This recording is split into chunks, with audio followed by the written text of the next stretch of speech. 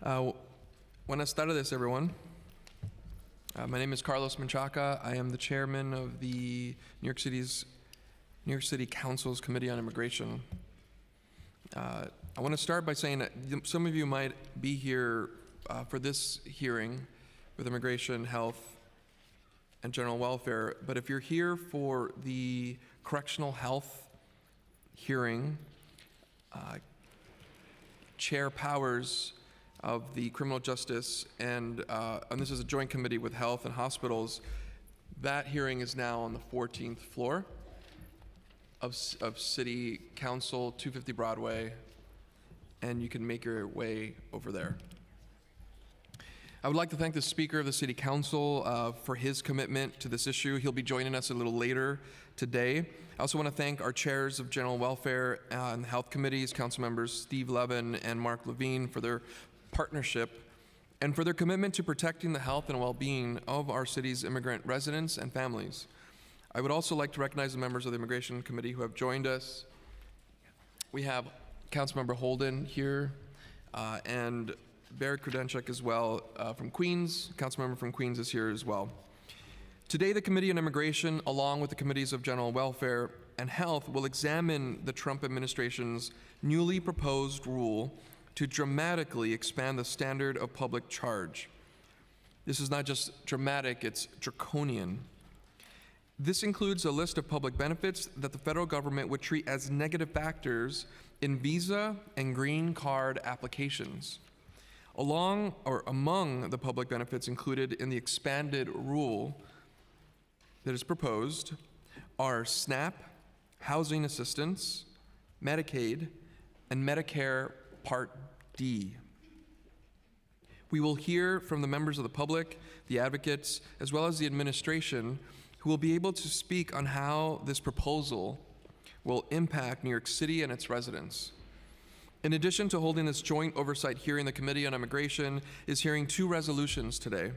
Reso 608, sponsored by the Speaker, authorizing the Speaker to submit a public comment on behalf of the Council to the Federal Register concerning the proposed change to the public charge rule and Resolution 609, sponsored by the Speaker, opposing the newly proposed public charge rule and urging the federal government not to move forward with its adoption.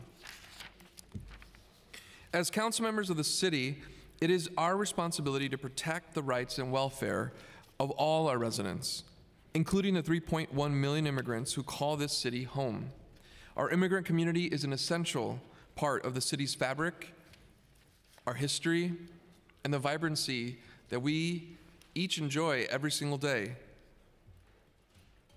New York City would not be what it is without them, without our immigrant heritage. At its core, this proposed rule is an assault on immigrant communities, including our city's own immigrant community, and part of the federal government's patchwork of anti-immigrant policies. It is effectively it effectively penalizes immigrants and immigrant families when they are poor, forcing immigrants to choose between their well-being and being able to stay in this country lawfully. By targeting benefits that help families with food, housing, and health care, this proposed rule will deeply harm our communities. According to the preliminary estimate by the Mayor's Office of Immigrant Affairs, who we'll hear from today, an estimated 475,000 New Yorkers could be harmed by this public charge proposal. This includes 75,000 who must choose between accessing benefits they are legally entitled to or possible future adverse immigration consequences and 400,000 who are not currently eligible to receive benefits but would face possible future adverse immigration consequences due to their, due to their age, health, income, etc.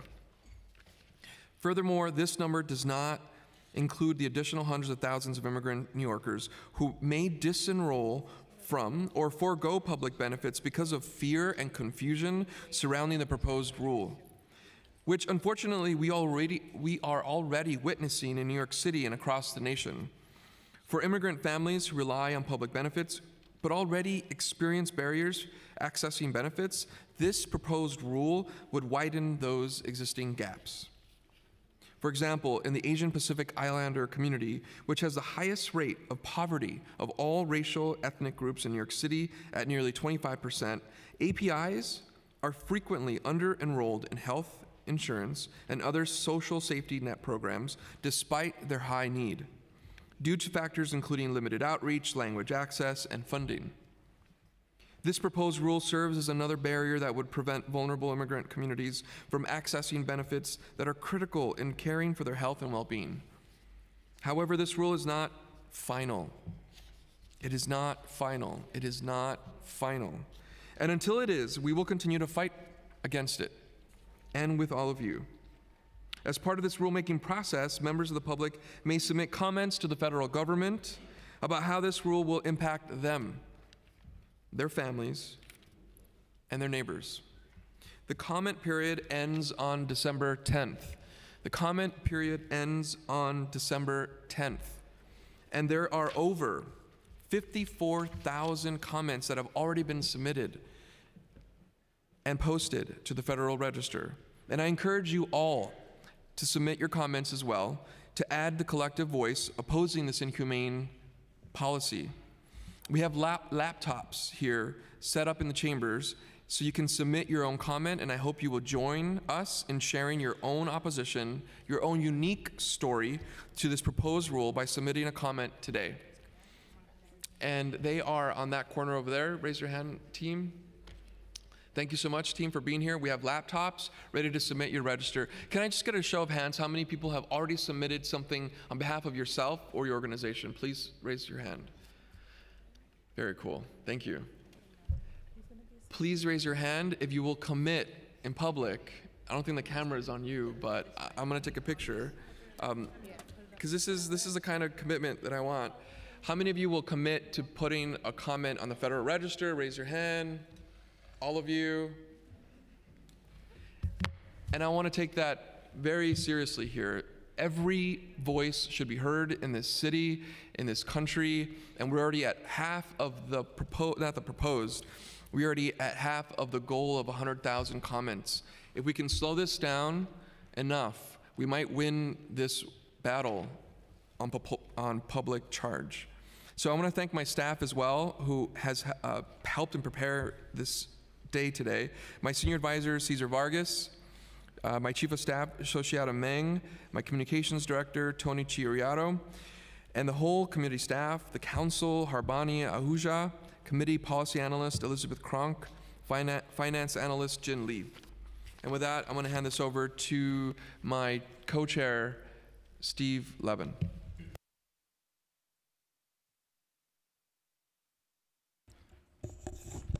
Thank you very much, Chairman Chaka. Uh, Good afternoon, everybody. I'm Councilmember Steve Levin, Chair of the Council's Committee on General Welfare. I'm pleased to join my colleagues, Councilmember Carlos Menchaca, the Chair of the Immigration Committee, and Councilmember Mark Levine, Chair of the Health Committee, for this very important hearing on a very serious matter, the federal proposed public charge rule. The federal administration's public or proposed rule newly includes public benefits like Supplemental Nutrition Assistance Program, SNAP, as an assessment of whether lawfully present immigrants deserve to stay in the country. SNAP is the cornerstone of the nation's safety net. And nutrition assistance programs providing assistance to millions of families to be able to provide food for their loved ones. In New York City alone, over 1.6 million residents depend on SNAP benefits to care for their family's well being. The impact this would have on our city's communities cannot be overstated. SNAP helps lift families out of poverty and provides economic benefit for communities. Every SNAP dollar spent by recipients generates $1.79 in economic activity, and every $1 billion of SNAP benefits creates 9,000 full time jobs. The economic uh, impact of this proposed rule on New York City would be devastating, potentially up to 25,000 full time jobs. So when we talk about the Amazon uh, issue, that's how many jobs could be lost by this proposed rule alone. More importantly, we are concerned about the chilling effect that this could have on New York City and look forward to talking with the administration about what we can do to mitigate this. The proposed rule and leaked versions have already caused significant fear and confusion and could lead to hundreds of thousands of immigrant New Yorkers dropping out of benefit programs or not accessing services that they are eligible for, including those beyond the scope of the proposed rule. The Supplemental Nutrition Program for Women, Infant, and Children, otherwise known as WIC, was included in earlier leaked drafts of the proposed rule change, but not, were not included in the final proposed rule. However, Public Health Solutions, which runs the largest community-based WIC program in New York State, has already seen large drops in enrollment in their WIC program following the leaked rule. Low-income women, including immigrant women, are disproportionately the primary or sole income earner in their households. The impact this would have on New York's families is alarming. This rule also comes at a time when the need for food assistance programs is greater than ever. According to the American Public Health Association, household food insecurity has jumped to 17.8% among immigrant families living in the United States in 2017 from 9.9% in 2007. How alarming is that? From 9.9% to 17.8% in just 10 years. We need to be expanding access to social services and food assistance, not making it harder for people to access basic programs. As SNAP and WIC enrollment decline, the capacity of food pantries is also likely to be strained. HRA, through the Emergency Food Assistance Program, EFAP, administers funding and coordinates the distribution of shelf-stable food to more than 1,000 food pantries and community kitchens citywide, reaching a total of 1.4 million New Yorkers. And the need is increasing. Hunger Free America found that New York City's food pantries and soup kitchens fed 6% more people in 2017 than the previous year. This proposed public charge rule would likely further increase this demand. I want to thank Barry Grodenchik, who's been our, uh, our champion here at the City Council over the last several years on expanding EFAP and been very successful in that endeavor. I want to thank the speaker as well. Today, we seek to learn how the proposed public charge rule could potentially impact immigrant family, immigrant New Yorkers and their families, and what we as a city can do to fight against it. I will say that this proposed rule comes from a mean, dark, xenophobic, and racist place. Sadly, these trends are not new in American society.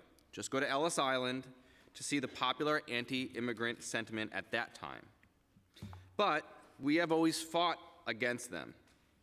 And the voices of inclusion have always defeated the forces of exclusion. We must do this once again.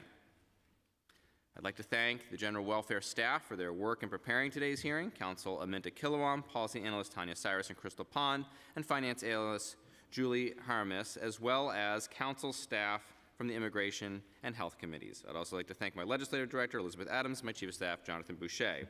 Lastly, I would like to thank the members of the administration who have come here to testify. Thank you. I'll turn it back over to our chair. Thank you. And uh, our chair for the Health Committee, Councilmember Mark Levine. Thank you, Chairman Chaka. Thank you, Chair Levin. Happy to be together in this very important fight. Immigrants are under assault in the Trump era on many, many fronts. And this hearing is focused on the latest line of attack. The public charge policy unfortunately, is not getting the attention it deserves. And today is in part about shining a light on this and mobilizing the people of the city to push back. The truth is that this policy change is no less serious of a threat than the assaults on DACA, and certainly more imminent a threat than the president's absurd and outrageous idea of revoking birthright citizenship or his bizarre obsession with building the wall. This is a threat which is imminent and serious and must be confronted head on. And let me be clear about what's at stake in this public charge rule change. If this goes through, it will bring about nothing short of a public health crisis for this city and for this country. This rule change will mean reduced participation in Medicaid, reduced participation in SNAP, and housing assistance, and much, much more, as my colleagues have detailed. This means that families in this city will forego neonatal care, they will forego annual checkups and vaccinations and pre- preventative health care in general. This rule change would exacerbate a frightening trend already underway in the Trump era of immigrants, documented and otherwise, showing greater and greater reluctance to go to see a doctor until they land in medical crisis, forcing them into the emergency room. This is already having alarming medical consequences. As we see, for example, in the resurgence of tuberculosis in New York City after decades of decline.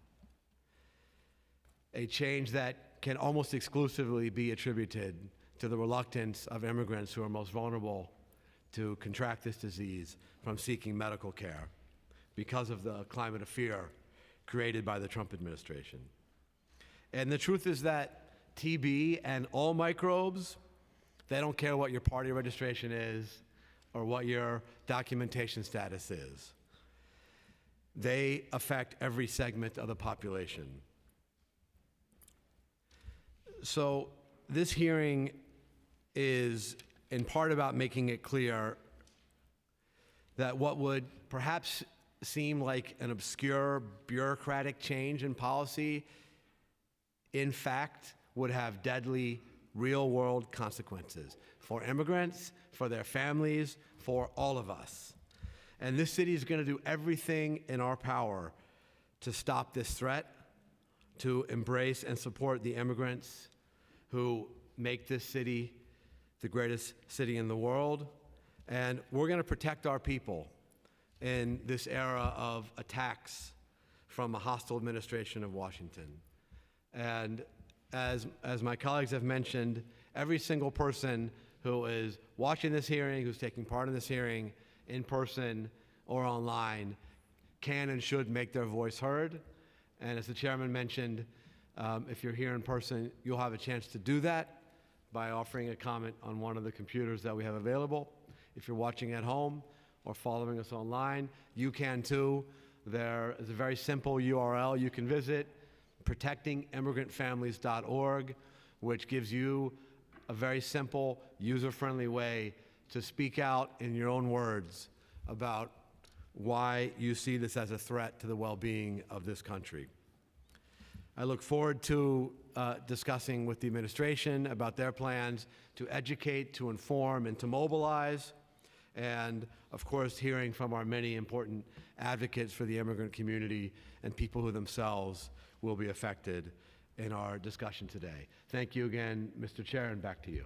Thank you, Chair Levine. And we are joined here by council members Jonai, Powers, Ayala, Salamanca, and Adams, and Dromm, and Grodenchik. Thank you. And we are going to call our first panel. And this is our community panel. Catholic Charities, uh, Raluca, Ancho- Okay, we'll get your, your name. Uh, okay, the first, that's Catholic Charities. The second one is CUNY Urban Food Policy. Professor Nicholas Freudenberg. And then the last one is Make the Road New York, Sienna Fontaine.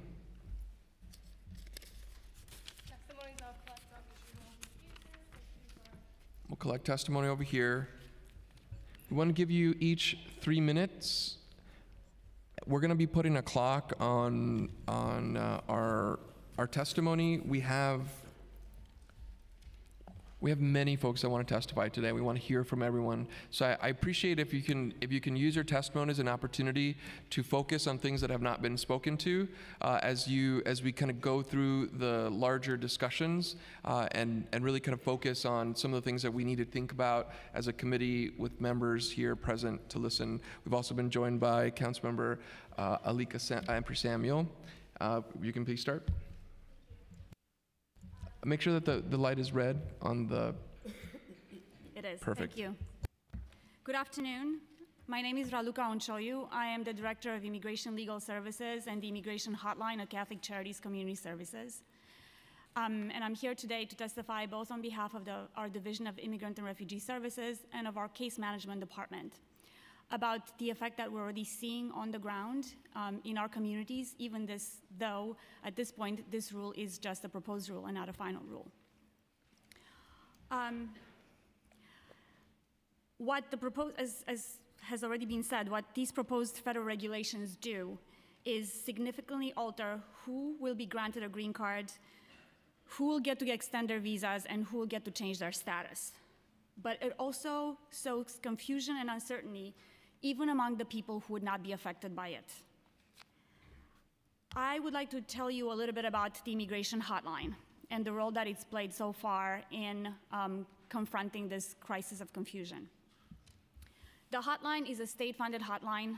It's available toll-free, um, and it, its mission is twofold. It seeks to provide basic information, correct information to those who have immigration questions, not legal advice, just basic information, and then to give them referrals to nonprofit agencies that can offer them legal services for free. Um, one of the things that the hotline can do is uh, partner with media to hold phone banks whenever there are issues that um, are affecting large portions of our immigrant communities. These phone banks reach far and wide. They, would, they are not possible without partnership from the New York Immigration Coalition, city agencies, state agencies, and of course, other legal service providers who send us volunteers to um, increase capacity during the phone banks.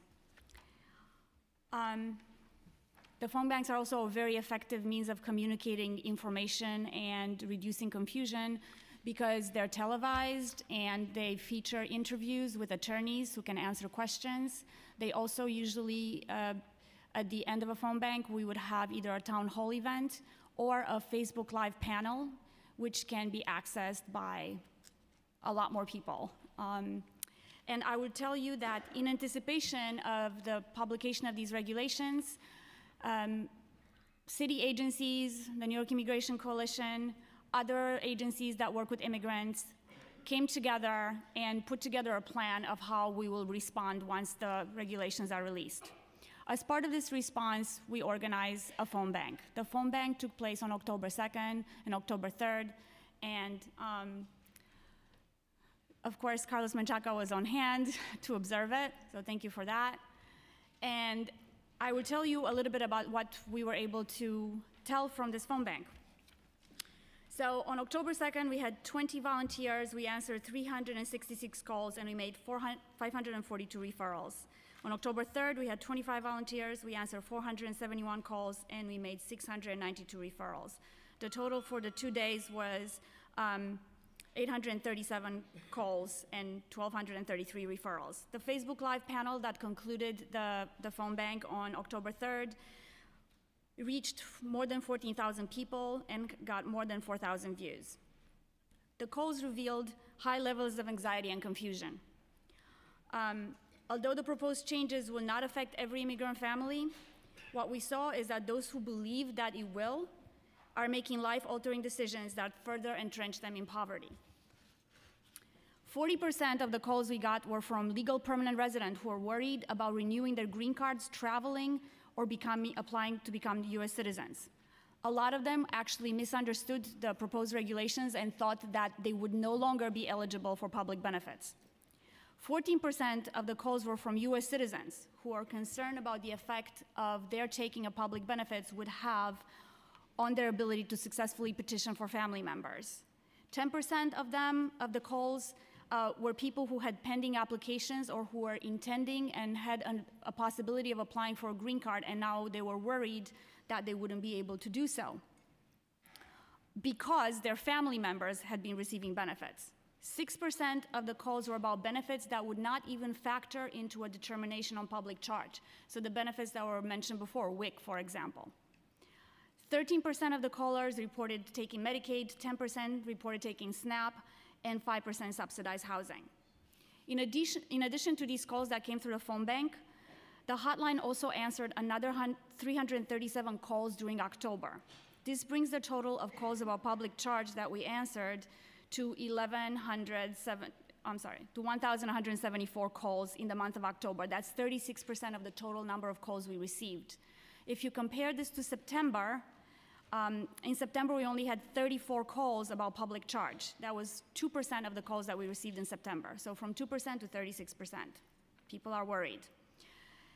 The calls that we received outside of the phone bank, again, 40% were from legal permanent residents who are convinced that the fact that they were taking benefits would um, disallow them from becoming citizens. We also anecdotally had two phone calls from US citizens who were afraid they would be denaturalized because they were taking benefits.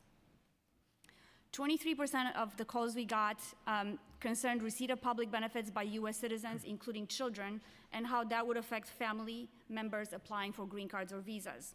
17% of the callers were undocumented, some had pending green card applications.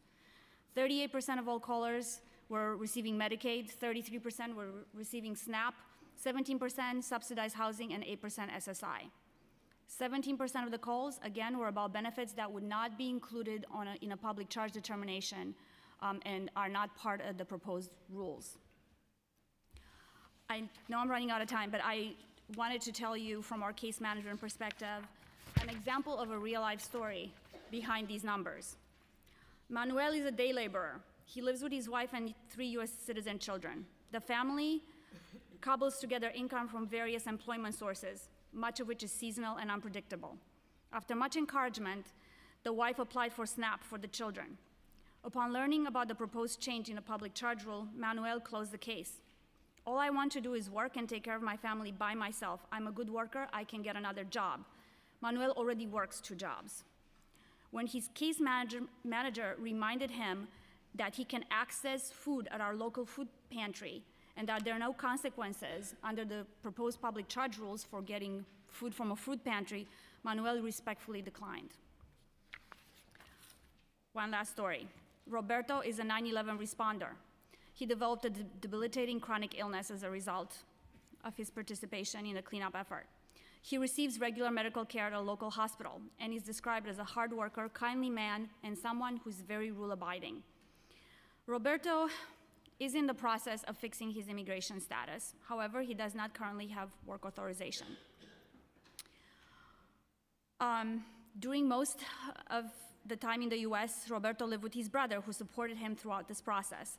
But last year, his brother's failing health prompted him to relocate out of state to be with his children.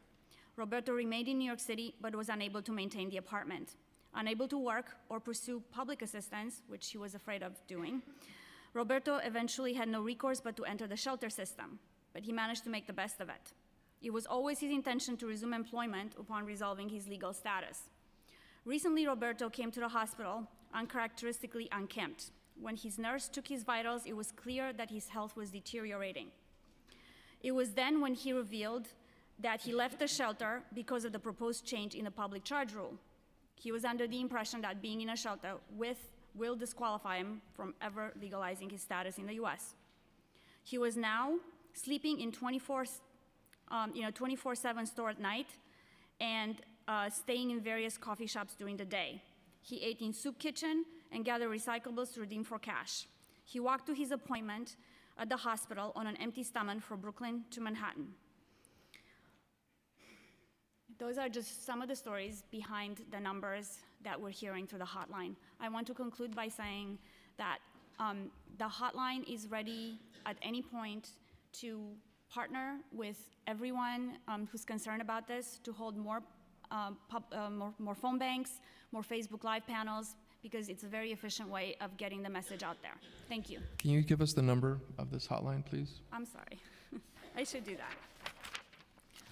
Um, and I should know it by heart. It is 800 566 7636. 800 566 7636. And it operates Monday through Friday from 9 a.m. to 8 p.m. It's toll free. And um, we speak up to 200 languages through an interpreter service. Our operators speak eight languages. Thank you. Thank you. And I just want to say, we're going to try to keep it to time, but I think what was really important is the data and the stories that are behind the fear that we're trying to understand right now. So thank you so much for the, uh, the fullness of your testimony today. Thank you. Professor, Yes, good afternoon, thank you. make sure your mic is on. Uh, your, yeah. I'm Nicholas Freudenberg, Distinguished Professor of Public Health at the City University of New York School of Public Health and the Director of the CUNY Urban Food Policy Institute. Our institute provides evidence, policy analysis and advocacy, and assistance to other organizations to help solve urban food problems. And I'm honored to testify at today's hearing and to assess the impact of the proposed change in rules regarding the public charge determination for non-citizens.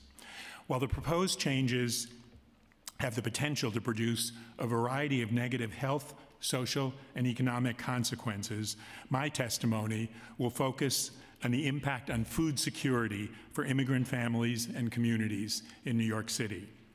And while this hearing is focused on the proposed change in public charge rules, it is important to note that the White House and congressional Republicans have enacted or proposed other changes that could worsen food insecurity here in New York City.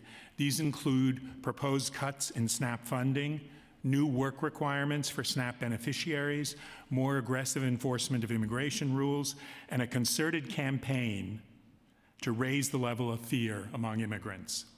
Because each of these changes has the potential to exacerbate the negative impact of the others, in my testimony today, I'm going to discuss the cumulative consequences of the cascade of proposed policy changes rather than only focus on the public charge rule.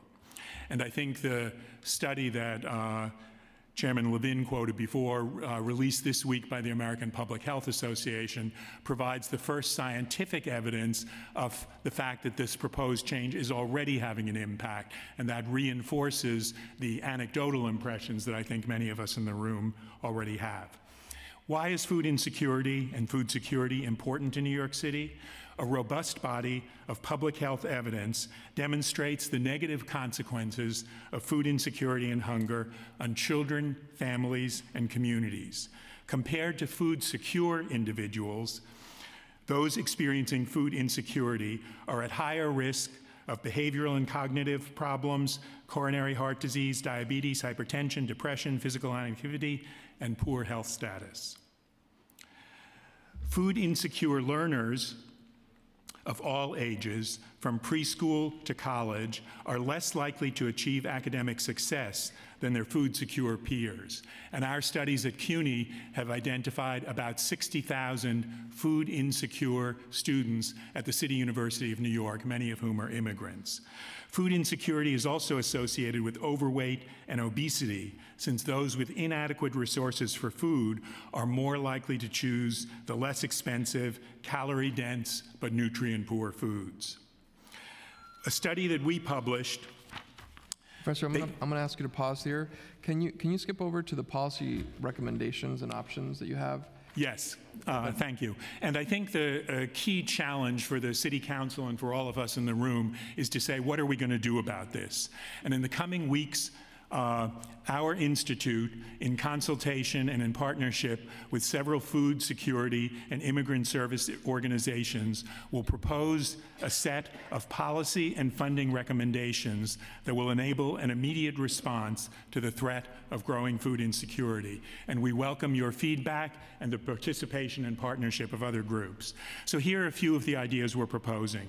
That we add incentives or discounts for healthy food to IDNYC, the New York City Municipal Identification Card. There are already some food benefits. City Council funding for more would put uh, healthy food in reach.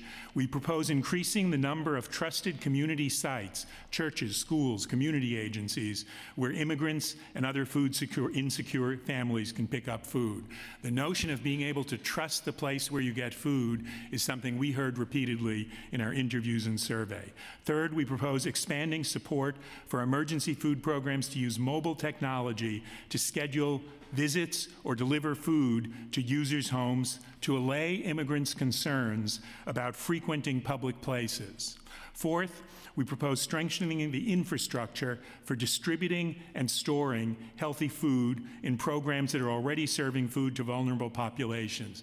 Many frontline groups report difficulties in serving the people who come to them because of inadequate infrastructure and staffing. We propose enabling community organizations to expand outreach and education to ensure that food insecure individuals, whatever their immigration status, are welcome and to lead campaigns against stigma. And finally, we support providers serving immigrant populations to supplement federally supported benefits for non citizen family members, such as summer meals for parents and older uh, siblings of school children eligible for federal program, to use city and state fundings to supplement those federal programs to provide additional food. As the city's immigrant populations become more vulnerable and afraid of using public benefits, city and state officials can also strengthen and enforce vigorously other policies that support their economic well being, from enforcement of wage laws and minimum wage to access to affordable housing. And this puts more money in the pockets of immigrants and allows them to get more food. So Professor, Ultimately, I'm pause you, I'll pause you there. I want to go to the next panel and know that we have your written statements, and we want to work with you to develop these concepts and ideas, and so I hope that you can work with us in the committees to further that we're committed to doing that. Thank you. Awesome, thank you so much.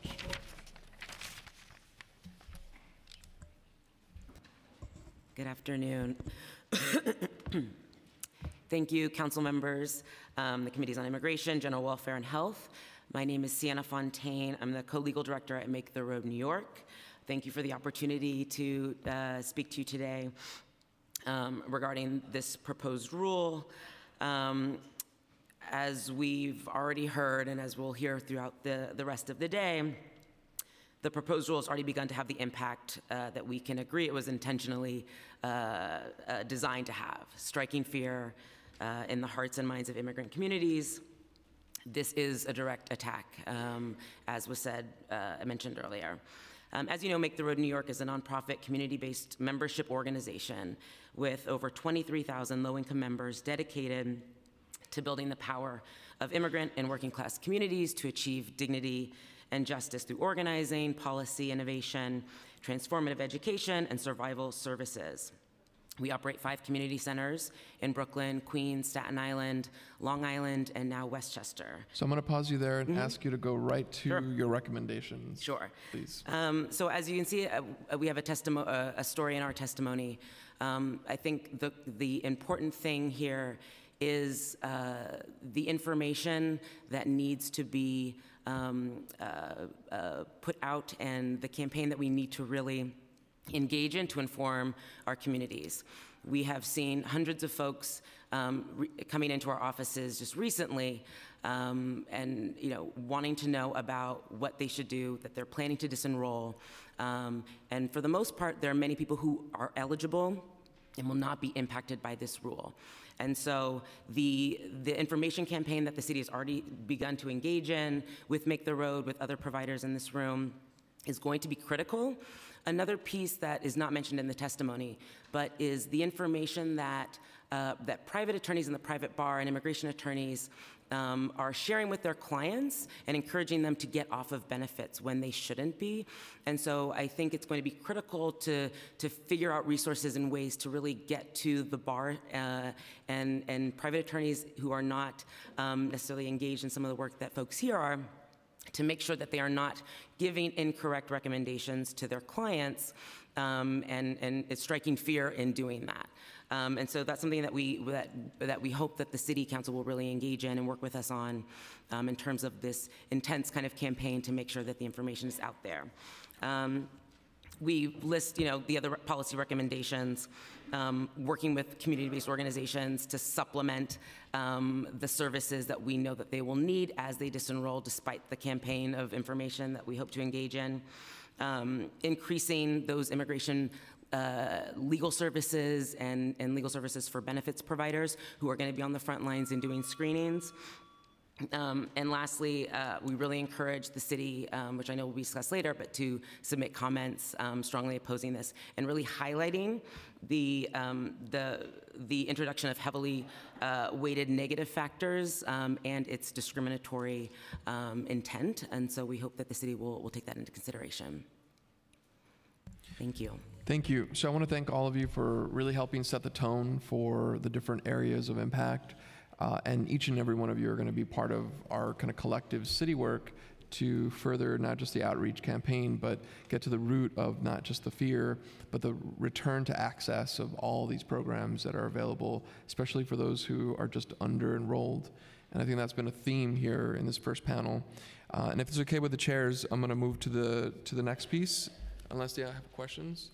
Um, I want to welcome a uh, thank you to the first panel for, for again for setting the tone for this. Uh, I want to I want to hand it over to our speaker Corey Johnson, uh, who never fails to join and lead uh, in real strong voice for every New Yorker, including our immigrant New Yorkers. The, we know that the work that the council is going to do is going to require the the most from every single one of us, and I think he's going to be at the front of all of this as we move forward to find solutions. Speaker? Uh, thank you, uh, Chair Menchaca. As uh, the chair said, uh, my name is Corey Johnson. I'm Speaker of the New York City Council. I want to thank the chairs of the Immigration, General Welfare, and Health Committees, Council members Carlos Menchaca, Steve Levin, and Mark Levine, for spearheading the Council's effort to hold our government accountable to the city's immigrant residents and their families. We are proudly a sanctuary city. In this mind boggling time, when our military, our proud service members that we honored over the weekend, are deployed to bar entry to a group of asylum seekers in a brazen political stunt that serves no legitimate purpose. During these times, we want New York City to stand as a beacon on a hill, showing a different way and path forward. Ever since the first leak, of a public charge rule in February of 2018, we have been preparing for this hearing, especially Chair Menchaca, and the work that still remains to establish a path forward for all immigrant New Yorkers that does not undermine our city's policymaking authority for our residents and does not result in a public health crisis that I fear is looming on the horizon because of this inhumane proposal. While some form of a public charge rule has been part of U.S. immigration law for more than 100 years, the federal government, as you've heard in the opening statements and in the first panel, and I want to thank those panelists for being here, the government is, the federal government is now proposing a rule that would drastically, dramatically reduce the number of people eligible for a green card or a visa. This includes significantly expanding the list of public benefits that are subject to, to a public charge determination, such as SNAP, non emergency Medicaid, Medicare Part D, and federally funded housing assistance, forcing individuals to forego accessing critical benefits that they are eligible for, mothers, children, the elderly, is cruel and is un American. This is not a surprise, sadly, from a man who came to the White House promising to build a wall. I saw on CNN when I was walking up here, he's meeting with uh, Republican senators right now to continue talking about uh, the wall, uh, to build a wall to divide us, and who has ramped up a war on immigrants with cruel policy after cruel policy. It is not a surprise, but it is certainly a total disgrace, and one that we will not let pass by without putting up a fight. Today, I am sponsoring two resolutions that are being heard by these committees. Resolution 609 calls on the federal government to reconsider its proposed public charge rule. The underlying assumption of public charge is that individuals only have value if they are 100% self sufficient from birth to grave. It doesn't take an expert to realize the logical fallacy in such a crazy assumption. Sometimes people need a little help. There's really no shame in that. People say people need to be pulled up by their bootstraps. If you don't have bootstraps, how are you going to get pulled up? My own family struggled when I was a child. We lived in public housing when I was nine years old until I graduated high school at 18 years old, and thank God we had it. I am now Speaker of the New York City Council, serving the city that I love as best as I can, and I wouldn't have got here today if it wasn't for the help that's been provided to me. What this policy is doing is making it so that people who need some help, food, food stamps, or Medicaid, or housing assistance like my family had, they are now being told they are not welcome here in our country. That is absurd. Our immigrant neighbors and friends contribute every day so much to this city and to this country. Like many native born Americans, they sometimes need a helping hand. There is nothing wrong with that. Let's not penalize them for it.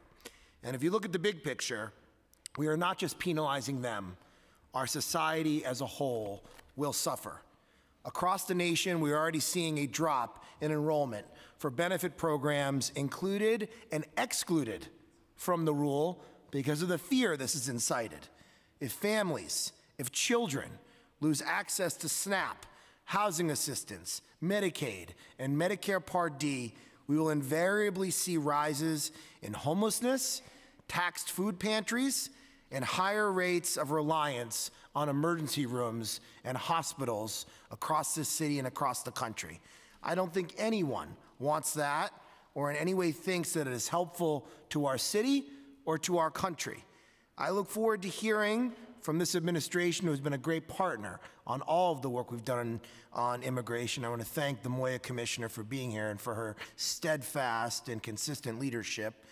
Uh, I look forward to hearing from them about any changes in enrollment that they are seeing and ways in which they are planning to respond programmatically to the heightened need of New Yorkers resulting from this proposed rule.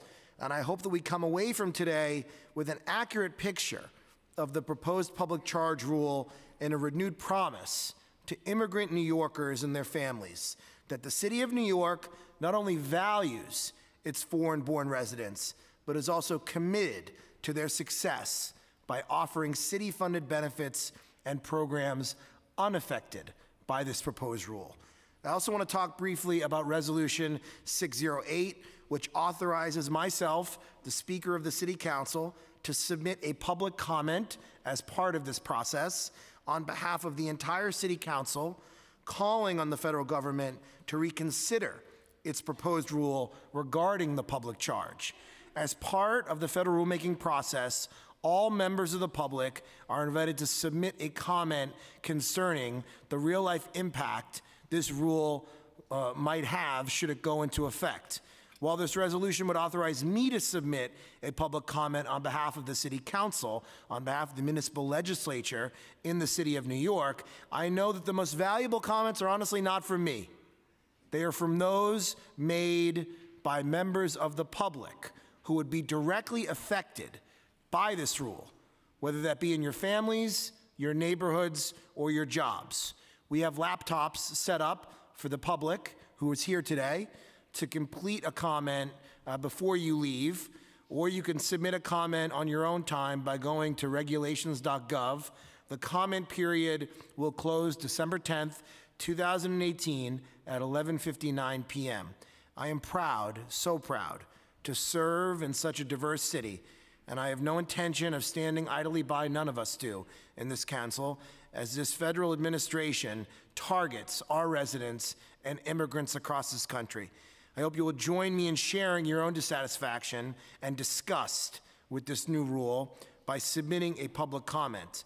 Again, I want to thank uh, Chairs Menchaca, Levin, and Levine for your commitment to this issue. I especially want to thank my dear friend, uh, Carlos Menchaca, who has been an incredible leader on all issues related to immigrants and immigration in our city, never uh, stopping to stop banging the drum on behalf of immigrants who are affected.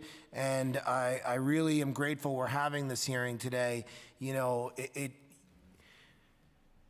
there is something so uh, wrong and despicable with the assault and uh, cruel and inhumane measures that are being proposed every single day by Stephen Miller and other uh, racist, xenophobic folks inside of the White House.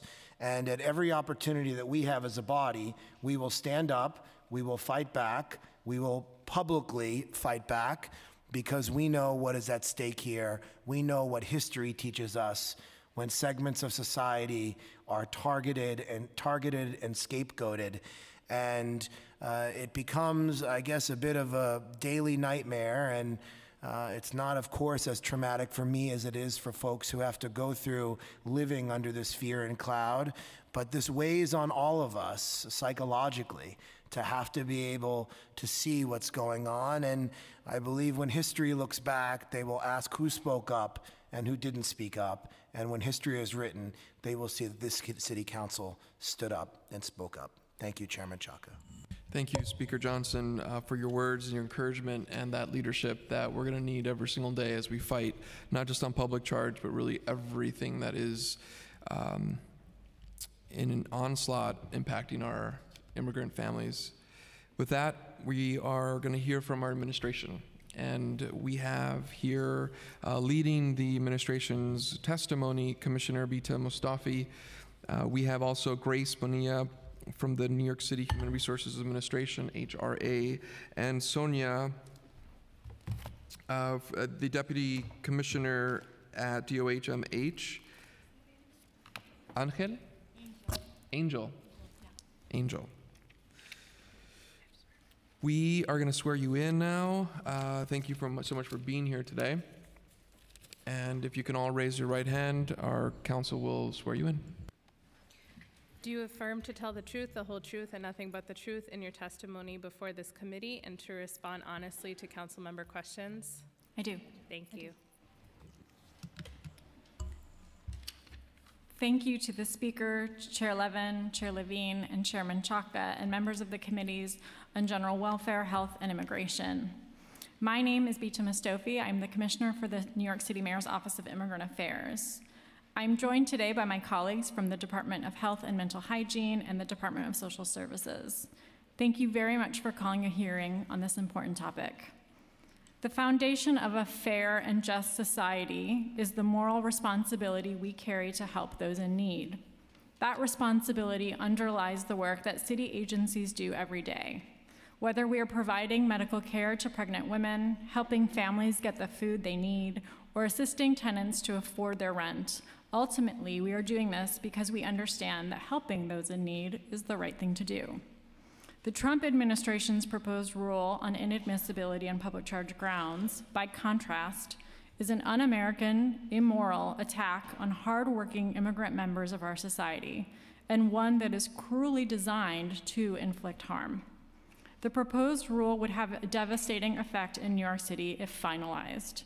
One of the most insidious aspects of this proposal is that it has already created widespread confusion and fear even though no change has taken effect.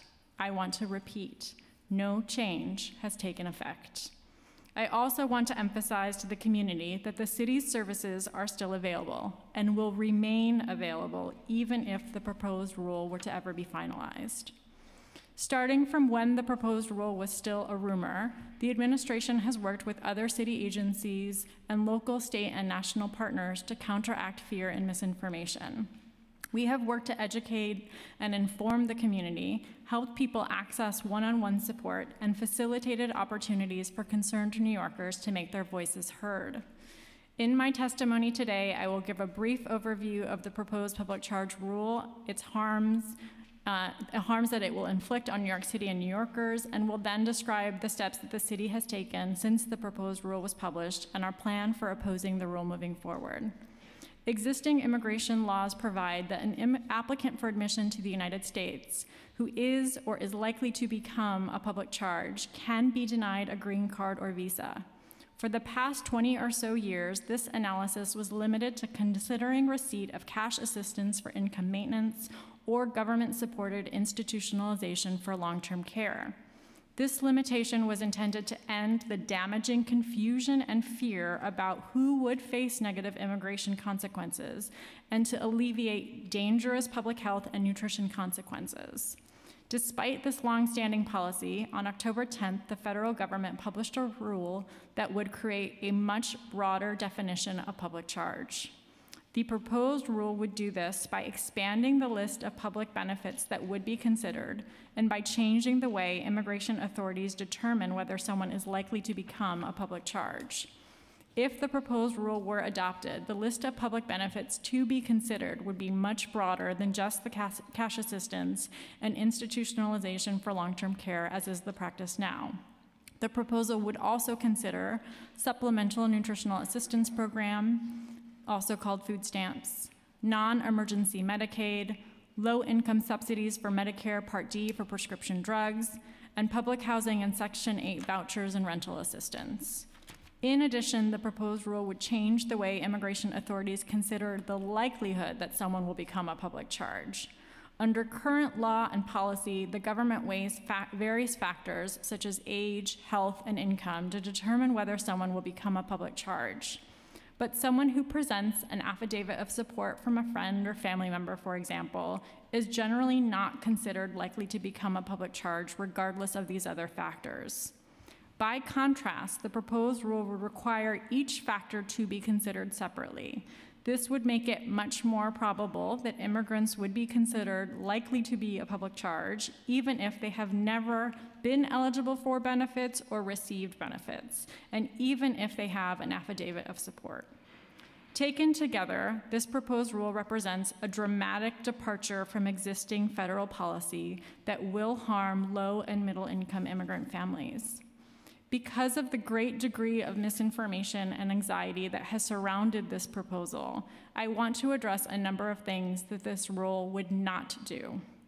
Notably, the published proposed rule is more limited than some leaked drafts and does not reach as far as some rumors have suggested. First, the only public benefits that the proposed rule would treat as negative factors would be those expressly listed. There are many benefits that are not enumerated in the proposal, including WIC, reduced price or free school lunches, emergency medical assistance, discounted healthcare services for the uninsured, foster care and adoption, Head Start, and other benefits. These benefits and others not listed would not be counted against an applicant for a green card or a visa. Second, the proposed rule would only apply to benefits after the, the rule is finalized. It is not proposed to be retroactive. An individual's receipt or benefits today and up until a final rule takes effect would not be considered in a public charge determination. Third, the proposed rule would only consider an applicant's own use of making uh, benefits when making the public charge determination.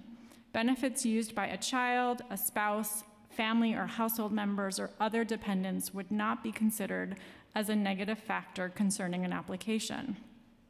Last, the proposed rule exempts many categories of immigrants from its scope based on immigration law. Public charge inadmissibility does not apply to green card holders and applicants for citizenship.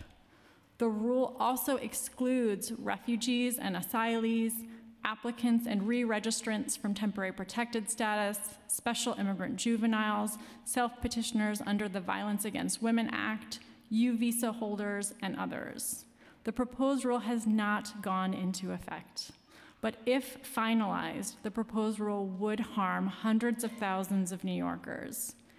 As written, the proposed rule would force many immigrants to choose between access to crucial public benefits and regularizing their immigration status.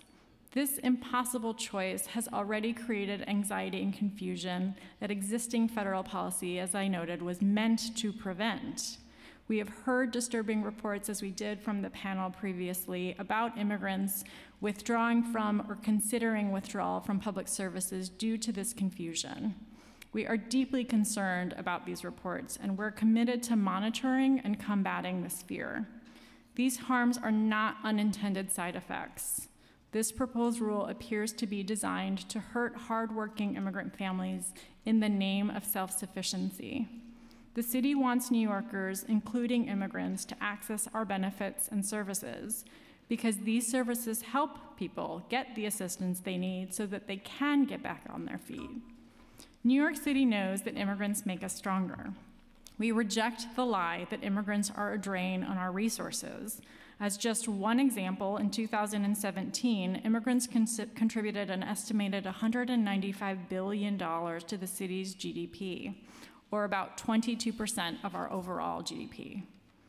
If it goes into effect, the proposed rule will have grave effects on public health and general well being of New Yorkers. I want to highlight the broad harms that the rule could cause. If the rule were finalized, we estimate up to 475,000 immigrant New Yorkers could be directly harmed. Up to 75,000 of those immigrants are currently eligible for crucial benefits and may be forced to choose between receiving those benefits and future adverse immigration consequences. But the bulk of those who could be directly harmed, some 400,000 immigrants, are those not eligible for benefits, but who, who could be deemed a public charge in an immigration application simply because of their age, their health condition, education, employment history, or income and assets, among other factors. We fear that hundreds of thousands more New Yorkers, including US citizens and immigrants who are not subject to the proposed rule, may withdraw from benefits or forego benefits for which they are eligible. We are already working to combat this large scale chilling effect. Lastly, the proposed rule would hurt the city's economy. If finalized, we estimate that the city's economy would lose at least $420 million annually in public benefits support and economic activity. I want to emphasize for New Yorkers that this proposed rule has not gone into effect. It remains possible that the proposed rule will never go into effect. Moreover, even if the rule were to go into effect, it would not change eligibility requirements for public benefits programs. The proposal is exactly that a proposal that must face public scrutiny and comment. The, pu- the public can weigh in on the proposed rule until December 10th, and I encourage interested New Yorkers to make their voices heard by submitting comments as you can do here today. Turning to the city's response to the proposal, the city has tracked this issue closely since the first days of the Trump administration, when a leaked draft executive order revealed that the administration intended to target immigrant use of public benefits. Our focus throughout this process has been ensuring that the community and stakeholders have information they needed, encouraging individuals to make their voices heard about the potential proposal, and providing avenues for New Yorkers to get more information and the help that they need. Once the leaked draft regulations appeared in the media in early 2018, MOIA immediately began working with our sister agencies. We worked to ensure that New York City's immigrant communities and other cities were well informed about the issue. We briefed agency heads and city leadership in the spring and dedicated a session to this issue at the Cities for Action conference in May. After the Department of Homeland Security posted the draft language of the rule, we immediately began working to analyze the proposal and formulate a response. Shortly after, we produced talking points for agency staff and a public facing information flyer in all of the city's local law languages. Through interagency collaboration with DOHMH, DSS, New York City Health and Hospitals, and other agencies, we were able to distribute information about the public charge rule to thousands of frontline staff. Commissioner Banks sent a letter to staff noting that no policies had changed on the federal or citywide level. Dr. Katz sent a similar letter to New York City Health and Hospital staff. HNH also published a Public Charge 101 column in its all staff weekly newsletter and hosted a webinar open to all staff led by the New York Legal Assistance Group. During this time, the city also worked with Catholic Charities, as you heard, the Hispanic Federation, New York Immigration Coalition, Univision, the state's Office of New Americans, and LDREO to organize a phone bank and Facebook Live event to help provide accurate and important information to the public. As you heard, 43, 43 volunteers answered about 800 calls and made over 1,200 referrals, and 14,000 people viewed the Facebook Live event. Many of the calls to the phone bank were from lawful permanent residents concerned about accessing benefits. Many of the Facebook Live questions were from immigrants concerned that their usage of public benefits would impact their ability to petition for family members in the US and abroad. The administration also hosted a community and ethnic media roundtable on public charge and the 2020 census as part of City Hall in your borough in Queens, where I spoke alongside Deputy Mayor Thompson, Commissioner Banks, HRA Administrator Bonilla, Elmhurst Hospital CEO Israel Rocha. We provided information about the scope of the rule, the harms to immigrant New Yorkers, and emphasized that services remain available to all regardless of immigration status. The city is continuing to organize Know Your Rights events across the city and for different communities to circulate accurate information about the scope of the proposed rule and how individuals can get the help that they need. These efforts to provide accurate information are a crucial part of our effort to mitigate the fear and the harm that we already saw building in our communities. The city and its services remain open. New Yorkers are afraid or need help, they should con- connect with Action NYC by calling 311 and saying Action NYC. We've also had mul- held multiple briefings for different advocates and elected representatives.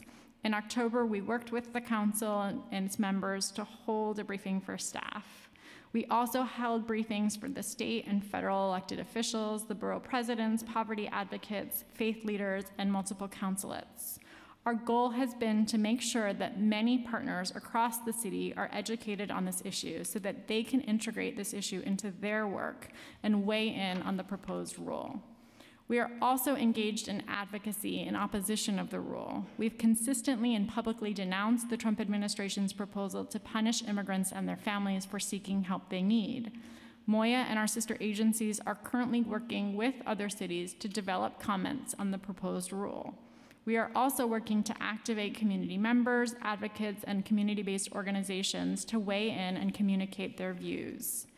All New Yorkers are welcome and encouraged to make their voices heard on this important issue.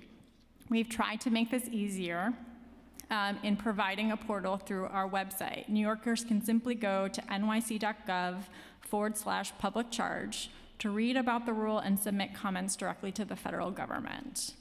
The public charge proposed rule has shown why it's so vital for the city to provide immigration legal services. The best way for New Yorkers to understand how the proposed rule might affect them is by seeking immigration legal services.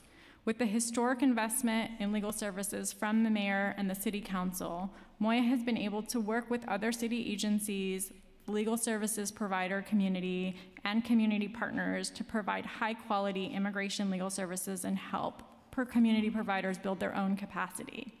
Action NYC provides providers have already been trained on public charge and are ready and able to provide individual guidance to immigrant New Yorkers.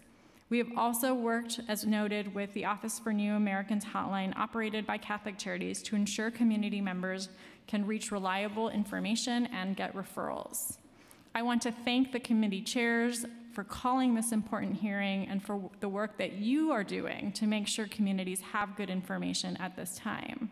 The Trump administration's proposed rule on public charge is a hateful and draconian attack on immigrants working to make ends meet and keep food on the table.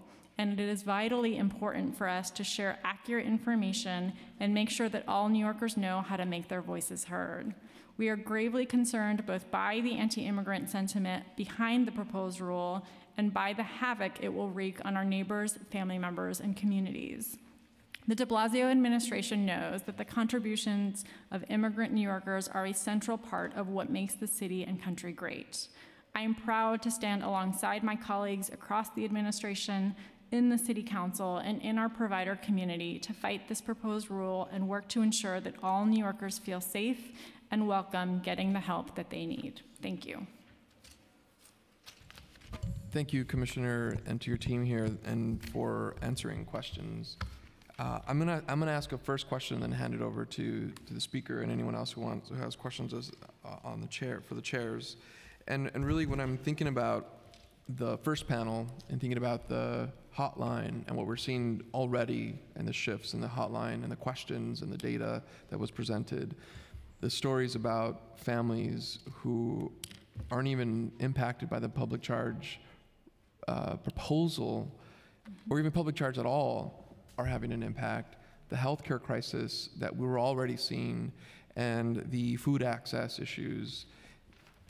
What is the most important thing, the single most important thing that you think the city's administration should be focused on right now? What, what is, out of all those things that are being presented to us, it's incredibly overwhelming. What's the single most important thing that you think we should be focusing on and, and, and how are you, how are you putting resources towards that goal? Um, so I'll say a couple of things. I think top line, as you heard throughout the testimony, we think the most important thing is to fight back, um, ensuring that there isn't a final rule that ever goes into effect that would, in fact, inflict this harm on our communities. Um, we feel as though there's something to be celebrated, even if a small sliver of hope, in the work that advocates, cities, other leaders did to push back against the broad leaked drafts and narrowing the scope of what was ultimately proposed. But there's still work to be done, and we are centrally focused on ensuring that we're doing everything at our, in our means to push back against a rule ever being finalized. I think secondarily, we, we know that that chilling effect um, is already real and well underway. Um, it, it's not uh, you know, rocket science to say that we need to do everything in our power in all of the different channels at our disposal to saturate good information and connect people to resources and services. We've done that in many of the ways that we articulated, but our focus is really in, in that campaign to ensure that communities know that this is not a final rule, that they know that there are resources immediately available to them to get good information on what their individual impact might look like, um, and then for us to continue to work with our agencies to monitor what the impact is on the ground in terms of benefit utilization. And very technically speaking, uh, and, and really thinking about worst case scenario, if we do not win this battle at the federal level on public charge, and that the public charge, even with our 100,000 um, unique stories, that should be enough to change the federal government, that we have a very specific problem in front of us. And it's not just impacted directly folks that will be impacted by public charge, but it's essentially a larger group of folks, even non-immigrants in our neighborhoods on the healthcare issue. So, so what we're really speaking about here is is increasing the access to services and really ensuring that no barrier exists and that the city understand the need there. And in some ways, we kind of do know some of that need. A lot of it is information and confusion, but essentially, what we're saying is that the city is going to have to then provide, and the state. So I kind of want to hear from you on that what essentially, at worst case scenario, um, are we doing to rev up for that? And what is administration doing to be ready to say, we're gonna we're gonna take care of our New Yorkers, and here's the plan?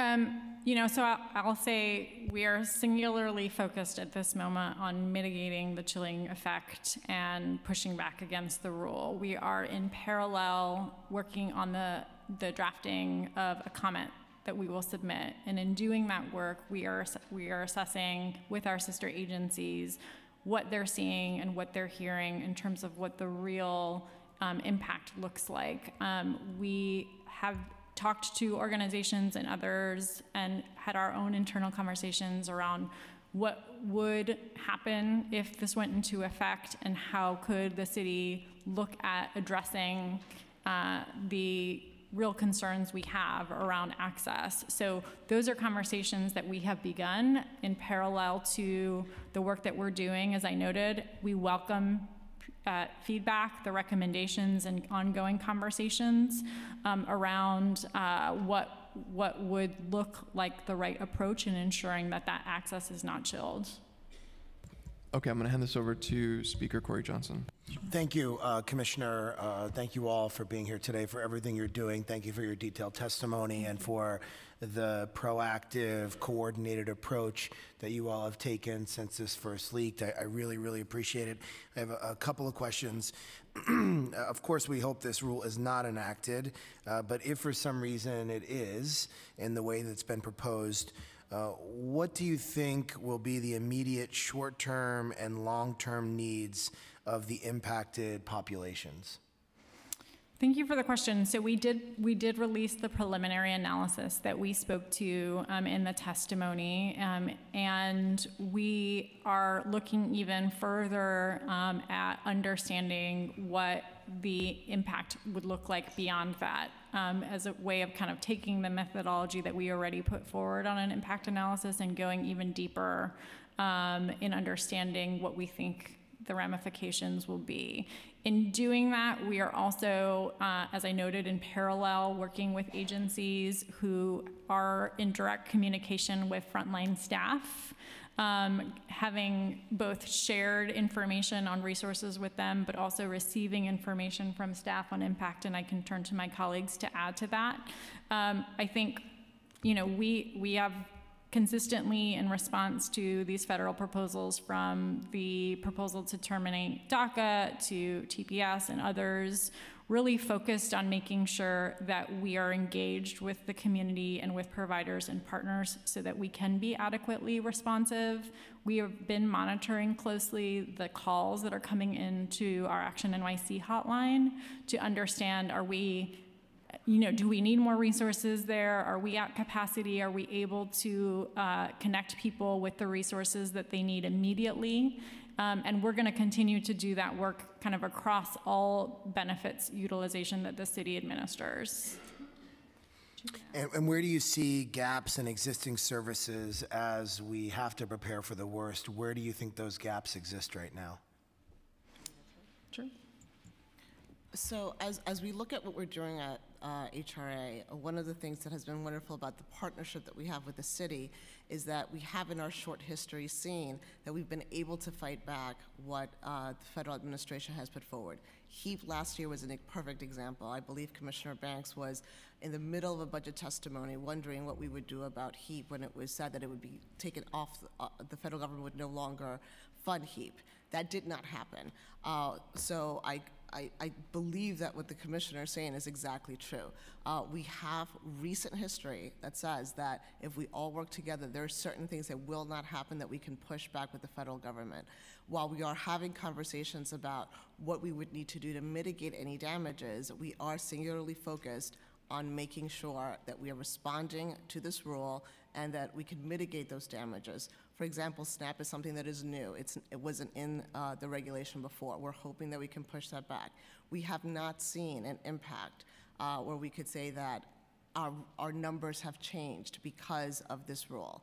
Um, so we are, again, looking at everything that you're pointing to, Speaker, but we have not seen anything that points to the fact that we should start having those conversations uh, without really fighting back this rule. Thank you. Um, Dr. Angel, I wanted to ask you about uh, a health impact. Of course, we know that SNAP, Medicaid, Medicare Part D, housing assistance benefits uh, more than just an individual uh, they, that, that they're receiving. It also it has uh, indirect impacts or direct impacts on other members of the household uh, that are living with someone who may qualify for these benefits. Um, and some of those folks are folks who likely are U.S. citizens. Uh, as you work to quantify the impact of the new rule, how are you thinking about the health impacts on New York City households? And if the rule's enacted, how do you propose to ensure that we continue to strengthen the health and well-being of people who are affected? Yeah, this is of, of, considerable concern, obviously, because as you mentioned, it's not just the individual, it's the family, and I would also say the community at large that's impacted by that experience. Um, as an agency, we uh, maintain a very high level of technical understanding of the impact of, for example, pe people not seeking treatment for an infectious disease, which then uh, might have a, a knock-on effect in terms of others in the community who might um, who might uh, then contract it. Um, we worry very much about, for example, if people don't seek services for TB treatment as a result of this, uh, uh, don't go to our sexual health clinics as a result of this. Based upon our understanding of treatment, we can then understand the larger impact that it has. We are in a position that we can model the broader impact of it, but I will echo what my um, colleagues here are saying is that the most important thing at this time is that we mitigate the impact of this chilling effect right now because we remain and have always been open to services regardless of immigration status. We don't ask about immigration status when we provide our services. And so the most important thing is that we ensure people that, that they can continue to seek safely the services that they need now to keep themselves and their community healthy. I'll just add one more thing to that, which is to say that we, one of the things that we did was we cross-trained city outreach workers, including the public engagement unit that cover, does get covered and, and speaks to individuals around uh, health access. So they have been trained on what this is. They know how to be responsive and direct people to additional questions or individual questions that they might have. Uh, and a part of that, of course, is um, at at this time using kind of everything at our disposal and assessing if there are additional gaps and making sure people have that information and know what they can access in terms of health and other needs. Commissioner, uh, how many people work at MOIA? What's your head count? Um, so MOIA, uh, our, our head count, I'll have to get back to you exactly on. We work um, in partnership with other agencies, including HRA, DSS, and DCAS, and have about 70 individuals who work across uh, these agencies that focus on this work, including outreach work. But approximately, how many people just work in your agency? Approximately seven just in the agency. Well, you, uh, you didn't expect this question, and uh, it wasn't planted by you to me. Uh, but given everything that you have had to grapple with as a small agency, I'm glad we're having uh, budget hearings uh, for your agency now that the chair had conducted this past budget cycle, and we're going to continue. Um, I think part of the conversation that we have to have, even though you have these great sister agencies with folks who are working on this, like the, the two amazing uh, folks that uh, you're seated in between, uh, I think everything that you're having to deal with, we need to have a conversation about what other infrastructure MOIA needs uh, to be able to continue this coordination work, the proactive work, the advocacy, uh, that you're getting the support that you need. I think it's a very important uh, conversation to have, and I look forward to uh, understanding what those potential needs are uh, before the budget process begins so that we can continue to support the great work that you've done. I just have two more quick things. Allowing for privacy concerns, does the administration have a sense of the numbers of public housing residents in New York City who may face adverse consequences pursuant to this new rule should it go into effect? No, I think what's important to emphasize here is that individuals who are actually eligible for those kinds of services are not immediately impacted by this, right? Um, you know, one of the sort of false narratives that's spun is that immigrants, um, particularly undocumented or other immigrants, are reaping benefits uh, uh, utilization, and that's absolutely not true. Um, and so, uh, what we're more concerned about in those contexts is just that broader chilling effect and confusion around people not necessarily readily understanding that it doesn't apply to them, uh, and making sure that through all of our agencies, we're sharing the message so that they can address individual questions or concerns from residents. And what efforts in how many languages and with what frequency has the administration attempted to explain the proposed rule change uh, with uh, potentially affected individuals? Um, so a number of things to date, though more to more to do certainly. Um, one was a community and ethnic media roundtable where we had um, media from sort of a very diverse set of outlets um, uh, representing various languages, of course. Um, we've translated our public-facing flyer into the, the local law 30 languages, so the top 10 languages, and have distributed that widely and as needed. Um, we obviously did the um, phone banking in the Spanish language. We're looking at doing something similar in other languages. We've set up community-based forums and um, provided interpretation in the language that the community or provider has requested. We've done that now at a few different locations and we'll continue to do that work.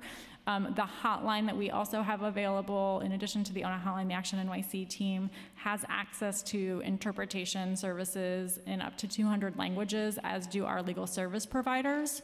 Uh, so we are always, uh, you know, wanting to hear: Are we missing something? Do we need to translate into another language? Do we need to provide uh, kind of interpretation or workshops in a different language? And, and doing that, we're working currently with community-based providers on uh, Know Your Rights curriculum that includes this. And so um, for that, we also provide uh, translation and interpretation services. And are there any concerns that the proposed rule change could lead to fewer applicants for Section 8 vouchers? You know, I think readily in our, the, the analysis that we're doing now is going to look deeper at this. Our concern is it could, yeah, you know, just understanding and recognizing what we've heard anecdotally and, and what we've engaged in in community conversations with individuals on that confusion. People who are themselves legal permanent residents and don't recognize, or don't know rather, that this does not impact them and would not, will be asking that question. So it is imperative that sort of at every juncture in which they're going through their process, not just in interacting with us, but faith institutions and leaders and community-based providers, they're able to get access to good information.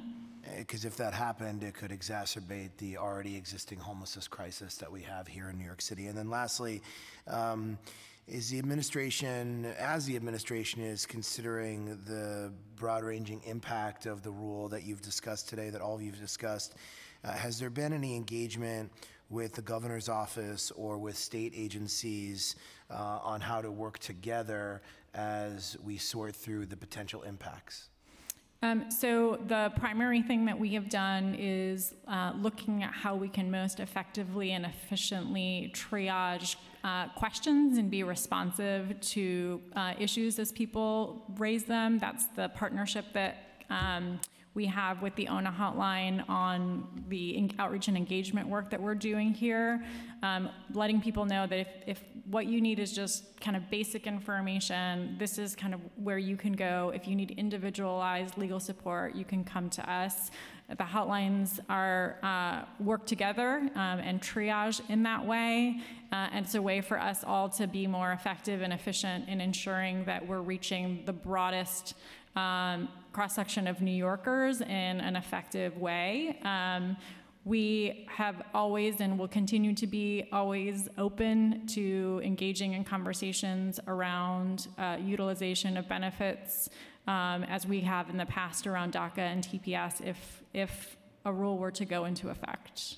Thank you, Commissioner. Thank you uh, again to uh, Chair Menchaca, to, to Chair Levine, and to Chair Levin, uh, and also the public and advocates who are here today to talk about this and to inform our thoughts and discussions on how to be most supportive of the administration and all of you and the uh, folks that you all serve. I really appreciate uh, all the work you've done so far. Thank you very much. Thank you. Thank you, Speaker, for, for being here. And uh, the, the I'm going to hand it over to uh, Chair Mark Levine on health. Uh, but before that, I just want to get two clarifications. You spoke. Um, we the speaker asked about the relationship with the state right now. Has has the mayor made a call to the governor himself about public charge and to really kind of create a a line of connection and communication? Has has that has that happened at that level of the mayor? I am not aware. Okay. Uh, it'd be great to see if there's anybody in Intergov here that can. I just want to make sure that, that that's that's happening. Uh, and the second piece is really just kind of getting a clarification about the agencies that you're working with, all the agencies that you're working Yeah. with right now. Can you just list them up right now? You, you mentioned that there's a agency task force, a group. We just want to get a list of all those agencies that are going to have impacted populations. The list is long. Um, I will give We're you. ready. We're ready. I'll give you top line. So um, some of the core, and I should say it includes um, our uh, counterparts at City Hall as well that join the, t- the task force and the coordination calls. Um, it is, of course, uh, DSS, Department of Health, um, Health and Hospitals, ACS. Um, we have included uh, at different levels um, DIFTA, the Department of Probation, um, Oh goodness, you're, you're really jogging my memory on everybody that joins these calls. Um, those are probably the core agencies um, that are a part of and informing direct impact because of their service delivery um, and because of the uh, clients, if you will, that they have that are coming through through them. And did I miss anybody that you guys? Okay. So like NYCHA, HPD, Sorry, yes, HPD is a part of the conversation. Okay. NYCHA is a part of the conversation, yes. okay, but not NYCHA. Yeah, NYCHA has been a part of um, the broader agency group that's been receiving information and materials, um, but HPD joins the, the calls. Okay. Uh, Chair Levine. Thank you so much, Chair Menchaca. And that, that last question you asked is so critical. And just to put it delicately, if there's ever an area where we need the state and the city working together, it's this, because all of these benefits are just a tangle of city and state and federal funding. And almost any solution we can think of that would blunt the impact is going to require total coordination. I'm sure you know this, but important to emphasize. You alluded to one of the most really, uh, I would say, mo- morally bankrupt components of this proposal, which is the notion that someone with a pre-existing health condition who is not even consuming any publicly subsidized benefit today, so they're not on Medicaid, they're, they're self-paying or not insured, but simply the presence of a pre-existing medical condition would actually prejudice their uh, renewal of, of permanent residency. Is that accurate? Yes, um, the, the public charge rule has historically had this sort of totality of the circumstances analysis as a part of it. But what this rule does that goes further, that is, as you noted, one of the most dangerous parts of it, is uh, really hones in on the way that each individual factor, like a pre existing health condition, would negatively affect that determination of future likelihood of being a public charge. So you, you would be asked to present your medical history as part of the immigration interview?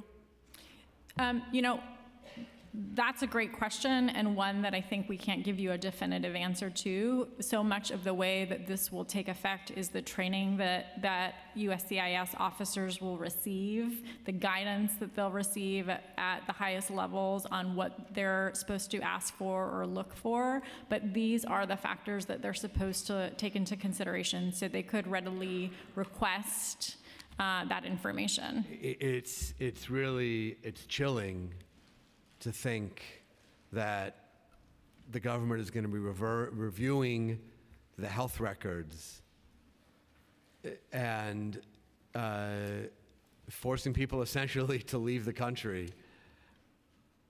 if, uh, if they have some condition deemed to be, uh, deemed to make them unworthy. I don't think we've focused on that, but that's not the kind of country that I want to live in, and I think virtually every New Yorker would agree with that. Are, do you have some clarification on this point? No, I think what I said was accurate. They just want me to emphasize that somebody who's a green card holder and applying for renewal of that green card would not be subject to this. This would be for first-time Yes. applicants. Uh, No less morally bankrupt, in less opinion, morally I'm- I'm- bankrupt. I I'm sure you totally accurate. agree. Yes. Um, You referenced uh, that 311 now uh, is set up to receive questions from people who are concerned or scared or confused about this rule change. And you, you said that the code word, code word, I think, was Action NYC, which I can't imagine most people would know. Probably they would say public charge. So if I call and say, I'm scared about the public charge rules, are the operators then trained Yes. to respond to that? Yes. So um, 311 has sort of uh, two, two to three different paths. One is just public charge or benefits utilization, and the other is Action NYC if, if you're directly asking for legal services. So, yes, they can be directed. I will say, and I think this is a credit to hopefully us, to you all, and to others, that what we're, where we're seeing the highest volume of calls is actually to our Action NYC hotline directly.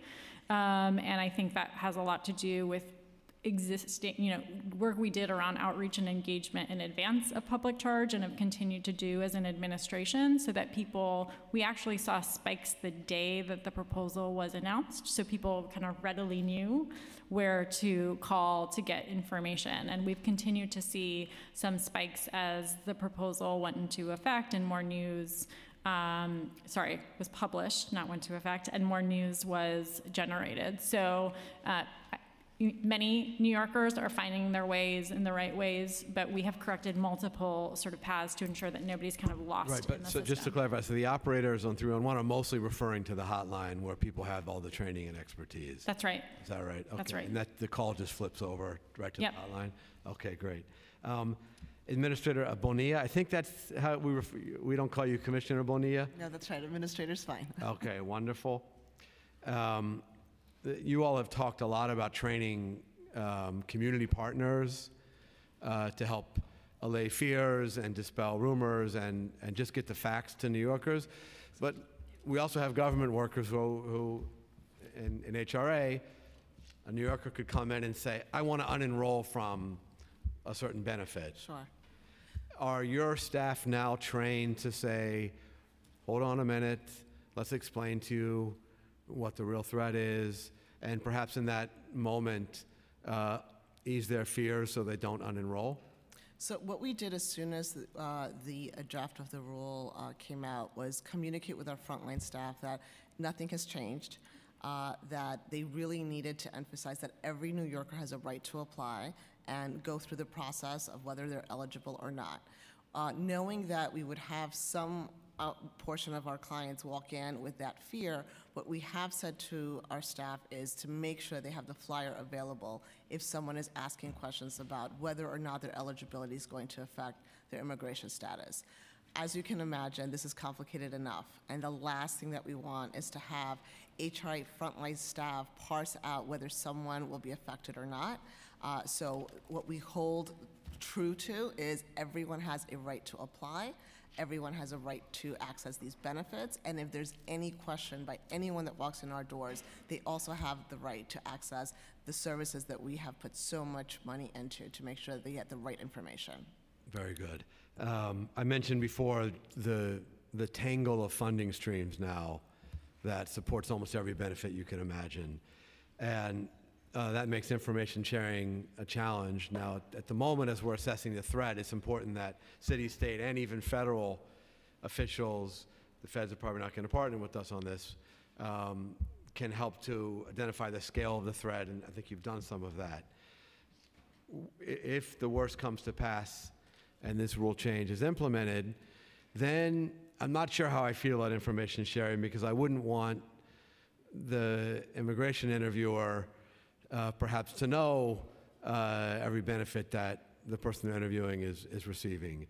Um, how is it that, that a benefit that the state is providing would come to the attention of an immigration agent?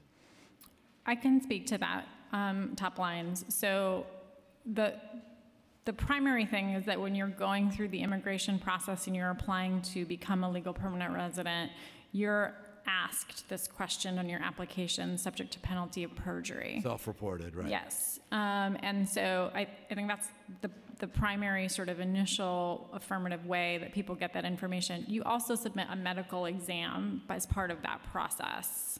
Um, and the, you know, again, the underlying sort of factors and how the officers will be um, guided towards looking beyond the, the scope of the application is something that that training and policy memoranda that USCIS will issue will tell us.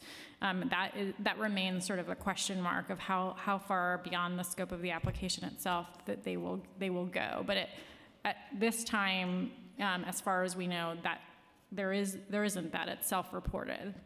Okay. Um, Dr. Angel, uh, DOHMH has very sophisticated surveillance of, of countless health measures. Do you know yet whether we're seeing any reduction of, of doctor's visits um, by New Yorkers who are um, fearful of this change, and whether we're seeing any uh, spikes in uh, any of the health conditions that you're monitoring, such as TB, um, that might be attributable to um, New Yorkers being reluctant to seek medical care? Yeah, we, um, uh, reflecting what was just said, we've been very proactive in training all of our frontline staff to reassure people if they raise concerns that nothing has changed, that we continue to provide services regardless of immigration status. Because the services we provide don't require asking about immigration status, we don't collect numbers on specific people who may not be seeking services or who Right, but have we, we decided certainly to hear anecdotal reports that, that FQHCs, for example, are experiencing a reluctance of immigrant patients to come in for care. No, I fully appreciate that. Just, just reaffirming too that, that we are trying to make sure very clearly that the messaging that we have across all of our agencies is um, consistent and does not confuse the individual, individuals that are seeking care. Um, I don't have numbers for you now specifically about whether there are uh, vast increases or decreases. We do have this anecdotal, ane- anecdotal um, understanding of people responding and saying yes, uh, uh, expressing some fear, and then us pro- providing information back. Um, we are looking at those numbers though, and we can get back to you as they. Uh, I, I, I keep mentioning TB because Yeah. it's, it's a disease that almost exclusively affects immigrants, and one which, uh, if not treated or diagnosed and treated, um, is highly contagious. Uh, we know that in, in the last year in which we had data, there was uh, a reversal in the long-term decline in TB, and uh, I think there was a 10% increase. That's correct. Do you have more recent data? Have we continued to see an increase in TB cases in the city? So the numbers that you're referring to was confer- uh, comparing 2016 to 2017, and you're absolutely correct. We had about a 10% increase. Uh, the proportion of people with TB uh, are about 86% of the total who are immigrants. So indeed, you're correct that the, the burden of TB in our population is carried by immigrants, and th- that makes uh, seeking and making those services available to that population absolutely critical. Um, and so we continue to provide those services. I don't have specific numbers in um, uh, an immediate change in the number of people seeking care for those services at this time, or uh, it- spikes or numbers related to this immediate time at this moment. Um, we continue and we'll, we can uh, return to you with numbers. Um, but the, the most important message that we continue to get out to not only the community but to physicians and other frontline individuals is that those services are avail- available regardless of immigration Right. status. That should never stop somebody from seeking care for this. A- And I, I, I want to emphasize what I said in my opening statement, that um, public health is everybody's problem, and no one is immune from uh, deadly microbes. And uh, it, it, it, people who are callous and say that because they're, they have citizenship or they have no concerns with public charge are, um, are not just amoral, they're also potentially putting themselves and their own families in danger. So, uh, I mean, public health requires collective action for that reason. Um, I know that I don't think a Health and Hospitals representative is here, and I don't know to the extent you're able to speak on behalf of uh, what could be called a sister agency, but uh, if if New Yorkers in the thousands lose health coverage and cease going to their neighborhood clinic for their annual checkups and their vaccinations, um, they're going to be they're going to start showing up in H and H emergency rooms when they're in medical crisis. Uh, do you know the extent to which H and H um, has begun to uh, prepare for this potential crisis uh, to help mitigate the damage and to have adequate resources ready to deal with it? I can't speak on behalf of what H&H's specific actions are. Um, Similar to all of us throughout this messaging, though, the care, the services that we're providing are uh, there regardless of immigration status or ability to pay. Okay, so, so uh, m- my fellow chairs, I think we should try and follow up with H and H uh, because they're going to be on the front lines. Can I, fo- may I add to that? yes. Um, I'll add on two notes. Um, One, in um, the funding cycle last year, um, many of us, the Department of Health and others collectively were advocated to ensure that there wasn't a cut in funding towards TB outreach. and services, and we're successful at doing that. I think that's something that's continues to be on our radar and, and to look out for to ensure that we are continuing to see commitments towards ensuring that the communities that need that information and service are receiving it. So um, look forward to working with you on that. Um, and I think in terms of H&H, H&H has been readily engaged at every step of this with all of us. They are also um, as I said, have given directive to their staff. They are looking at this closely, running their own sort of monitoring and evaluation of impact, and have been deeply committed um, at the, the highest level with Dr. Katz at emphasizing repeatedly that that nothing about the way that H&H delivers uh, services changes, and that people both emergency and regular health care should freely come and receive those services at H&H locations. We're continuing to look at ways that we can ensure communities have access and know that, and that's something that we, as, as a part of the work that we are readily doing, but that commitment is there and an ongoing work. No, well, Dr. Katz has been a very strong leader for the system, and his commitment is second to none. It's just a question of resources. We want to make sure he has the resources. I also want to mention that um, uh, city city uh, subsidized benefits are not. You've, you've made this clear. Are not part of the calculus, and that does open an opportunity for us. Um, yes, there's a cost, but um, one that, that I would argue is, is a good investment. Um, we had a wonderful pilot um, about two years ago through the health department's leadership, and, and MOIA was very involved. Action Health NYC, that using um, no, no federal money, this happened to be philanthropically supported, um, gave undocumented immigrants a primary care home to get their annual visits, to get their checkups and, and preventative care. Um, in a world in which even fewer immigrants in New York City can access Medicaid and Medicare, et cetera, then the need for some form of city subsidized backstop that at least gives people a primary care home is greater than ever. Uh, I know that, that Chair Menchaca cares a lot about this as well. Have, have we thought about revisiting um, bringing back Action Health as a permanent program in light of what could be a more desperate need than ever?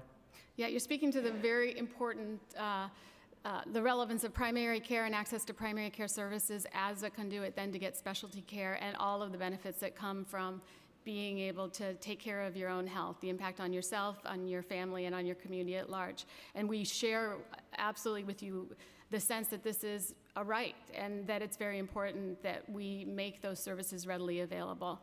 Action Health NYC was a one-year demonstration project, and from it we did learn a lot about the impact that can have, including that it increases, for example, um, the likelihood that an individual will have a primary care home and be able to get those important services.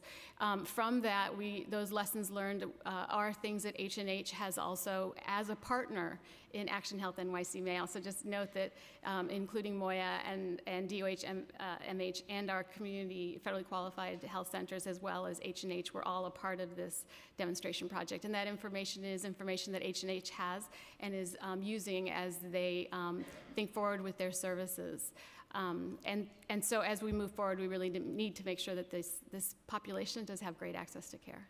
Okay, well, we're going to continue to push to bring that program back on a permanent basis. Thank you, and thank you, Yes. Mr. Chair.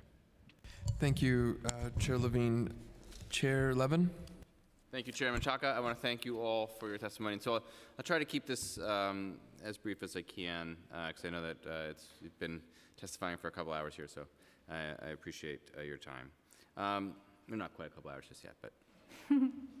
um, uh, following up on, on Councilmember Levine's uh, last couple questions, when when we refer to public charge, then that that specifically refers to federal benefits or better uh, benefits paid with with federal dollars. So uh, a purely CTL, city tax levy, or state funded uh, tax funded um, uh, program would would not would not be prohibited, or is that, or am I wrong on that? I mean, did, does, is that the definition of public, or does public include all public dollars? So the definition is just what's deline- delineated in currently as the cash assistance and long-term institutional care and in a proposal as the ones that are articulated. So SNAP, uh, non-emergency Medicaid, Section 8 and subsidized housing, um, and uh, Medicare Part D.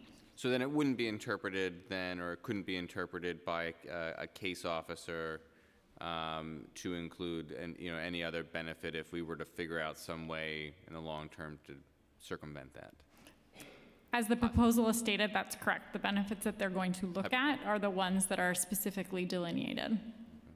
Um, Let's see. uh, I might skip around a little bit, and I apologize for that in advance. Um, Has our uh, data analytics team um, I- um, been able to to, uh, look at identifying where there are drop-offs in particular benefits, for example, WIC or SNAP benefits, and whether we uh, can do proactive outreach, outreach to those households, a letter, a phone call, an email, um, to say, we understand, we, we see that you have, uh, you know, for inexplicable reasons, uh, uh, uh, disenrolled or unenrolled from your benefits. Um, here's what you need to know about, you know, whether, if this was, if this was due to a, you know, concern around public charge, um, uh, and immigration status, here's what you need to know. Is there any way to do that type of analytics and, and do that kind of proactive outreach instead of, I mean, I know it's, if, obviously it's incredibly important to be able to receive calls, but, but to do proactive outreach as well. Um, so thanks for the question. So a, a couple of things. Um, the the way that we've sort of looked at understanding the impact, we have, I think, bear in mind that it's just been one month since the proposed rule has been published in the Federal Register. So it's slightly premature for us to have um, a much grander sort of understanding of disenrollment or that we would see dramatic numbers or changes. We haven't. I'll, I'll allow uh, Administrator Bonilla to speak more to that. Um, what we have been doing and are, are doing even further is um, using the, the data that we do have available, our own methodology, and kind of going deeper and understanding what real impact would look like. That doesn't give you the particular household because again, it's slightly premature for that. We're at a we're just a month shy into the the proposal even being published. So um, I think the, the administrator can speak to what they're seeing in terms of kind of enrollment on SNAP broadly. Sure. So on SNAP, um, it's important to note that we are constantly reaching out to, to cohorts of communities that we think are eligible, regardless of other immigration sta- status, right? And I believe this council has also funded programs to reach out to the elderly or reach out to uh, underserved communities. So that work continues regardless of whether there's a public charge rule or not. What I can say is that the trends that we've seen, and we monitor our data pretty closely, uh, do not show an impact because of the public charge rule on our SNAP enrollment. Um, again, I agree with the commissioner, it's really too early to tell, Yeah. uh, but so far we have not seen an impact.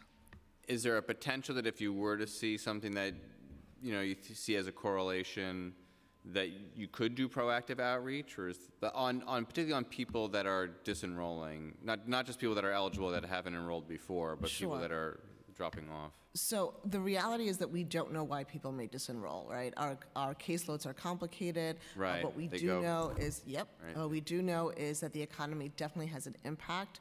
Uh, Do we have the capacity to outreach? We definitely have the infrastructure to outreach. We would need further analysis uh, to do outreach on this particular issue. Um, Jumping back here, just to the big picture, can you provide a, um, kind of a, a, a big picture context to how this proposed rule fits into the long-term narrative of, of public charge as it relates to immigration law? So you said in your testimony, the, uh, the speaker mentioned that you know, public charge has been an element of immigration law for 100 years. However, I think we all agree that this is a major departure. This is a radical, this is a radical shift in policy from any administration, Democrat, Republican, progressive, conservative, um, you know, Reagan administration, Obama administration. We haven't seen um, this type of action before. So could you maybe put that into some kind of context? What is this, like, how, how far outside of the, um, uh, the, the, the, the, the kind of societal norms that we, and governmental norms that we've been working under for a century, how far outside of that uh, uh, framework or paradigm are we with this proposed rule? Sure, I maybe won't go back a century. I mean, we can talk about sort of the history of immigration more broadly and how at different junctures it has been focused on exclusion, um, and public charge has been a part of that narrative. Um, so that's true. I think what, what you're referring to really is the more recent history, and regardless of kind of party, in terms of what we've looked at on public charge. And um, as I noted in my testimony, the most recent shift we saw was in the 90s.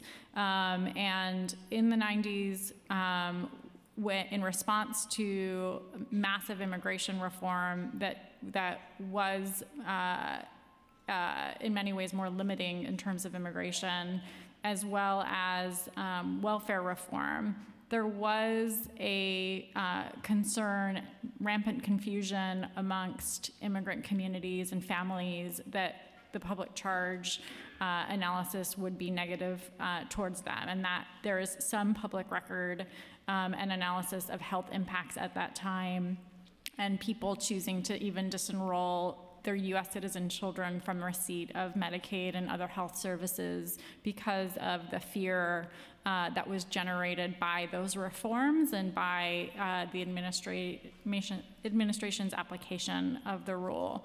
Um, as, as, a direct response to that, uh, the Attorney General at the time issued guidance that narrowed and limited the application of public charge to what is current day's application, which is that simply the cash assistance and long-term institutional care with the ability to bring in an affidavit of support to overcome some of your um, some of the potential future challenges. During the Clinton administration? Correct. So since then, th- that has been the standard application with no shift regardless of Republican or Democratic administration. There's been no attempt to shift, so the George W. Bush administration didn't attempt to shift public charge, or there was no rumblings of that at that during that administration. I think that's right, and I think what's what's not, notable here is you know this this federal administration, as everybody has rightly noted, has taken a largely xenophobic approach towards immigration more broadly, removing from the mission statement of the U.S. Citizenship and Immigration Services the words "nation of all immigrants," and that is you know, a direct historical erasure of the reality of what plays out in our countries. And while, uh, you know, one can debate the application of public charge, period, in immigration law. I think the reality is that the reason you haven't gone more stringent, the reason you haven't seen a more draconian application like we are today, is myriad. One, it's because there was a recognition in the late 90s that doing that can lead to public health crises, can lead to people who should not uh, and would not be impacted choosing to disenroll from programs that we want them to be enrolled in for the public health and safety of not just those individuals and their families, though that's the right thing to do, but of us as a society as a whole. Um, and on top of that, you know, we know that that you know we, we and should take pride in the fact that we do work to engage residents that are eligible to, for benefits to enroll in those benefits. That is something that we believe we ought to be doing. And we know that immigrants are not readily accessing benefits at greater rates than native born Americans. We know that, in fact, uh, new, newer immigrants to our country might uh, access benefits to get on their feet, but that second generation immigrants actually contribute more economically in return to our country than native born uh, uh, children. So, you know, the, the sort of history and understanding of uh, why you wouldn't choose to do such a draconian application of public charge in the immigration context uh, really speaks to why you haven't seen a shift uh, across administrations and that this is a, is a, a, significant departure from common sense and rationale around what you would do, why, what you would do here. And bipartisan policy for at least the last 20 years. Yep. Um, do we, are we, have we, have you reached out to um, the uh, Department of Veterans Affairs to see if this would also be impacting uh, veterans? Um, the Department of Veterans Affairs has been engaged in, in our conversations. Um, and obviously, um, what's noteworthy, of course, again here is this does not impact legal permanent residents. It does not impact individuals that are seeking to renew that residence or apply for citizenship.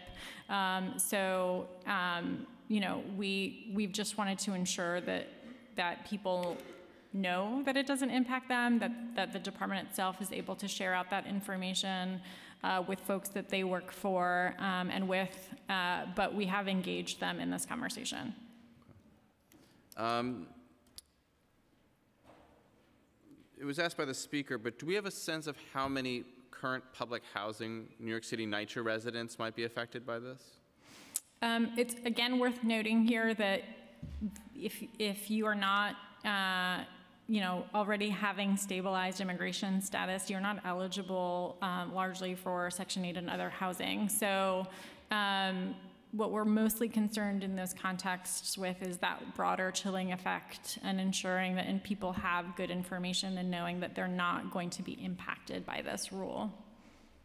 Okay, so we don't, we don't have a sense though of current, those current living in, currently living in public housing, of how many would be affected, if the rule were to go into effect. So, so what I'm noting is that, in fact, the, those who are eligible for those benefits are not the ones that would be readily impacted by this Oh, rule. I see, okay, okay, Yeah. Um, Have we uh, reached out to, uh, to our congressional, New York City congressional delegation um, to see what, um, you know, the incoming Democratic House, um, what measures they can take? Or are there, I mean, just on the mechanics of this, this is a, a- a- a proposed rule, what role does Congress have uh, in this process? uh, Or does it have any role whatsoever? So notably, one of the reasons, um, probably the primary reason that even the proposed rule lays out a series of individuals who are exempted from um, a rule should it go into effect, like asylees and refugees and VAWA recipients and so forth, is because that's the the executive cannot change that. That's stat by statute, and so. Um, I think that speaks to the ability for Congress uh, to be able to um, take a different point of view here and to regulate um, uh, beyond what they already have in this area to prevent something like this from going into effect. We've been committed um, in ensuring that not just us as a city, but cities across the country are able to advocate effectively on this um, and doing regular uh, kind of conversations and a training that we did last May with our cities across the country. We've engaged um, on uh, many issues that have impacted our communities with um, with our congressional uh, delegation, including a briefing on public charge that we did. Um, so we will remain in conversation and committed to uh, raising this, and certainly there is a role for Congress to play here.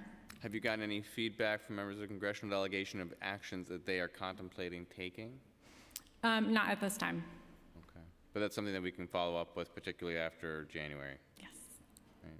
Right. Um, Okay, please keep us informed of anything that we can do to continue that advocacy, um, working with our, um, uh, our congressional delegations. And then, um,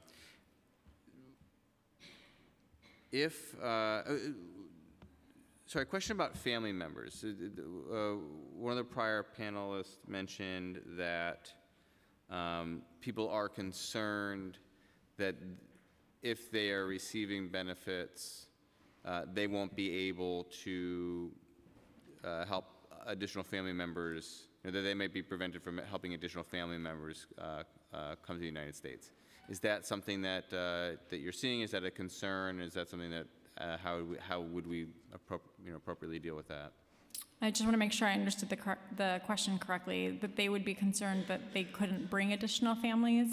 I think that's what we heard from the prior panel. Yeah, so um, it's important to note that the uh, public charge rule application applies differently for those who are currently in the United States and those who are entering the United States from abroad. Um, the actual application through the consular, consular offices um, it has already changed under this administration.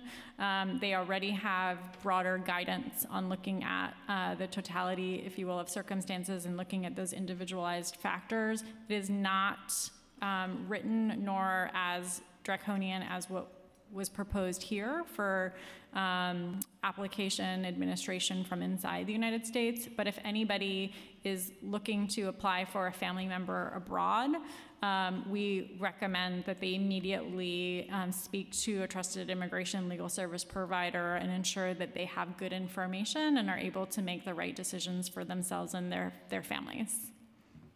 Um, This question is for Administrator Bonilla. Um, Are, are we examining whether this would impact people that are currently homeless residing in the New York City shelter system uh, in terms of whether they may be eligible then to receive um, housing assistance uh, that um, has, bec- you know, that we- we've been relying on to uh, help people move out of the shelter system? So vouchers that draw down on, on uh, federal dollars. So to emphasize what uh, the commissioner has said, uh, we are really looking at the plain language of the rule, and nothing in the rule points to that being an issue. Okay. Uh, We, the- the last thing we want to do is give uh, any further ideas to the federal government, so we are responding to what is in the proposed rule. The rule does not, the rule makes reference to housing. It makes a specific reference, I believe, to Section 8.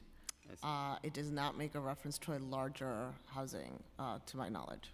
Okay, It says ho- Section 8 and, and rental assistance, but is that, is that, uh, So we are interpreting that as federal rental assistance. okay. Um, And then, uh, I guess my last question, and then I'll turn it back to uh, Chair Menchaca. Um, Is, is there, is it possible that if this were to come to pass, I mean, trying to examine different creative ways that the city could um, ensure that people are maintaining, that people aren't disenrolling from benefits. Um, Is it, is it a possibility that the city could assume financial sponsor of, of, um, of people in, in order to, um, uh, when they're applying or reapplying for um, permanent resident status? Is that something that has uh, been examined, or is that a, a, a, an option in the future? Um, so the, the current process as it stands um, provides for an, an individual applicant to be able to submit what's called an affidavit of support from a family member, a friend, or um, somebody who's willing to support them in that process.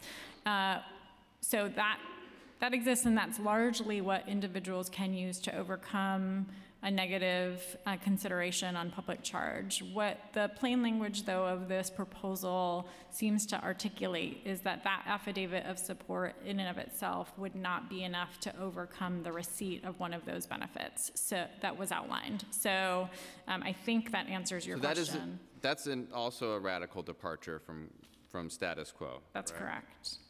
Um, now, has there ever, I'm just curious, has there ever been, uh, has it ever been examined whether institutions can play that role and not individuals, family members, and so, uh, so on?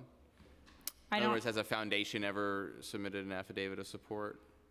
I don't immediately readily have the answer to that. I know by way of practice um, that uh, the individual that's um, providing the affidavit of support process is essentially entering into a contract with the um, individual applicant, right? Saying that I will be responsible for this individual, and they're required to provide their own income taxes and um, so forth in that, and income and assets in that process. Um, I've never uh, utilized an, a non-individual uh, actor. I don't know if the, if the regulation or statute imagines that. I'm sure some of the legal service providers in the room might know, but we're happy to get back to you. Okay, because um, the city could, I mean, it- it's obviously the, the, the, the, the, the benefit that we, that we receive in, um, ec- you know, economic activity, um, for the overall economy, it's, it's, it's, I think, worth, and we should examine, uh, what that impact would be of, of, of putting up therefore city tax levy dollars in order to supplant those federal dollars in those ways. Um, and then just, uh, I'm sorry, one last question. Just, um, you made reference in your testimony, but, but just to speak a little bit more about um, the, the change in the, um, in the, uh, in the, in the overall determination of people's, um, uh, uh,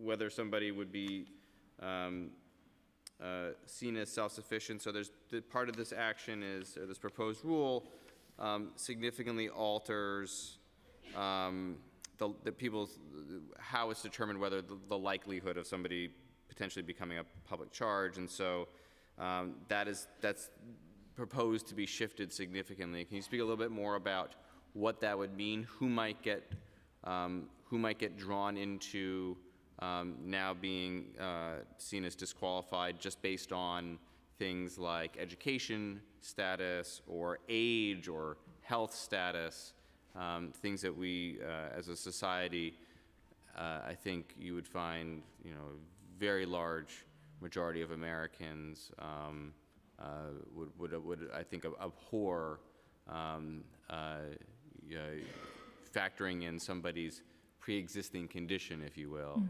on, uh, on a health status, on whether or not they could um, uh, uh, be a permanent resident here. Sure. So to reiterate, the um, uh, one aspect of the proposed rule uh, builds on a determination around a totality of an individual's circumstances. It takes into consideration um, individual factors like health, age, uh, income, education, and so forth, and employment history, and so forth. So um, the radical departure here is that it is not this totality of the circumstances test. These individual factors are looked at um, separately. Some are, are uh, weighted more heavily than others, including that you're under the age of 16 or over the age of 60 could readily be used against you. Your income level might be a determinate, determinate, determinative factor in and of itself, a pre-existing condition, and so forth. So um, that is very different than what what currently happens, and it is one of the areas where the, the letter of the proposed rule is unclear in terms of what actually will happen once something gets, um, if something ever gets finalized, and what the instruction will be to individual immigration officers and how they are to proceed uh, in the application of that part of this proposal. And um, I think as we, in the back and forth with Council Member Levine that we had, one thing that I didn't know that is notable is that USCIS has an investigative arm. Um, so, you know, if they think that maybe you're not disclosing something accurately, could they use investigators is something we don't, we don't know in terms of what they'll do here. I mean, I think just, I- I, think this, this hearing is important because I think that, I'm not sure if this is the first hearing, public hearing on this issue in any municipality in the country, but um, I think that it is vitally important that Americans across this country understand how radical this is um, uh, and how uh, truly disturbing this is. Um, and that it's uh, seemingly small things like this that are, frankly, the departure points towards fascistic governmental uh, actions and governmental uh, frameworks. And so um, this is, this is uh, it hasn't gotten a tremendous amount of attention, um, but um, just so everybody understands, what we're saying here is that if this potentially could mean that just by the virtue of you being under the age of 16 or over the age of 60, or having a certain education level or a certain employment history or a pre existing condition health wise could mean that you, based on those measures individually, it could be determinative in rejecting an application for permanent immigration status in this country. And I think that that is amazingly disturbing. And I want to make sure that we all understand, the public understands, this is what's at stake here. So I want to thank you so much for all the work you continue to do. You have a partner here in this council, and we look forward to working with you to make sure that this rule never gets implemented. Thank you. Thank you, Chair Levin, and I, I want to continue that thought. Uh, Make a quick remark and then hand it over to Councilmember Miller for some questions, and then I'm going to end with some questions as well. Um, But that, that, the nature of this, of this is not only real, but it points to the deportation machine that is already in full effect and has been impacting our needs on the legal side. And so this is not just about an application getting rejected. This is also about an application getting rejected, someone falling out of status, and then being ready for deportation. And so I have no, I, I truly believe this is, this is, um, we are, we are David and Goliath in, in so many ways. We're going to do everything we can, which is why I'm going to remind everyone before you leave, if you are planning to testify, and it's already late, I know, um, and are leaving, please do not hesitate to stop uh, and fill out your testimony, especially if there's a story here that you want to uh, emphasize. Uh, and so those, those, the, uh, the team is back there to, the, um, to my right. Councilmember Miller. Thank you, Chair Menchaca, and let me say to your co-chairs, uh, thank you for collaborating on such a, an important and, and, and thoughtful uh, concern of all of ours. And um, to the administration, thank you for the work that you're doing in, in advance. So, um, in completion of your data reports, and, and I know it's still under review, have we identified certain target uh, communities, uh, and, and if so, uh, or, or uh, an uptick in certain communities? And if so, how have we addressed that, and, and what agencies have been charged and/or uh, CBOs that, that, that are doing the work, and how can members and communities support that effort? Um, so I wouldn't say that we have identified anything, any, any community in particular on public charge specifically, but uh, as a part of what we do generally is looking at and understanding what communities are accessing um, services, who, who aren't, um, where we have providers that are able to, um, in communities, uh, provide services and where we don't. That's a part of what we generally do. Much of the outreach work that we focus on is engaging communities that have had less access um, to services. And so that's something that we're continuing to do, in particular around uh, where we will be um, focusing on making sure we can provide Know Your Rights workshops, where we'll be in schools in terms of um, larger uh, uh, student body populations that, that and their parents who might not readily have access to things. I, think that's a great idea. And in fact, it's, uh, you know, just in general, know your rights and immigration services. That's a, that's a great starting point in what we Yeah. do on, on a pretty regular, and I think it should be expanded in this point. I know we talked about, it, it was also discussed, um, uh, whether the, the sharing of, of benefit information and applications, the city, state, and federal government, if that happens, and, and, and if so, what is the impact that, that, uh, or the unintended consequences of that? Sure, I'll start top lines and then ask uh, my colleagues to jump in. But top lines, the city has very strong um, and broad confidentiality policies um, in, in partnership with the council, expanded upon last year and, and um, legislated. And so we, my office works very closely with um, the city's uh, chief privacy officer, who works with general counsels across all agencies to ensure that they have robust privacy and confidentiality policies and not just somebody's immigration status, but more broadly, information on all New Yorkers is uh, protected to the maximum extent possible under the law. But in terms of specific benefits administration, I'm going to turn it over to my colleagues. Well, generally, on, the public benefits front, uh, we have very, very tight confidentiality uh, laws, um, mainly administered by the state, but also locally. So it would be very difficult to get to some of our information. Okay, great. And then, and then finally, I, I know it was, question was asked uh, a few times about NYCHA and, and, and how those who were, who would qualify for, for housing benefits generally would not be at risk here. Um, But have we identified extended family in those housing situations? Because we all have those relatives that we take in, and, and, and certainly, um, uh, you know, and, and they're attempting to access benefits as well. Have we looked at that, and, you know, how do we reach that audience? Um, I would reiterate that the, the proposed rule does not um, provide that if uh, somebody in your household, for example, were to receive that benefit, that that would be used against you. So for us, the number one thing here is to make sure that all of the residents know that there wouldn't be an impact on, there isn't an impact on them now, and there isn't likely to be an impact on them if there were to be a final rule. Thank you, and uh, thank you to our chairs again, once again, very thoughtful and, and necessary here. Thank you. Thank you, Councilmember Miller. And we were joined by Councilmember Yeger, Reynoso, Barron, uh, Councilmember Miller, and Jonai earlier today.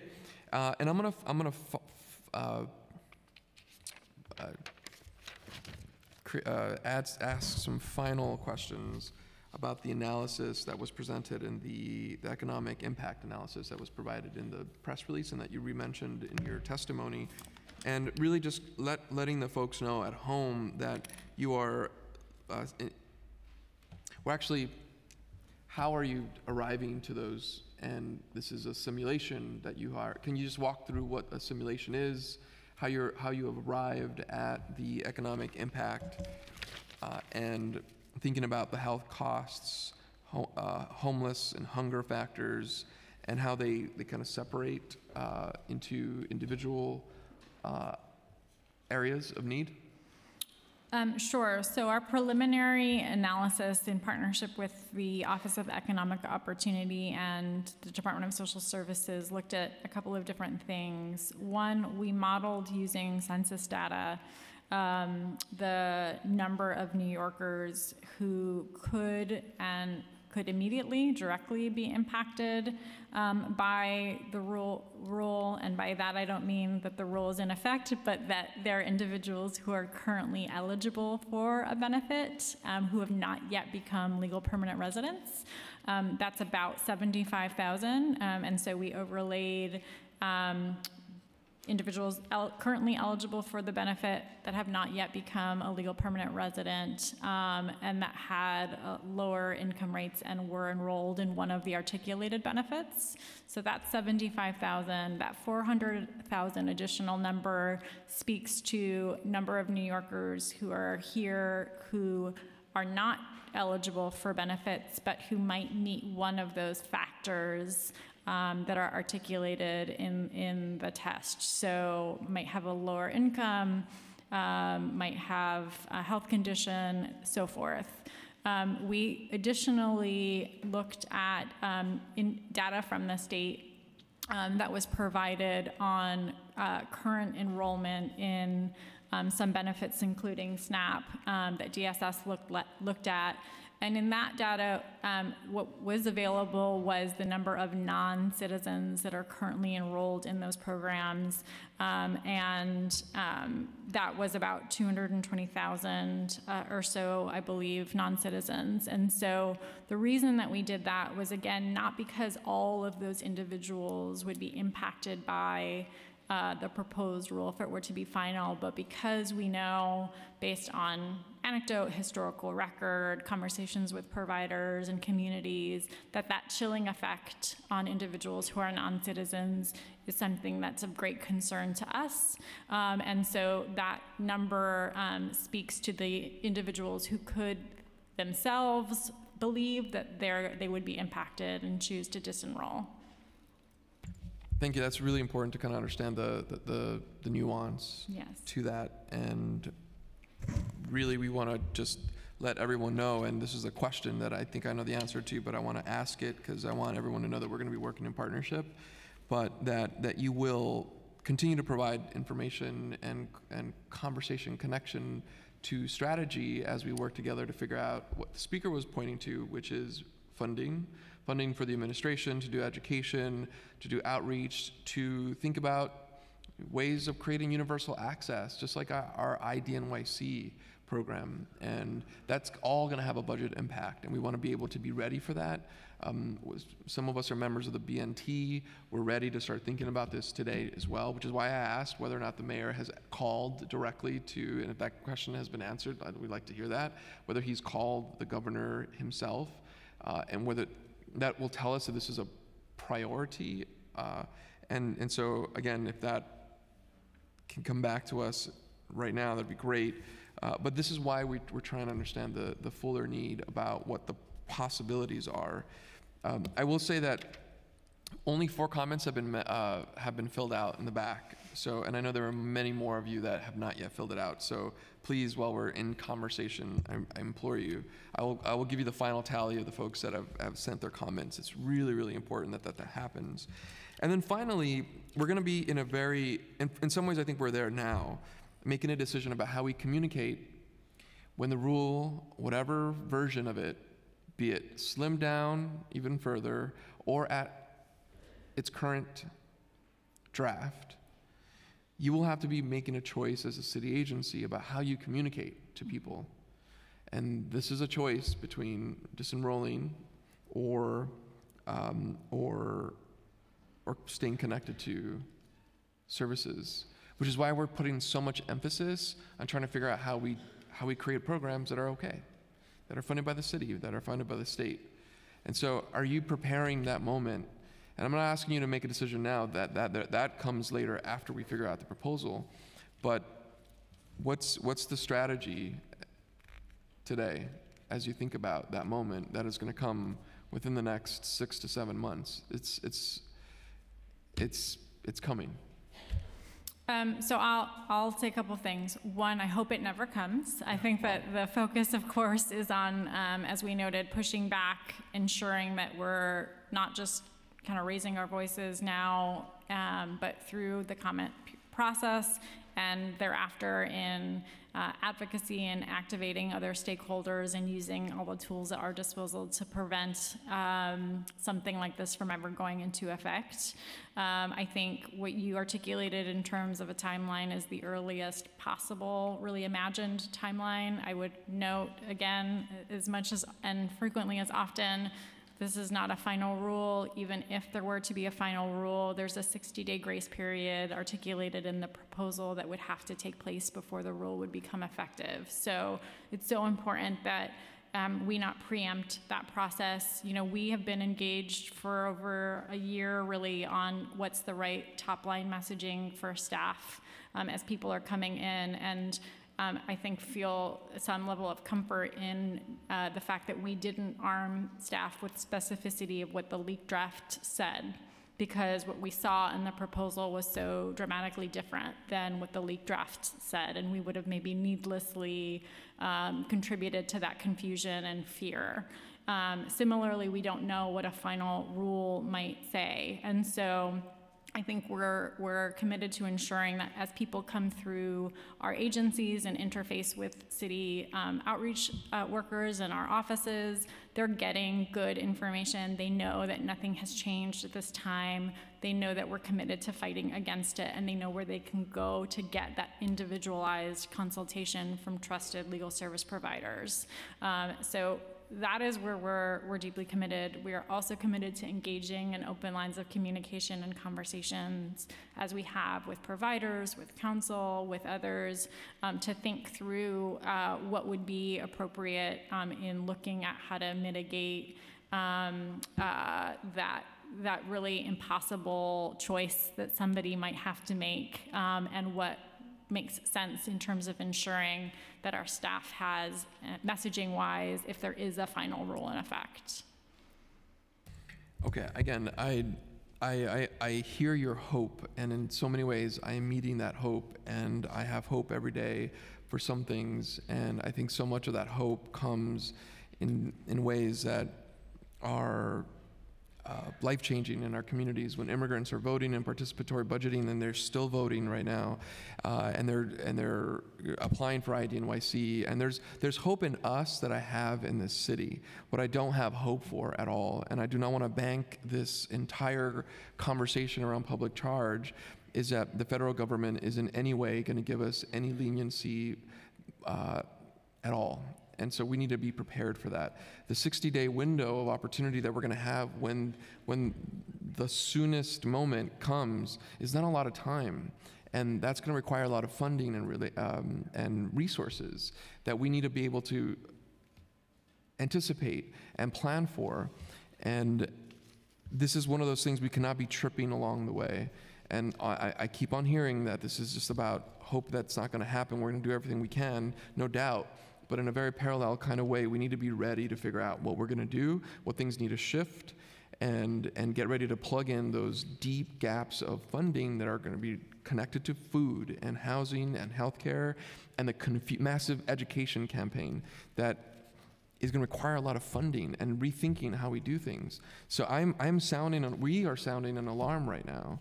And, and so I, I just hope that very quickly we can, we can, we can see some uh, focus on that as well.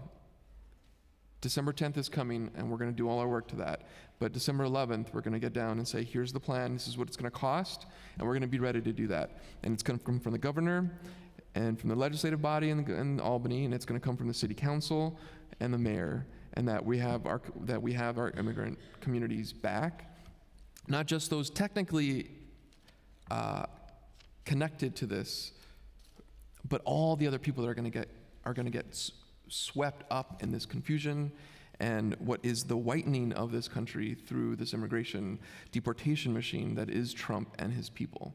And I, that is just the absolute truth, and I think all the advocates are going to talk to that. So I'm going to stop talking there and say thank you again for your partnership, for both of you, uh, for all three of you, I should say, and for all the other agencies that are thinking about this. Uh, but we're not going to let up. Thank you. Thank you. With that, I'm going to bring up the next panel for discussion. And, and again, I, I'm going to ask you to fill out your comment before you leave uh, and encourage your friends and family to submit their comment.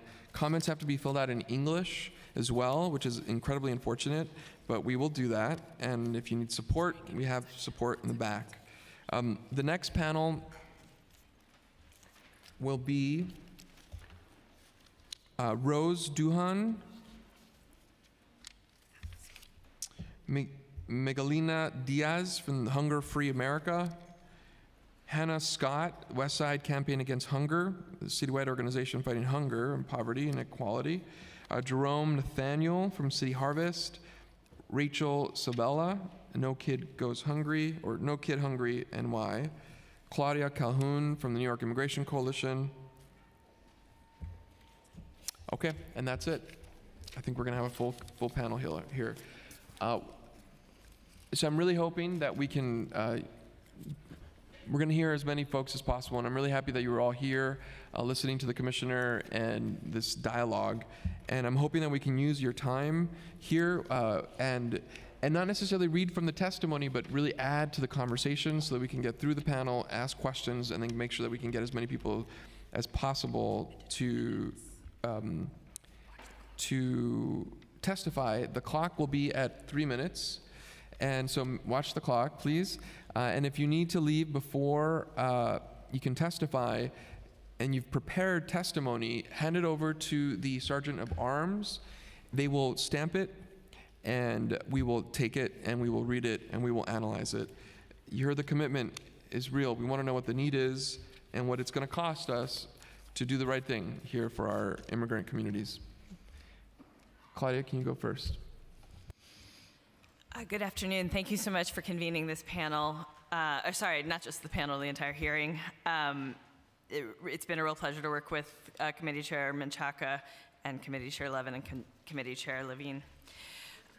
So, so I really appreciate all of the talk about sort of the animus and malevolence of the federal administration.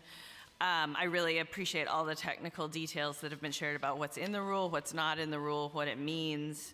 Um, I really appreciate all of the the, the discussion of the population health impacts. Um, one thing I would say about um, infectious disease is I'm, of course, I'm concerned about infectious disease, and, and I, I, I think that's a really powerful frame, but I also am really concerned about chronic disease and the long-term, life-term effects not of New Yorkers in general, the long-term life effects uh, uh, on immigrants that, that, that suffer through food insecurity now or suffer through housing insecurity now or delay health care because and so I, so I, I think if we're going to talk about public the public health impacts of the rule we always want to talk about chronic disease and the public health impacts for the people that are living through this time and affected by the policy. Um, I think there's a real consensus in this room around the value of people being able to go to children being able to go to school you know, with a full meal, um, pregnant women being able to seek prenatal care. Um,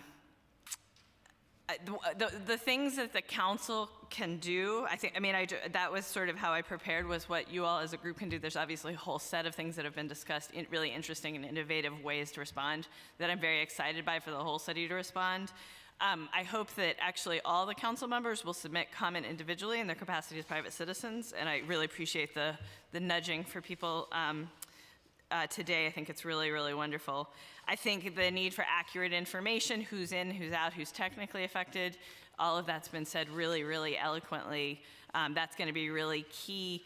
We're very concerned about the ability of uh, the, the capacity of legal services to meet the needs of if the rule goes into effect how because I, I think everyone in this room gets families are going to have to make some really wrenching choices and they're really going to need a specific um, sort of some some very specific technical guidance from a legal service provider that understands public benefits. And then I think the policy solutions are really critical um, I think it's been really exciting to hear the, the, the, possibilities that have been discussed, and, and we stand ready to work with council and administration partners. Thank you. And Claudia, I want to say thank you so much. You and your team, uh, along with so many other non- nonprofits, uh, and the town halls that are happening right now in discussion. Uh, the one tonight in Sunset Park will be uh, canceled because of weather. I'm watching the snow come down, so we're gonna we're gonna cancel tonight's Brooklyn Town Hall, but we're going to be rescheduling that. Thank you. Thank you. So, hi, good afternoon. Um, I'm Miguelina Diaz. I am the Director of Benefit Access at Hunger Free New York City, which is a division of Hunger Free America. Um, our CEO, um, Joel Berg, feels passionate about this issue, and he's so sorry he couldn't make it today. Um, so, just some points that I want to make um, so make no mistake about it, um, if this proposal is implemented as proposed, um, it will increase poverty. And the worst symptom of poverty, such as hunger, homelessness, and early death in New York City and nationwide. Um, while new immigrant, immigrants have higher rates of poverty and lower median incomes than native born Americans, immigrants who have become naturalized citizens have lower rates of poverty and higher median incomes than native born Americans. So I'll just repeat that one more time. Um, while new immigrants have higher rates of poverty and lower median incomes than native born Americans, immigrants who have become naturalized citizens have lower rates of poverty than higher median incomes than native born Americans. Therefore, making it harder for new immigrants to obtain the temporary benefits they need to lift themselves out of poverty as they work will only hamper their ability to enter the economic mainstream of society. Uh, so President Trump's administration has implied that if the rule is implemented, nonprofit groups such as the one that I work for, Hunger Free America, and many of um, others that are sitting here next to me, will be able to pick up the slack. Um, that's nonsense. Many Americans, particularly uh, middle and low incomes, already donate and that's still not enough. Um, so, um, you know, this nation is historically welcoming immigrants. Now it is our job to ensure that we continue to welcome and seek safety, health, and freedom. Thank you very much.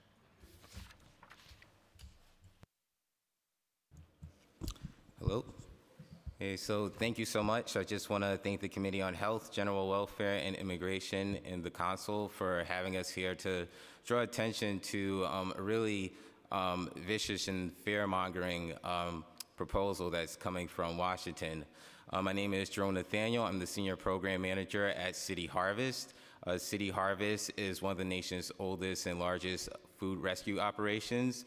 So we donate or distribute some 61 million pounds of donated food to emergency food programs, including pantries, soup kitchens, shelters, and um, also NYCHA facilities uh, that directly service some 1.2 million New Yorkers in need who don't know how or where they're going to get their next meal. Um, like what was just mentioned from Hunger Free America, even with that, we cannot pick up the slack that SNAP does. In fact, for every meal that a food bank will distribute, SNAP can um, offer 12 meals uh, for the, the card holder.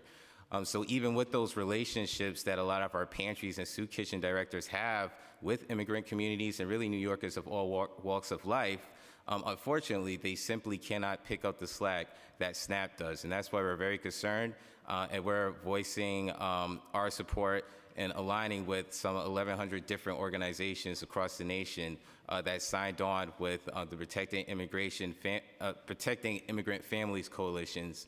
And we're also activating our network of 500 different pantries, soup kitchens, and shelter directors uh, to participate this Monday in FRAC's National Comment Day. Um, so I'm very thankful that you guys have the laptop here, but as often and as much as the opportunity presents itself, uh, we're really urging people to comment on this um, as an individual and from an institution to really draw light on the individual stories that um, are happening and that are scaring away a lot of uh, even pantry clients that, that go to things like mobile markets as we speak, even though that's something that's not included in the public charge. So just being really mindful that even though it hasn't passed, the fear has already passed and it's already uh, bearing the consequences in some of these safe havens like pantries and soup kitchens uh, beyond and uh, next to uh, the fear that's happening along with SNAP. Um, I also just wanted to say, as far as data goes, City Harvest, we recently uh, partnered with the New York Community Trust, the Women's Center for Education, and the United Way for New York City on a self-sufficiency standard, uh, which really looks into how people are balancing their food budgets uh, with just the living expenses of being a New Yorker. So looking at um, outside of SNAP and outside of these benefits, how challenging it is to live in New York. And if you didn't have those benefits, it would take some $76,000 for a family of three uh, to live comfortably in New York. So SNAP is lifting them out of poverty. Hi, good afternoon. Um, my name is Hannah Scott. I'm a social service counselor and SNAP enroller at the West Side Campaign Against Hunger. Um, I'm here today to represent um, our community of almost 12,000 families. I want to thank the City Council for this opportunity. Um, the West Side Campaign Against Hunger was founded in 1979, and we are the country's first supermarket style or choice model multi service food pantry and one of the largest emergency food providers in New York City. In the last year, we provided 1.5 million pounds of food, which included over 400,000 pounds of fresh fruits and vegetables to nearly 12,000 households. We offer our services to to all New Yorkers, regardless of immigration status, and we continue to strongly stand with immigrant communities throughout these continued attacks from the Trump administration. What I'm really here to say to you all is as a SNAP enroller, as a social service counselor, one of the many SNAP enrollers at Westside Campaign Against Hunger, we have a list, a list running of families, the date they've come to our organization and their family size, and the date that, and the benefit that they have either chose to disenroll from or not enroll on because of their fear of this proposed policy. It doesn't matter what I say, doesn't matter what my colleagues say. They, they will not enroll, they will not have the conversation. These are clients that have come to our organization for years, maybe. These are clients who have been referred to us from family or friends. We have trust, we have confianza with these people, and it doesn't matter. So, what I'm here to say is these people are going to continue to rely on the emergency food system that we are all here a part of. We need more funds. We need supplemental funding to EFAP. These people are going to continue to rely on us more and more, and we need to be the safety net for them.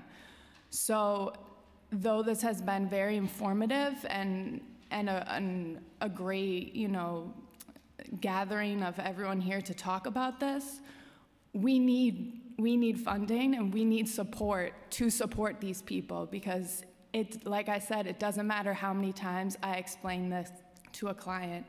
I can't fully reassure them whether or not this is going to affect them and their families. So thank you so much for this opportunity and I hope to, you know, continue to hear more from you and to find out what we are going to do to further support the immigrants of this country and specifically of New York City. So thank you. Thank you for your service on on not just the work that you're doing at Westside, but uh, in general for being here today. And a general question for the for the panel. We're going to keep going, not necessarily for now, but understanding that data in aggregate, not identifiable identifiable data, is going to be important for us, and really kind of building a larger budget request from all of you as you start anticipating and extrapolating from that need that you're seeing now. So that as soon as you can get that, that'd be great. Again, we're on the budget negotiating team, and we can we can start developing some of these needs. Uh, okay, that's a general. Those are two general items. Thank you. Next. Good afternoon. My name is Rose Duhan. I um, thank you for the opportunity to testify on behalf of the Community Healthcare Association of New York State. The Community Healthcare Association of New York State represents community health centers, um, or FQHCs as they are also known. Here in New York City, we have 39 community health centers that operate 430, over 430 sites, and we serve 1.2 million patients a year. Um, as other other panel members have, have indicated, we are very concerned about the impact on the population that we serve of the proposed rule. We have been collecting data, we've been surveying our health centers to get really specific information. Anecdotal, anecdotally, we have seen that um, a decrease in early prenatal care. One of our health centers has documented that there's been a decrease in women coming in for early prenatal care and concern about um, individuals with HIV not getting their, their medications. So we're already beginning to see that impact. Um, we, again, we do think that funding is really important. Um, estimates that we've seen say that up to 20% of Medicaid recipients may disenroll. So in New York City, that could be up to 50,000 uh, patients that we see at our health centers that we anticipate could be without health insurance. And then there will be a, you know, certainly a financial impact. We would be concerned about health, um, I think we're, because of that, we are concerned about individuals being afraid to sign up individually, and so that being able to provide support directly to providers such as us, such as some other panel members, where individuals don't have to identify themselves. We think that that's very important. So we would ask for that kind of consideration. And we also ask that the panel consider um, CHCANYS as a resource and to promote community health centers as a source where patients can continue to get primary care, behavioral health care services, dental services, um, regardless of their income or their insurance status, and that we are available and a trusted resource in the community. Thank you.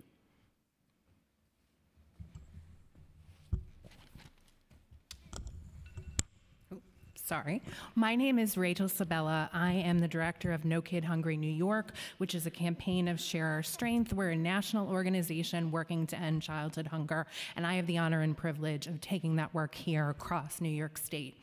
Before I came down, I was sitting up in the balcony because I was thrilled to see how packed this room was. I actually checked the council website because I was having a little bit of deja vu.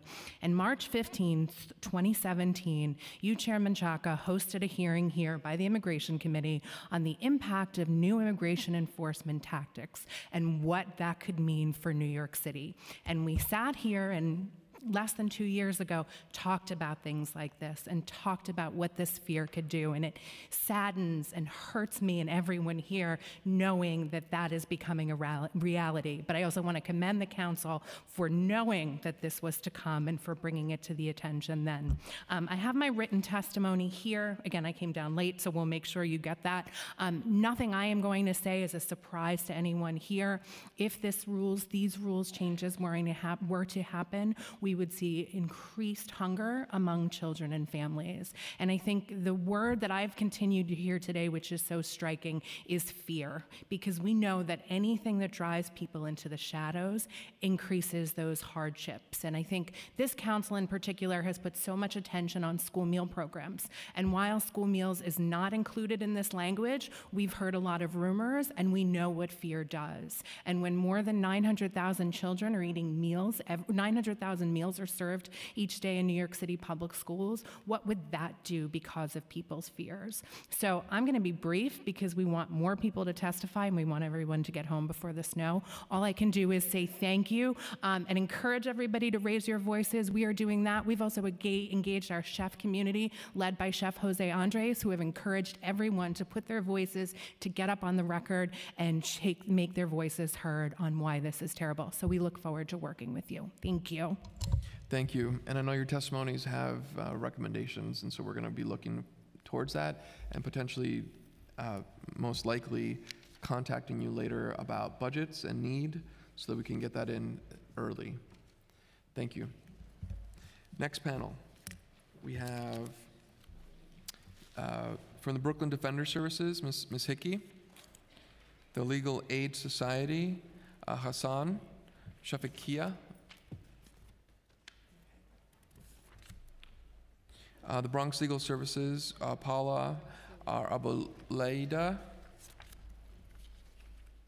The Legal Services of NYC, Ms. Tanya Wong, the Director of Government.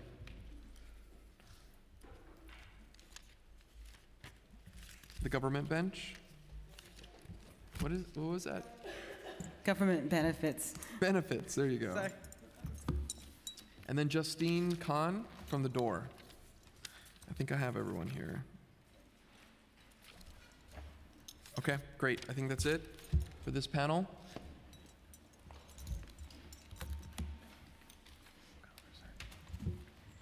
Hi, my name is Nyasa Hickey, and I'm Immigration Counsel at Brooklyn Defender Services. We call on the City Council to pass these resolutions and submit a comment on the Federal Register, and also continue to urge New Yorkers to submit individual comments, as, as you have been doing today. We uh, strongly oppose the proposed rule on public charge. We echo what has already been said that the proposed rule directly discriminates against and excludes middle income, low income, poor, and immigrant immigrant families from being able to seek long-term stable status in the United States. The rule change sends the message that low-income immigrants are not valuable community members and they're not welcome in the United States. We represent thousands of New York uh, non-citizen New Yorkers every day. Most, many of them live in mixed status households of US citizens, LPRs, green card holders, visa holders, and people without documents. They're living together, working together, and supporting one another. Many of them will be affected if the proposed rule goes into effect.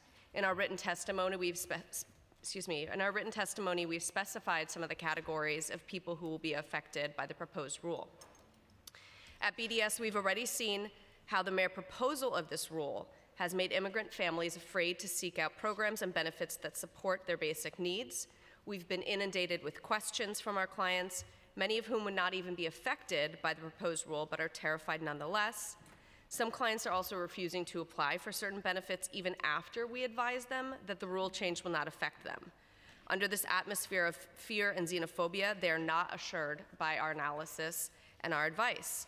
Furthermore, many of our clients are being told by other people, agencies, unscrupulous lawyers, and the media that they are ineligible to apply for certain benefits and should withdraw from benefits immediately or face deportation. This is inaccurate and unnecessarily spreads fear.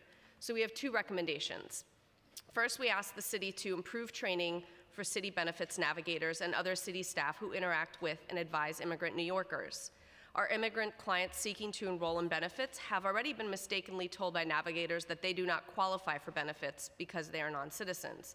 This is not necessarily related to the public charge proposed rule, but is a continuing problem. They have also interrogated our clients about the basis of their employment authorization when they're trying to enroll in benefits, asking them why their social security numbers haven't been processed yet, and asking other interrogatory questions that, are, um, that create more of a fear and a disincentive for people to enroll. In many of these cases, the navigators are simply uninformed about all of the complexities of immigration law.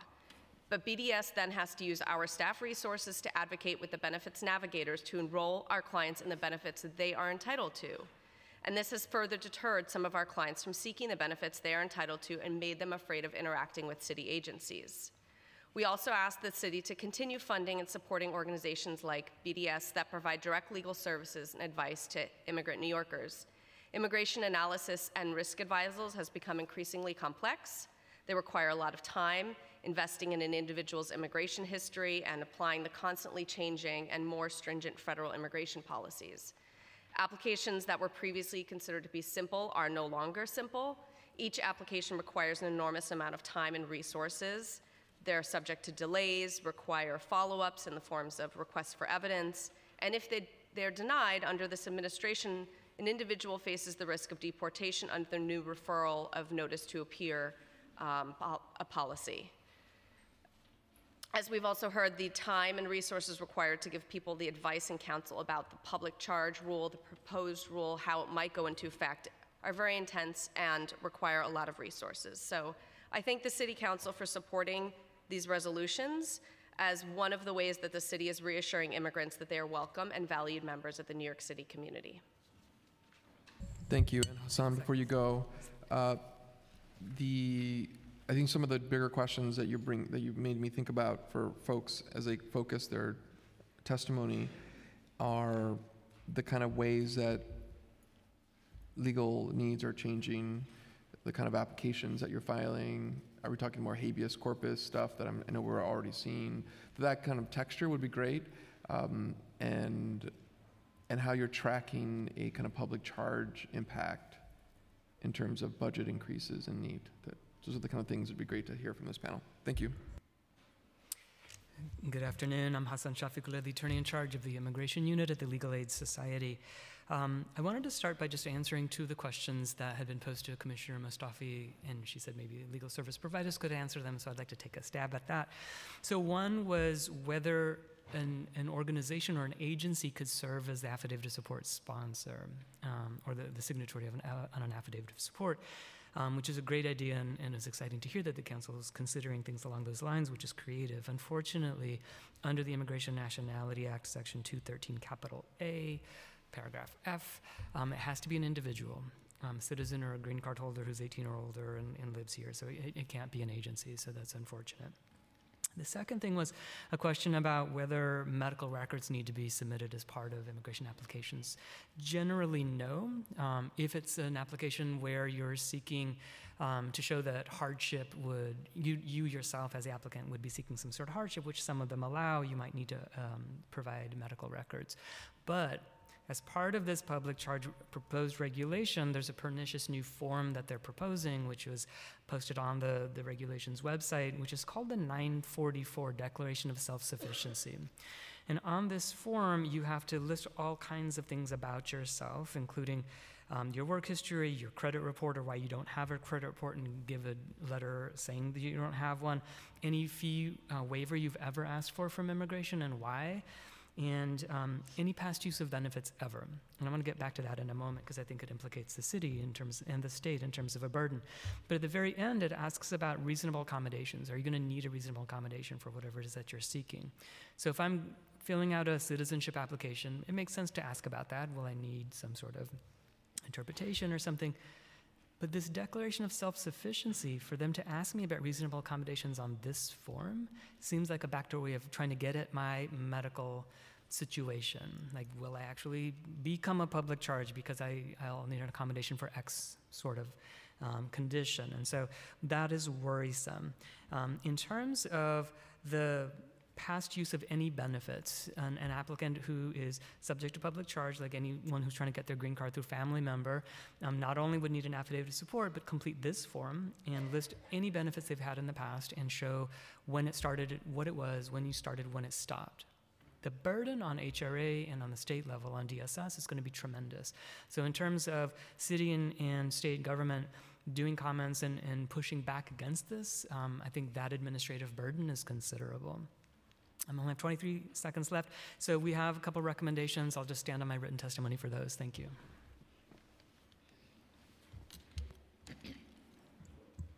Good afternoon. My name is Tanya Wong, and I'm the Director of Government Benefits at Legal Services NYC. I'd like to thank the Council for calling this oversight hearing into this important issue. Um, legal Services NYC is the largest civil legal services provider in New York City and is dedicated to fighting for racial, social, and economic justice for all New Yorkers.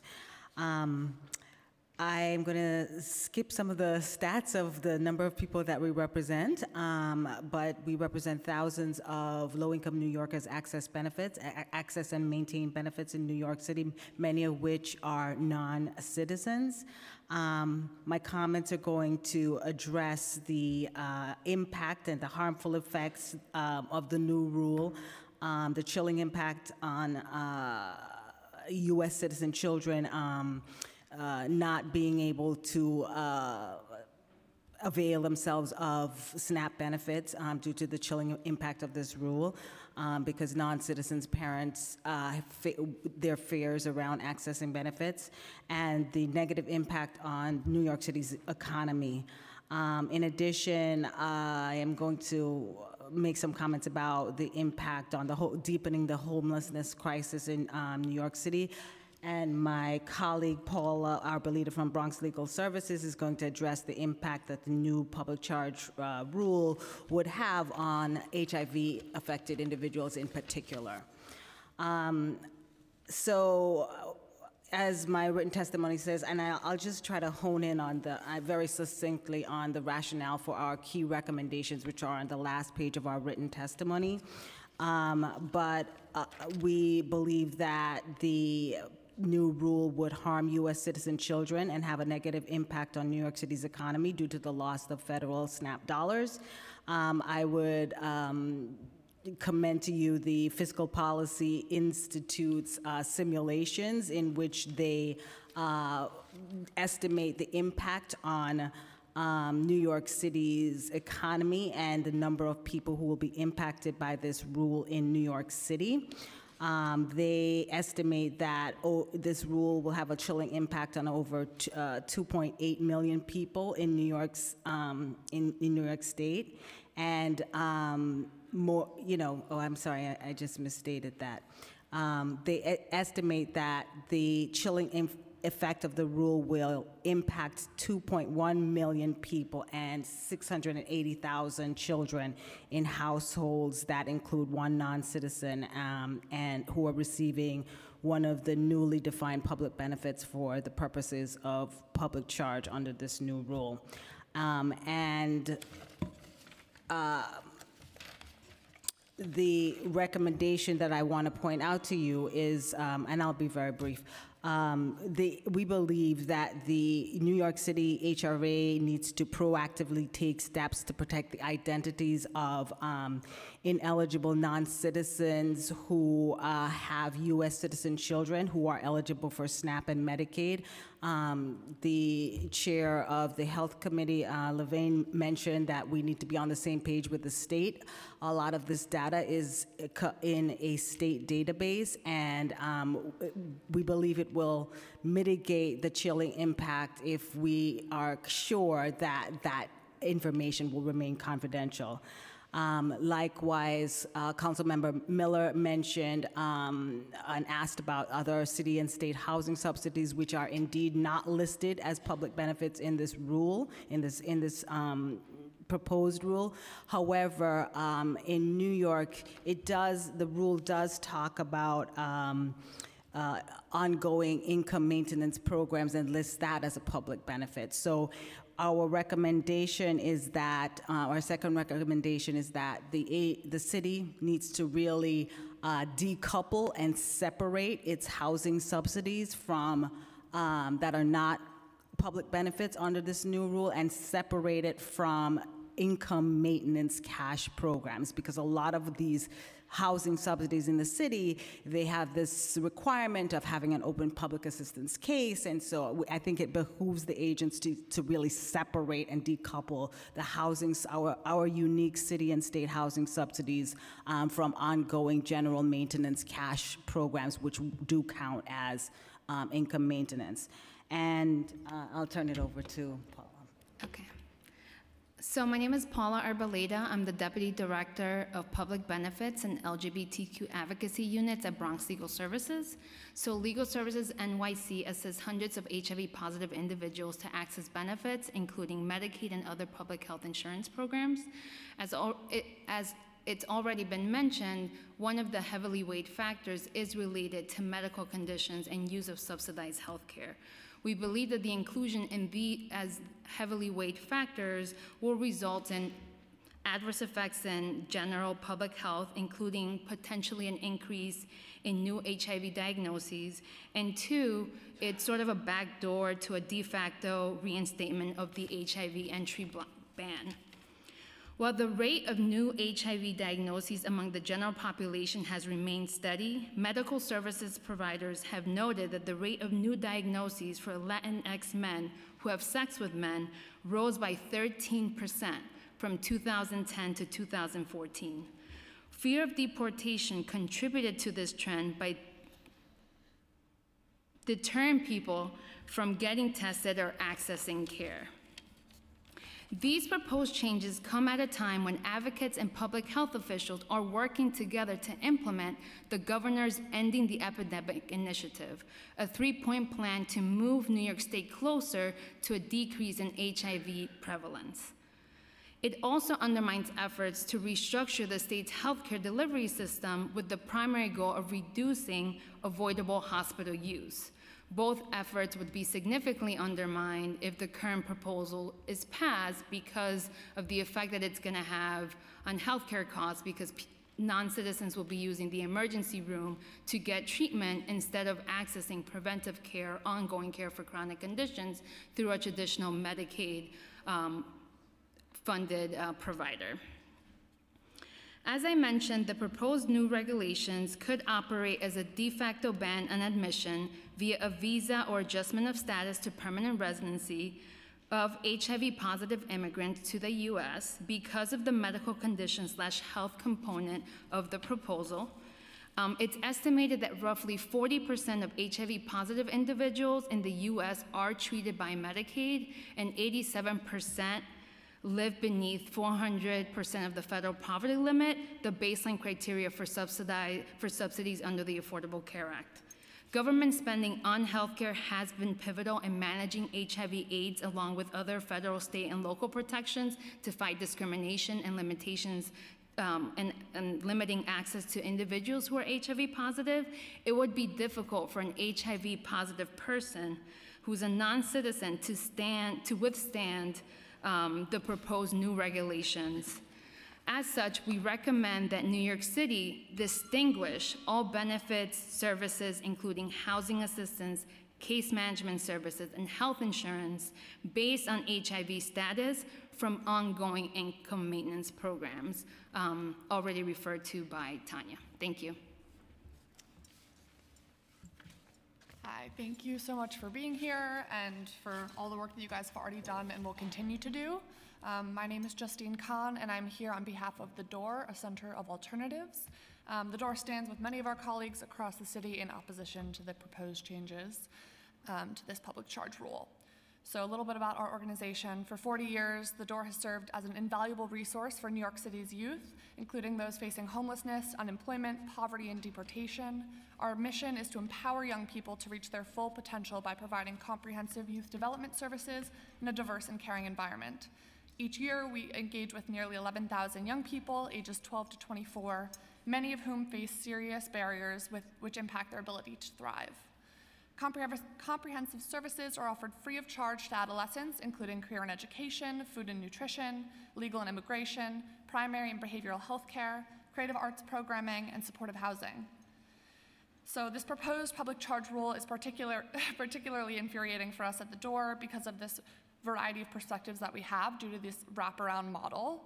Um, so we're looking at it legally and healthcare-wise and housing and food um, and seeing all the ways that this would combat the services that we are so passionate about providing to our already underserved youth. Um, so I want to focus a little bit on our legal center um, and explain what that team does. Um, and let me just note that I am not in the legal department, um, but you know it is important to this proposed change. Um, so each year, our Legal Services Center engages over 1,500 young people from all over the world and provides them with high quality representation in a wide range of civil legal matters, um, including family law, immigration, housing, employment issues, and public benefits. Our Legal Services Center has positioned itself as a, as a field leader in protecting unaccompanied minors seeking refuge in New York City and supporting them to obtain lawful, lawful permanent residence. A key part of our immigration practice is our participation in the I Care Coalition, an innovation public private partnership designed to support the massive, massive surge in unaccompanied minors fleeing Central America and seeking permanent residency in the United States. Through I Care, we seek to ensure legal screenings for all children in removal proceedings and provide legal representation for those residing in New York City. Working both internally and collaboratively with our iCare partners, we have developed effective working systems for addressing the short and long term needs of the many young people arriving here fleeing horrific conditions, including gang violence, child abuse, domestic violence, hunger, and homelessness. iCare has been critical to ensuring that these children have access to an attorney to fight for their right to remain in the United States, and it will continue to do so. The well being of our young people is at stake because of the continued attacks they face by this administration. Over the past year, we have seen firsthand the unannounced, unannounced, policy changes to the special immigrant juvenile status, which led to a dramatic increase in denials. So, cases that we had been winning for decades were now being denied. Um, the public charge rule further complicates an already difficult conversation we must have with our clients. How do we now suppose, how are we now supposed to advise a young person on what to do if this rule goes into effect? Must we really, must we really tell them to choose between accessing food, housing, and healthcare and putting their entire immigrant status in jeopardy? Um, I will stop there. Thank you. I I have one question for this team. There, there are teams that we have already kind of pulled together around NYIFUP for uh, detention and um, unaccompanied minors. Is there a group forming right now around public charge? Is that something that's happening and organizing itself? So there's been a, a coalition of groups, including um, Legal Aid and the New York Immigration Coalition, and, and, many of the folks here who've been working together on um, developing outward-facing materials, client advisories, screening tools, um, legal aid, the Empire Justice Center and Make the Road New York are hopefully this week finally releasing our screening tool that um, caseworkers can use if they have a non-citizen sitting in front of them to see is it safe for them to receive benefits or not. Um, so there's a lot of coordinated advocacy um, going on around the city and around the state. And are you working with the bar? The bars, the, or the, the bar? Um, yes, we're working with the both the New York City Bar Association and the State Bar Association. State. Okay, cool. I think maybe they're here and they're going to testify later. Great, thank you. And with Bronx Legal Services, we've been working with the Bronx Immigration Partnership to hold community events. Our general legal services hotline that um, that clients can call to get um, individualized screenings as to whether public charge applies to them, even if it were to pass. Um, and it's available Monday through Friday, 10 to 4. I'll also say they developed a fantastic screening tool too that we can share with the council. Awesome. Keep working together and let's keep talking about needs and things that are changing on the ground. Thank you so much for your for your testimony today. And make sure you submit it if you haven't. And you probably already filled out your comment, but fill out your comment before you leave. Please, please, please, please. How many how many comments have we had so far? Four. We're still at four. Please, please just walk over there and make a comment. It's just so important. We got we had 17 done in the Bronx when we had our town hall earlier this week. Let's let's at least reach 17, please. Uh, okay, next panel we have the Citizens Committee for Children of New York, Alice Bufkin. We have the HIV Law Project, Alicia Mohammed. This is part of Housing Works.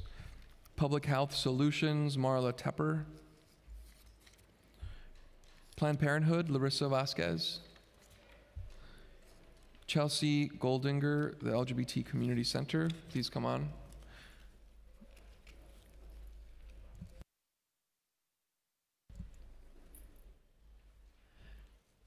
Raise your hand if you're uh, waiting to testify. Great, thank you. Please, please hold. We're going to try to get through as many as possible.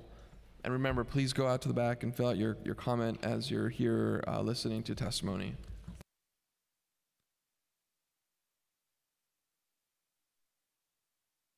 Uh, you can.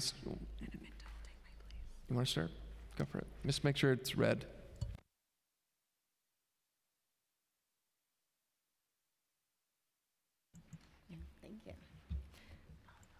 Hello, my name is Chelsea Goldinger. I'm the Government Relations Manager at the Lesbian, Gay, Bisexual, and Transgender Community Center, commonly known as the Center.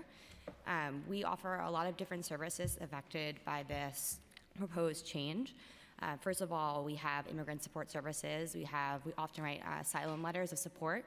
Um, I think that's a big place that we've heard a lot of misinformation. That community is not impacted currently by the proposed changes, and we definitely had folks coming through our doors who are incredibly anxious about kind of what their application looks like and what that could mean for support they obviously desperately need.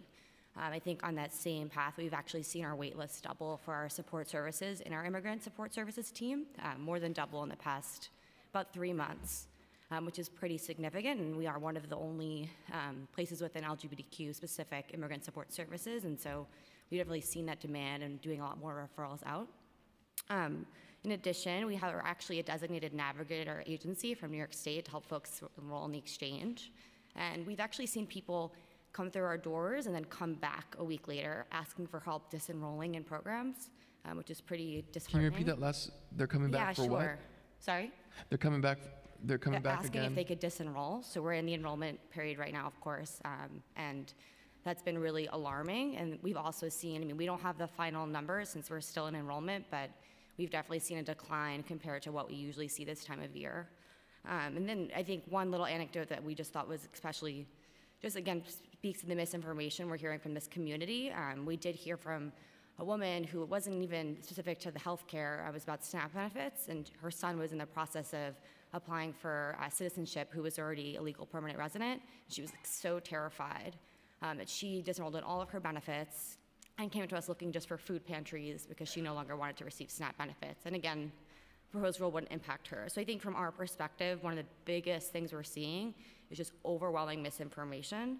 Um, and we would love sort of just help kind of clarifying that and kind of for these communities who are just so isolated and marginalized already, making sure that they feel safe and comfortable. So definitely excited about the work Empire State Justice and the others are doing to kind of help provide that and definitely support the council taking action as a body um, against these proposed changes. Thank you. And an open question, if you can incorporate that into your testimony, is any factors that you're seeing that's a positive and constructive change of heart as you're seeing the fear? It'd be great to just kind of get any any any texture on, on who is it that needs to talk to them to to um, land the message that they can stay enrolled right now. It'd be good yeah, to hear. Um, definitely. I think the biggest issue we have, and someone else spoke to this in their testimony as well, is misinformation from some attorneys who are coming. They're coming to us and they're saying, "I was told don't enroll this year. This is going to affect your status in a month." Um, and so it's really hard. We actually don't have any attorneys on our staff. Our staff is um, counselors and psychologists and support providers. Uh, and so it's hard for them to respond in a way that's convincing. So I think something from government is always helpful because that's, of course, another authority in that space. But I think that's Great. our challenge. If, and if anyone else can just speak to that too, what, has it been a government official? Has it been one of us? Has it been one of you that have really changed the, or turned the corner around that bad, confused information to productive um, understanding? Thank you. Uh, good afternoon. My name is Alice Bufkin, and I'm the Director of Policy for Child and Adolescent Health with Citizens Committee for Children of New York. We're an independent, multi issue children's advocacy organization committed to making sure every New York child is healthy, housed, educated, and safe. Um, thank you very much for having this hearing. It's, it's really critical. Um, you've heard extensively today already about the devastating impact of the public charge rule. Um, there's more information in, in, my public comments with some of the data points that, that you may be familiar with, um, but it's very clear that, you know, in, in large part because of the chilling effect, we will see more women avoiding critical prenatal care. We'll see uh, impacts on the overall health of families. We know that cutting back on households' uh, uh, nutritional resources will mean more children will face food insecurity. And we know that in a city where we already have one in 10 students who are homeless, we're going to see even more impacts on, on homelessness in New York. Um, so it's critically important that the Trump administration hear from as many people as possible in opposition. So very grateful to all the efforts that the City Council is doing in that in that way. Um, we strongly support both resolutions today, um, and we do believe there are some additional steps that the city can take to address the potential impacts of this rule change. Um, first, we support the city, city's ongoing efforts to educate the public that the rule hasn't yet been, been finalized, um, to educate about who would and wouldn't be impacted, and to combat the chilling effect of families dropping out of services that aren't included in the rule. But it's clear from much of the testimony today and, and many other areas that um, many immigrants will continue to view it as unsafe to access public programs, even if they're not directly referenced in the rule. Um, New York City can combat this by supporting city led programs that provide supplements to crucial federal health, housing, and nutritional support. So we already heard earlier about the importance of, of programs like EFAP. Um, you know, I, I, know many members of this council are supportive of um, uh, Action Health NYC. So while that was privately funded, it is sort of an example of, of ways to specifically target immigrant communities and, and get them resources that they need. Um, and we also want to um, emphasize the importance of supporting existing universal programs um, that are available regardless of immigration status. So things like the, the school, universal school lunch.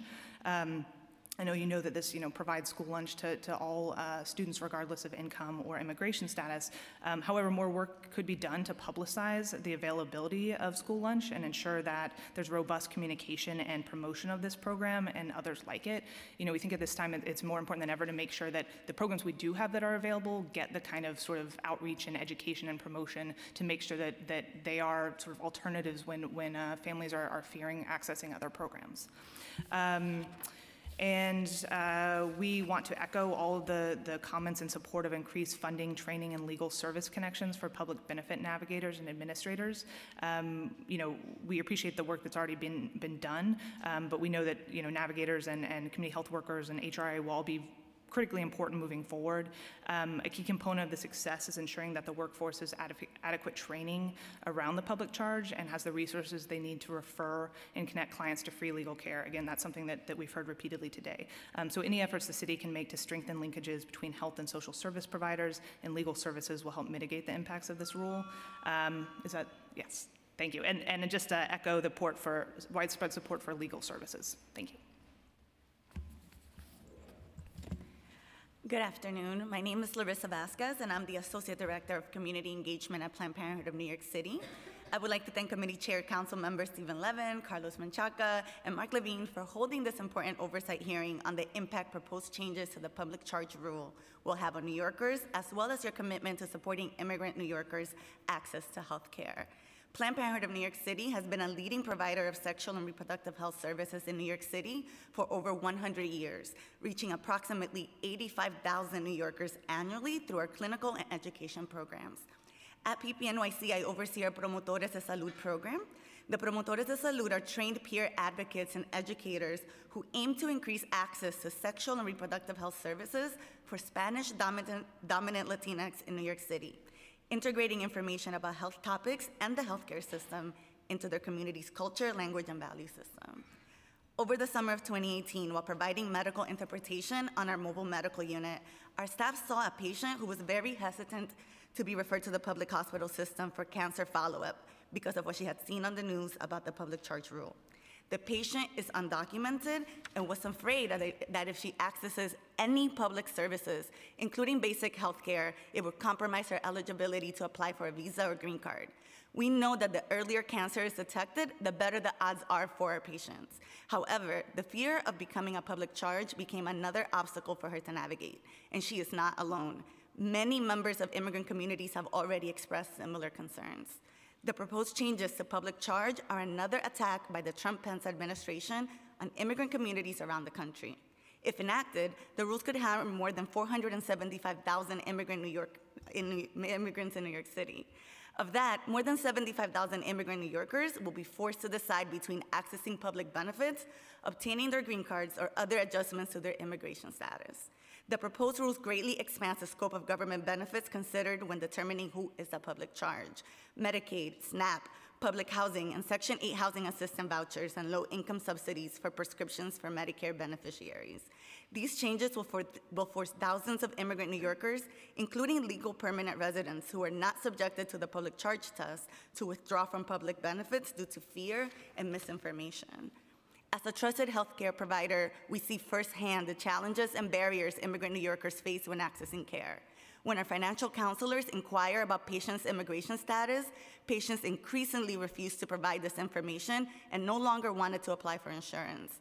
Many patients would then also refuse to be screened for reduced fee services available regardless of documentation status, ultimately opting to pay the full fee for care. We expect that these occurrences are going to increase if the public charge rules change goes into effect. More broadly, the proposed rule on public charge would impact the existing public health crisis and exacerbate problems like food security, lack of affordable housing, and jeopardizing educational attainment.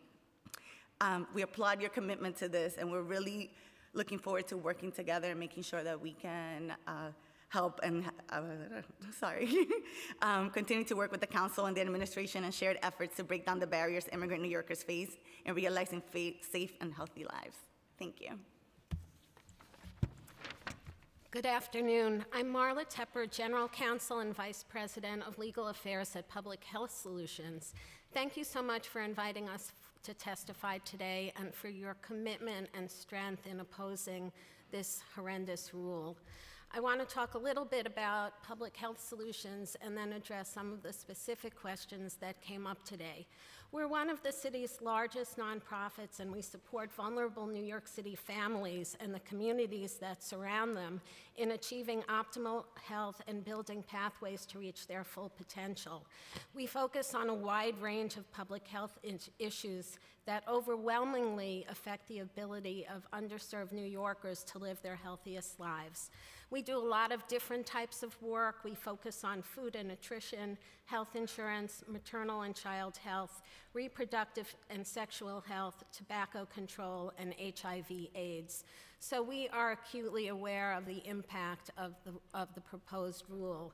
More than 40,000 low-income women and children receive food and nutrition through our WIC program, the largest WIC program in New York State.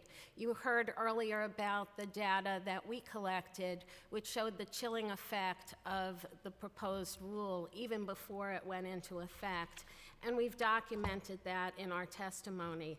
Because of its, um, how, how telling it is, I'm going to just briefly touch on that we saw the drop off, um, we've seen significant drop offs in our WIC caseload in the first and second quarters of 2017, and then again in the second quarter of 2018. The drop off numbers were highest in November 2016, January 2017, April 2017, and May 28. 2018. That correlated directly with President Trump's election and inauguration, the first leaked immigration order and the second leaked order. In these months, drop, drop-off spiked to between four and six times the usual rate, ranging from a drop-off of 395 to 640 families dropping out of our WIC program, in contrast to the average WIC monthly attrition rate of 105. So that's pretty scary and telling as to what we can expect.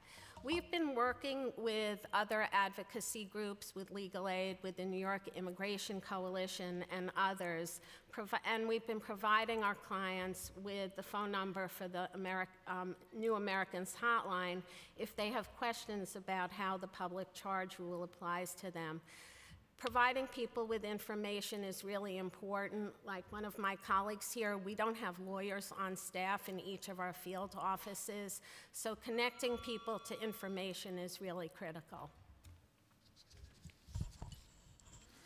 Good afternoon, Chairpersons Menchaca, Levin, and Levine, members and staff of the Committees on Immigration, General Welfare, and Health. My name is Alicia Mohammed. I'm the supervising immigration attorney at the HIV Law Project. On behalf of the HIV Law Project, I appreciate the opportunity to testify before you today regarding the impact of the proposed changes to the public charge regulations on the immigrant population living with HIV and AIDS in New York City. The HIV Law Project, a part of Housing Works, was founded in 1989 in response to the growing need for legal and advocacy services for low-income people living with HIV or AIDS in New York City. In addition to our policy advocacy and impact work, we have handled over 20,000 individual legal cases for our clients. The overwhelming majority receives public assistance and depends on Medicaid or ADAP to obtain access to HIV primary care. Most come from New York City's poorest communities and frequently have few educational, familial, and com community resources at their disposal. The HIV Law Project represents New Yorkers living with HIV in immigration, housing, and benefits. The HIV Law Project applauds your efforts to learn more about the impact of the proposed changes on the immigrant population in New York City living with HIV and AIDS.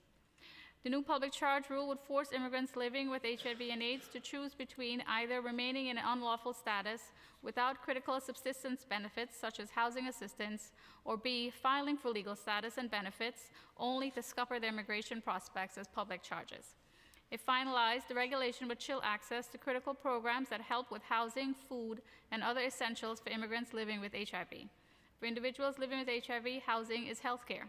Indeed, a sub- substantial body of research demonstrates that for people living with HIV and AIDS, housing is one of the most important factors in accessing medical care and maintaining one's health.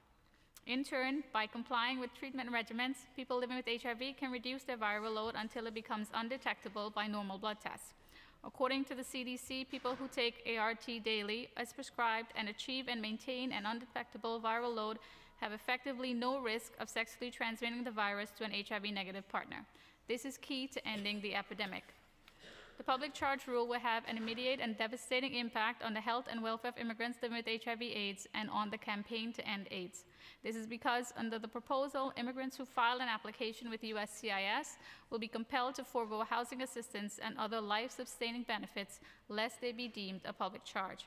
Before filing an application with USCIS, immigrants living with HIV rely upon ADAP, which is paid for under Part B of the Ryan White program for prescription drug coverage, but go without Medicaid, food stamps, rental assistance, and other critical benefits.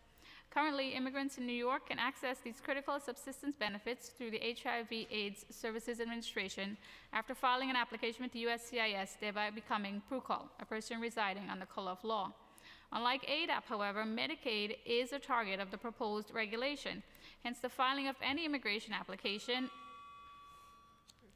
I have a couple of recommendations. Can I just go to them? Yeah, focus on the recommendations. Yes. Um, pass a resolution calling upon Governor Cuomo and the state government to require that funding for HIV, uh, Medicaid HIV AIDS coverage comes solely from Ryan White federal funds or from New York State only funds, and launch an education campaign for immigrants living with HIV AIDS, reassuring them that medical coverage that does not impact their immigration status, ADAP and ADAP Plus, is available in the city and educate uh, the HRA staff on which benefits can be accessed without negatively legal, affecting legalizing immigration status so that they can provide accurate guidance to immigrants living with HIV and AIDS. Thank you.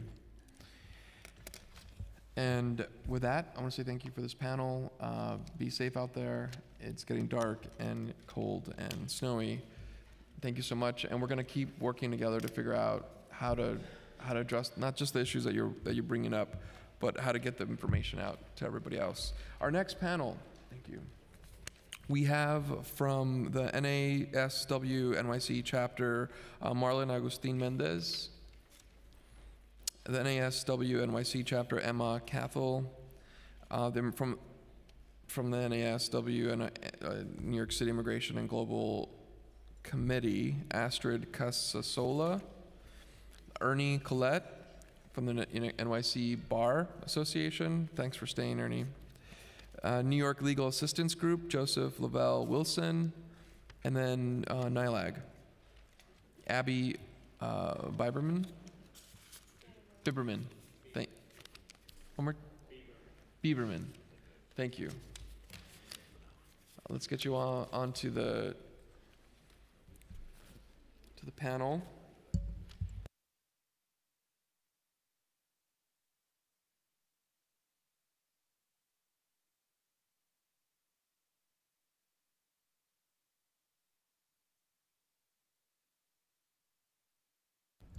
And are the rest that I called not here? Okay. Well, you couldn't say you're not here if you're not here. Uh, okay, so it looks like we have a few slots open. Can I look at the next panel? Yeah, just. Okay, so let's get on the Asian Immigrant Advocate CPA Mei Lee onto this panel. Um, Albert Cahn, if you're here, uh, let's get you from CAIR. Uh, and then uh,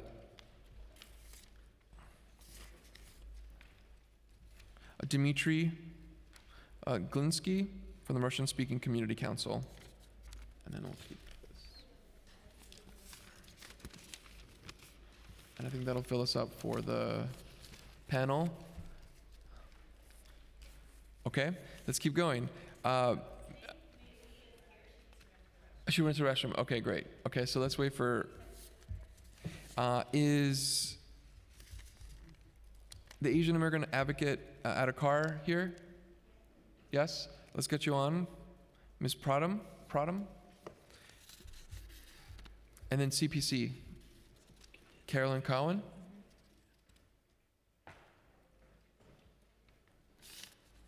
Carolyn, is that you? Okay. Okay, great. Dimitri, would you like to start?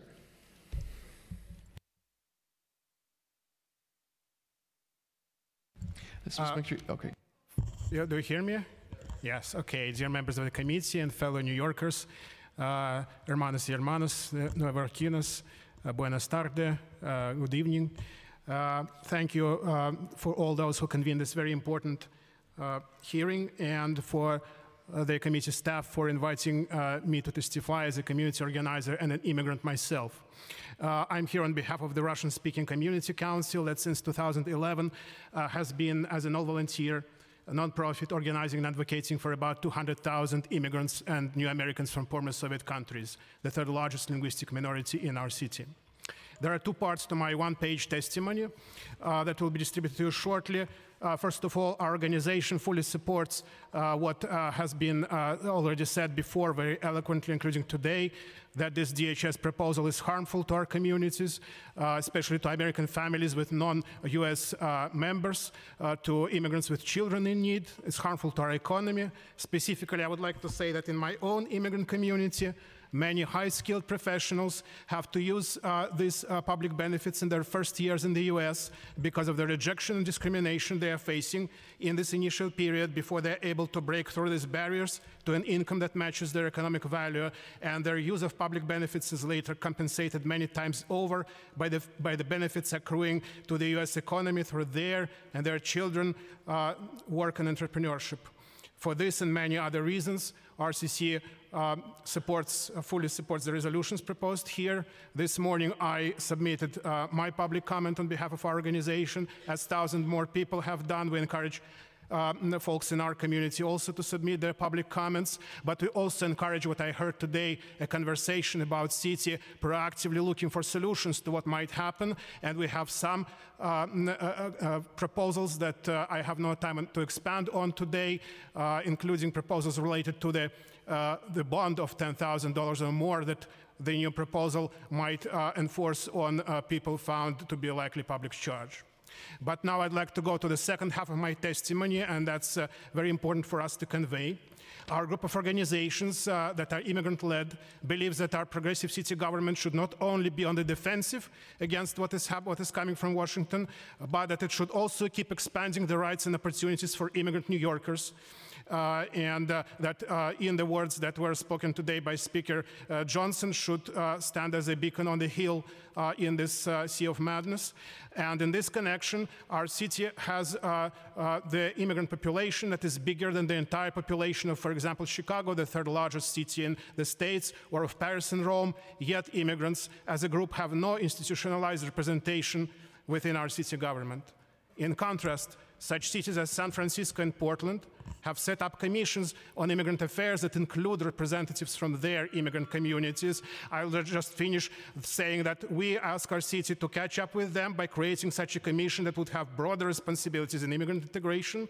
We brought this proposal to the City Charter Revision Commission, where, we were invited to testify, and today we're here to bring you the awareness of this campaign that we have launched. We hope that many of you here in this room will give it a thought and will, will sooner or later support it, and that before long it will also be up for discussion in this committee. Thank you for your attention. Thank you. And if we can go to your left, we'll just get you on. Can we switch uh, chairs? Oh, no, actually, if you can sit, if you're fine there, you can, Yeah. you can testify from there. Good afternoon. My name is Carlyn Cowen, pronouns she, they, and I'm the Chief Policy and Public Affairs Officer at the Chinese American Planning Council. CPC serves over 60,000 Asian American, low income, and immigrant New Yorkers each year, the exact population that's going to be impacted by this public charge rule. I would like to emphasize, as others have, that nothing has changed and the proposed rule hasn't been finalized. And also that this proposed rule never has to be finalized to have the exact impact it's intended to have, which is driving immigrant families into the shadows and systematically denying them of resources needed to survive and thrive. We've already seen the impact at CPC, even though the proposed rule has never been finalized. We have seen seniors asking to de enroll from their SNAP benefits, which they depend on to put food on the table. We have seen people asking to de enroll from the wait lists for housing vouchers that they've been on for years or not apply for Section 8 housing. We've seen people asking about their prescription medications and if they should stop taking them so that they can apply for their green card. When we were doing rapid response trainings with our staff on how to talk to community members, and keep in mind that many human services staff are going to be impacted directly by this rule as well, one of our social workers asked me, What should I do? Tell my NYCHA clients to go live on the streets so that they can apply for their green card? While the city has made an incredible commitment to protecting immigrant New Yorkers should this rule go through, the time for a coordinated response is now, and it has to be centered on the community based organizations that have deep trust with the communities that are going to be impacted by this the most. We have seen misinformation in the media. We've heard of predatory immigration lawyers providing misinformation to people. And nothing that CPC, a community organization that has had deep connections in the community for over 50 years, has said to our community members has dispelled that fear. So imagine when that information comes from the government. In this climate, a notice from the government, even a sanctuary government like New York City, can drive deep fear. We've had community members come into our centers in full scale panic attacks because they've received information with a city seal on it, um, only to find out later that it was just a simple generic notice. While efforts from MOIA to do translated flyers and other efforts like that are greatly appreciated, the website, which is where the bulk of the information lies, is still only in English, which leaves community organizations to fill the gaps. So I would urge the city and the city council as it moves forward with its response to not wait until the rule is finalized, but to respond now, coordinated with the community based organizations that have the community trust and have the language ability to dispel the fears, to help immigrants remain in their benefits, and to plan for whatever might come down the line. Thank you again for your commitment to immigrant New Yorkers and to fighting this rule. Thank you, Ms. Cowen, and we don't disagree with you at all on any one of those points, analysis, and recommendations. Uh, uh, Chair Levine has a question for you. Great remarks, Carlyn. You use the term predatory attorneys. And we've heard today from other advocates who've described attorneys who are misinformed and were offering incorrect information. But it sounds like you're talking about attorneys who are trying to extract money out of unwitting clients uh, and using fear. Have you actually encountered that? This would be horrifying if you encountered such cases. So I want to be clear that there are incredible attorneys that are doing really important work to protect uh, immigrant New Yorkers. There are also attorneys that simply have misinformation, and this is a very difficult rule. It's very complex and convoluted, and there are so many nuances to it. The misinformation is easy to occur.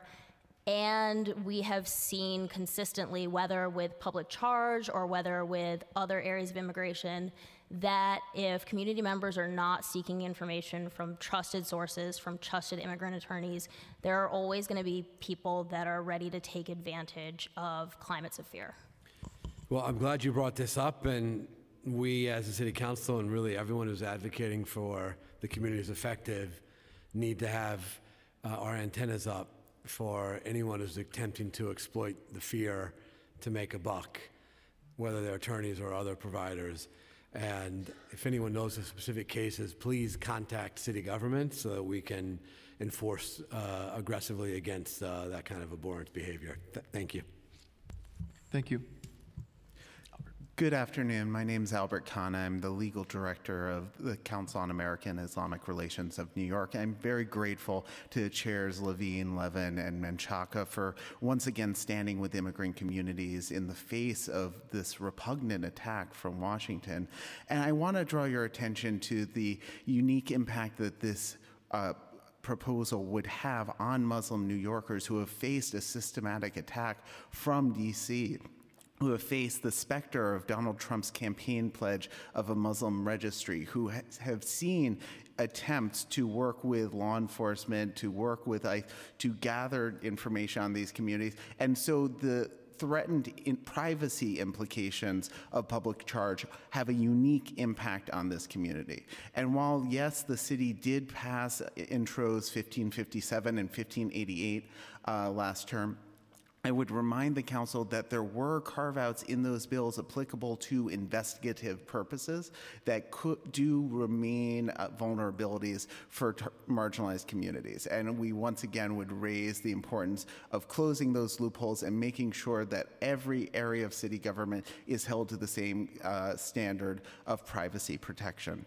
We've seen what the Trump administration has been able to accomplish in consular uh, visa denials using uh, public charge. They have tripled the number of denials in the last uh, in the last fiscal year, tripled. And, and so we are terrified at what might happen if this rule were to go through. But I want to reiterate what has been said so many times before that this is a threat is a real threat, is an imminent threat, but it is not something that's gone into effect yet. And like so many other groups up here, we have seen individuals proactively disenrolling from programs, and we urge anyone who is impacted to remain on programs and to not uh, stop using any of the vital services that are impacted by this rule while it is being finalized and while it is being fought. I also want to highlight that individuals can potentially uh, submit more than one comment if they do it through affiliation with more than one organization. Ms. Cowen and I, for example, have authored a comment through our uh, participation in Coro's ICLP leadership program, in addition to comments through our respective organizations. And so individuals can potentially have more than just one comment if they're speaking to different elements of this uh, rule change. And I, I, really urge everyone here to reach out to as many people as they can to f- have as many comments as possible because one comment is an important symbol.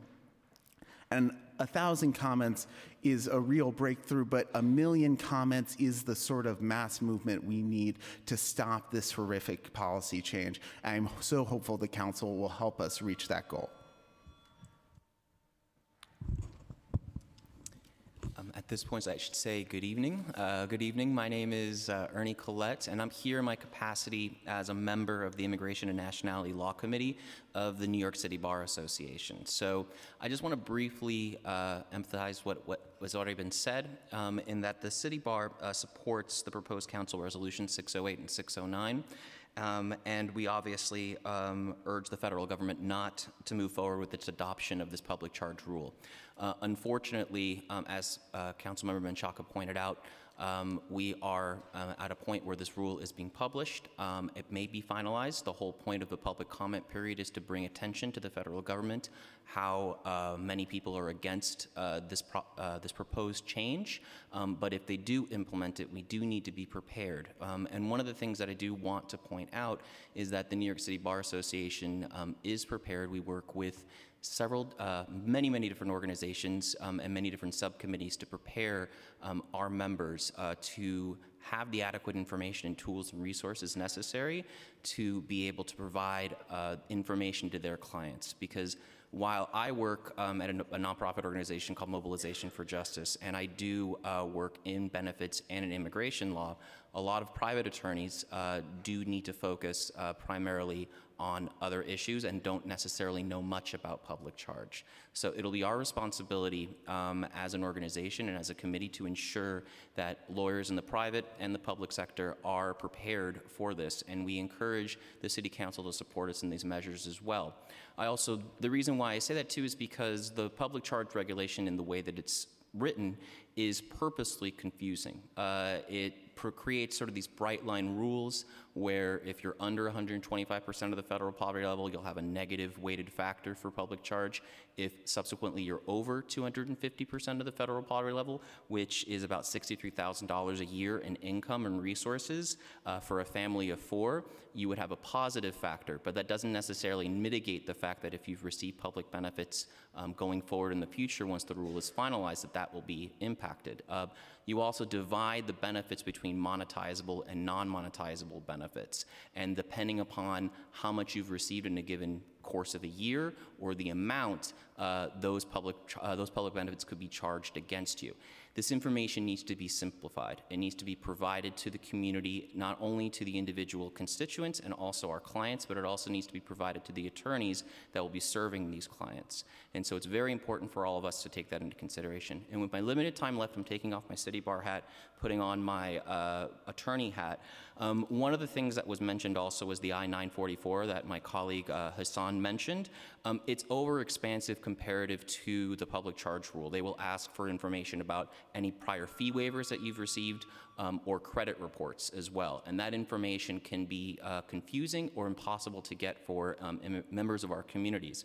As well, uh, one of the other issues that the city, uh, sorry, that the city council mentioned that we talked about was maybe sponsoring individuals. And while it's not codified in the INA, there is a section in the uh, public charge regulation about a $10,000 bond. That's something that may be discussed and discovered uh, to, to, talk about in the future within other organizations. So thank you for your time. Sorry for going over. Uh, one one quick question on on what you just presented, on the, you mentioned the initiative to train, talk to, communicate with lawyers, your lawyers, public and private. Uh, the talk to us a talk to us a little bit about what that looks like, and in terms of funding needs you might be requesting, or is that just part of your your work already? Have you committed? Have you communicated anything yet in a blast to folks and we, give us a little texture about what, what sure. you've done. We haven't, but in the past, what we've done with several subcommittees, including the Social Welfare Committee and the Immigration and Nationality Committee, which I'm a part of, we create trainings um, and events at the City Bar Association. Um, those are passed through the City Bar Association to ensure, um, if they're CLE events, to ensure that the information is adequate and correct, um, to properly and adequately train individuals upon uh, common topics. Um, that information about funding or promotion would be uh, better suited to the individuals that are listed um, as the contact people um, on the City Bar Association's, uh, on the uh, recommendation that we just uh, proposed. But in general, uh, it would be a fantastic opportunity for us, at the minimum for advertisement, to be able to allow uh, attorneys and other individuals to know that this exists.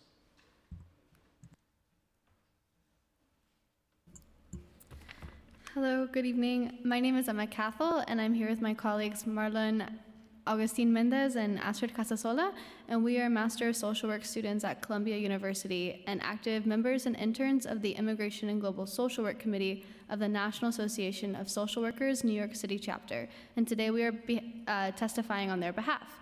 The New York City chapter of the NASW represents over 6,000 members throughout the five boroughs. The NASW is the largest association of social workers in the world with over 120,000 members across the nation. We are leaders in advocating for just social policies, and we thank the New York City Council for the opportunity to testify. Today, we're going to give a brief economic analysis behind this policy. Um, it is a common notion in the United States that immigrants suck up the, the public benefits of the country while not contributing to the economy. However, several reports and news coverage have discovered quite the opposite. For example, it was found that in 2013, about 3.7% of immigrants in the nation received cash benefits, compared to 3.4% of the US born population. The proposal seeks to increase the income requirements, as mentioned just a second ago, for potential immigrants. This would mean that they would have to earn between 30,000 for an individual and six, about 63,000 for a family of four. As a, as a comparison, virtually 29% of US citizens would fail this test. Um, the DHS seeks to aid a burden on taxpayers, as the proposal states. However, immigrants are an asset to this nation's economy. In fact, it could be argued that with fewer immigrants in the United States, the country's economy would suffer.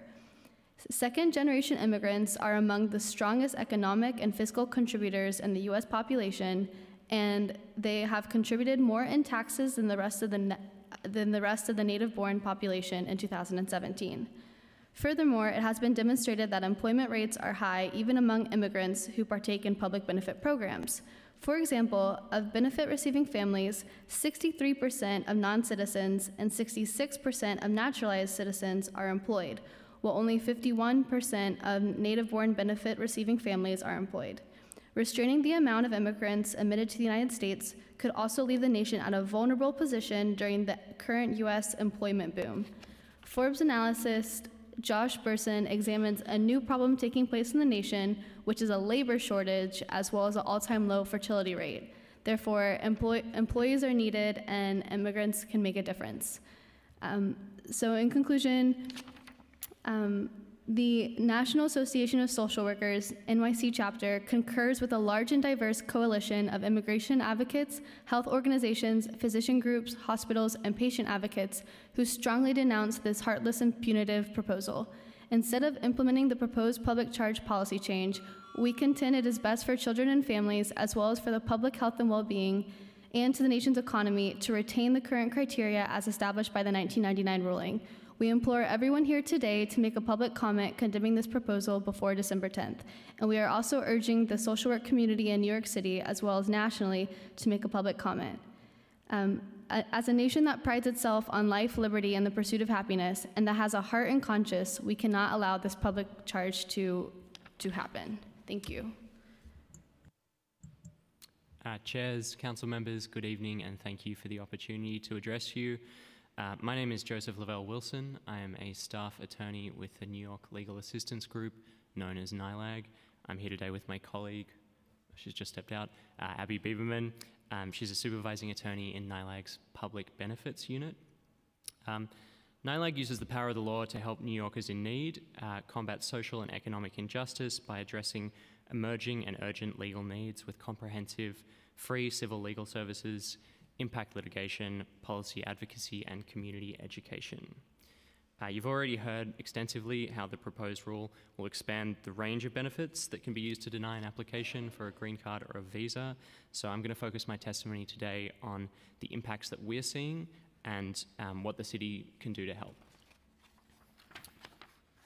So at NYLAG, since the rule's been introduced or announced, uh, it's not obviously not um, in effect yet, uh, we've seen already again and again uh, clients misunderstanding the rule, needlessly terminating benefits or not applying for benefits to which they're entitled, even when they don't fall under the proposed rule and, and would not when it's implemented. Uh, one example of that is we've heard from staff that we work with at health and hospitals um, that women on temporary visitor visas are concerned about accessing prenatal Medicaid and WIC for their children born in the US uh, because at some point they intend to return to their home countries and they want the ability to revisit the US in the future. Others are concerned because they want to apply for citizenship in the future and they fear that accessing benefits now will hinder them. Uh, one of the worst outcomes of the chilling effect has been clients foregoing necessary cancer treatments due to fear of being seen as a public charge or being deported. Um, one story of that is Dana. Uh, who's an undocumented immigrant from Georgia. She's been in the US for nearly 20 years, has two children with DACA status, and several US citizen grandchildren. Several months ago, she was diagnosed with multiple myeloma and began chemotherapy funded through New York State Emergency Medicaid. Dana was referred to NYLAG to see if she had an immigration remedy uh, that would make her eligible for full New York State funded Medicaid, um, and that would cover the necessary stem cell transplant that represented the best option for her cancer treatment. After she was referred, Dana missed several appointments, both with uh, NYLAG and her medical team, fearing that she would be deported due to the medical treatment she was receiving. When she finally met with a NYLAG attorney, she revealed that she was trying to not take too much chemo uh, in order to avoid the radar of immigration officials. She was terrified of pursuing any options that would make her Medicaid eligible or excuse me, or force her to reveal her address, fearing that it would get her family in trouble. Although she agreed to resume her chemotherapy after meeting with the attorney, uh, the doctor recently informed the attorney that she stopped showing up to appointments, which will likely speed up resistance to the drug. Uh, we fear that cases like this are going to become much more common, and as I'm out of time, I'll refer to my written testimony on the recommendations that we're proposing to the city. Thank you. Well, I just want to ask you to outline them really quick. The recommendations. Okay. Uh, we think that city agencies should be looking to legal service providers who they already contract with on many projects to provide information and training on how the public charge rule is going to um, affect immigrant New Yorkers. Uh, that will ensure New Yorkers are getting um, accurate information about whether they'll be affected and how. Uh, we're also recommending a, that the city launch a media campaign about the rule, um, similar to campaigns uh, that the city's already done um, on subway ads, Link NYC, that kind of thing. Uh, and then we're also asking the city to work with the state to look into how to clarify the um, tangled benefits, as they were put by council by Chair Levine, uh, and to clarify what funding funds which um, benefits, so that immigrants can understand whether or not they're going to be affected um, and finally, we'd recommend that uh, the City Council work with the state to look into potential stopgap non means tested benefits, uh, which won't be subject to the public, public charge rule. Thank you.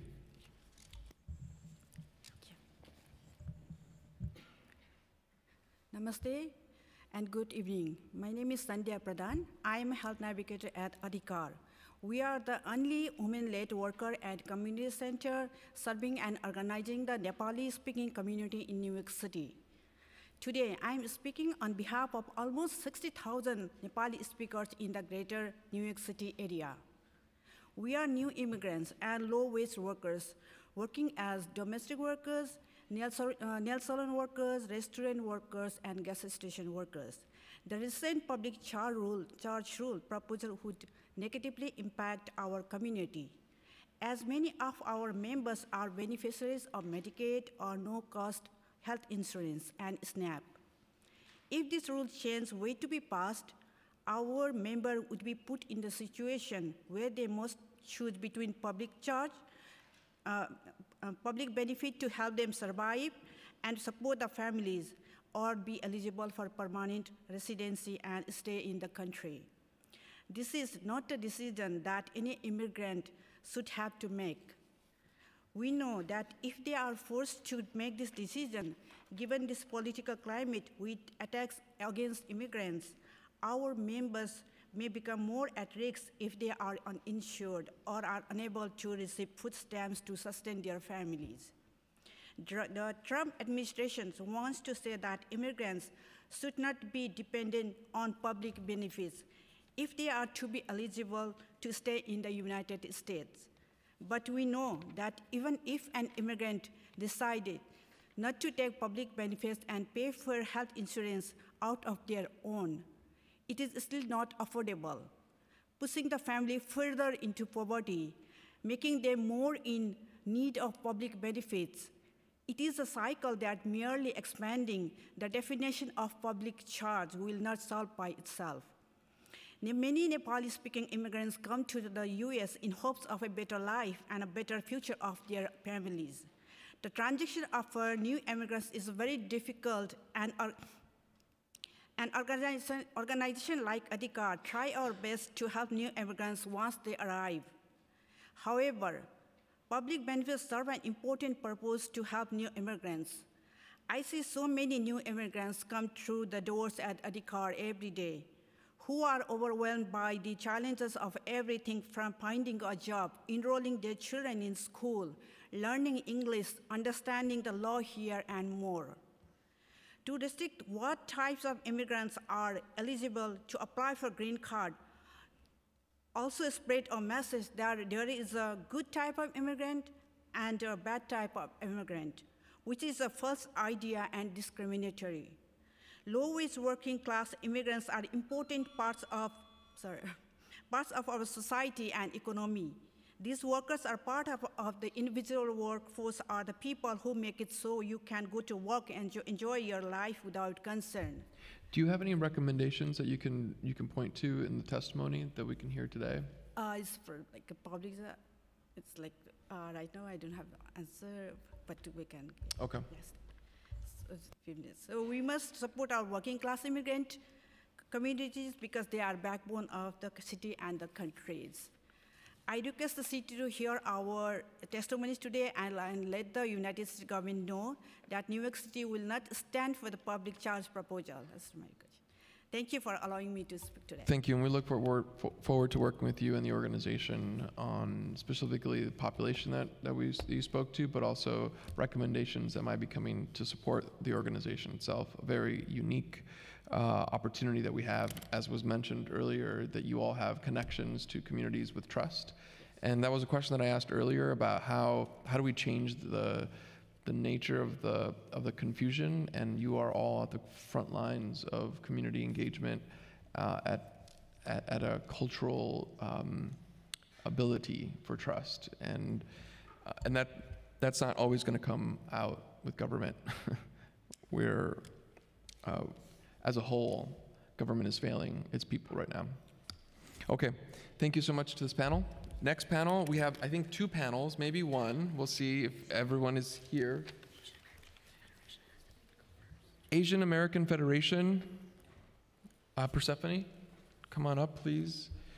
And Asian American Advocate, CPA, Mei Lee.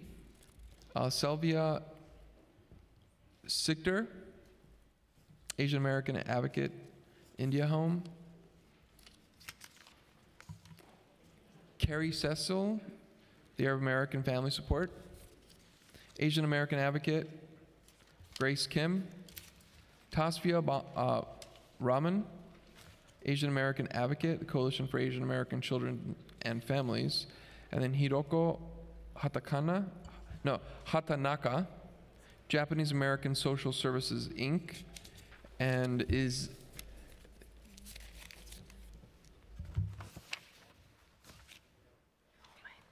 Great, we have a full panel. And Persephone, would you like to go first, please?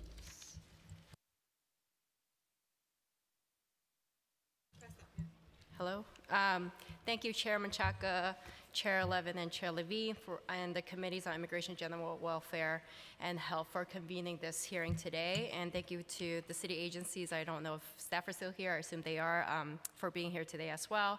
I'm Persephone Tan, the Associate Director of Immigration and Policy um, at the Asian American Federation. We represent a network of over 60 member agencies and partner agent, uh, member organizations and partner agencies that are Asian-led and Asian-serving. Um, of this panel, I think pretty much everyone here is a member or a partner agency. Overall, Asians make up 15% and growing of the city's population. Among this group, 70% of Asian New Yorkers are immigrants. So immigration is a very important topic to our community. The proposed public charge rule as released by Trump administration presents an unnecessary burden and fear among immigrant communities. I would like to share some statistics on Asian immigrant New Yorkers from Manatt Health and the Migration Policy Institute. Estimates of those impacted by this proposed public charge rule in the Asian community are well over a quarter million non-citizen and family members living in New York State. These are people who have either had who either had income below 125% of the federal poverty level or receive one of the benefits in the proposed rule. The Migration Policy Institute estimates that more than half of the recent Asian immigrants of New York State have incomes below the 250% of the federal poverty level, which is the proposed income cutoff for application of the public charge test.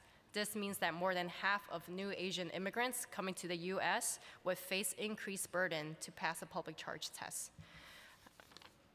Our recommendations to the city and to the corresponding agencies responsible for the welfare of immigrant New Yorkers include comprehensive public outreach and education. Um, the city should remind constituents that the rule is not final, not retroactive, and the public charge test will be looking at the totality of circumstances. We need to make sure that there's clear messaging now and clear messaging when the rule is actually finalized. Encourage people to apply for benefits and not disenroll uh, and not to discontinue enrollment. Emphasize it is a very narrow scope of immigrants impacted, only those who are applying for green cards. Hence, there should be free legal services available in language about evaluating an individual's public charge status to see if they are at risk for being covered by the public charge test and how to mitigate it. There should also be a clear process on where people can get help and identify if they are at risk of being a public charge. Um, for example, having clear messaging on whether or not people should go to Action NYC or the New Americans Hotline, or knowing when to reach out to our, uh, HRA about public benefits. Um, I do want to note one thing about addressing the fee waiver of uh, immigration benefit criteria. It's in my testimony. I hope uh, the council and the committees will take a look at it as well. And finally, the city should strengthen partnerships with uh, community nonprofits and other organizing groups. We have been on the forefront of convening rapid responses to the ongoing attacks on immigrants, and this includes providing groups like ours and everyone on this panel and everyone who's already testified um, with resources and funding to build capacity so that we can continue outreaching to the communities. Thank you so much. Thank you. And what I will ask, and what I- we- are going to continue to ask for are budget recommendations and as a coalition and really understanding the need itself so we can not just understand the, the, the coalition request, but the intricate nature of the legal side, the education side, et cetera, that, and which I think you presented, but with some dollar amounts, so we can be ready. Thank you.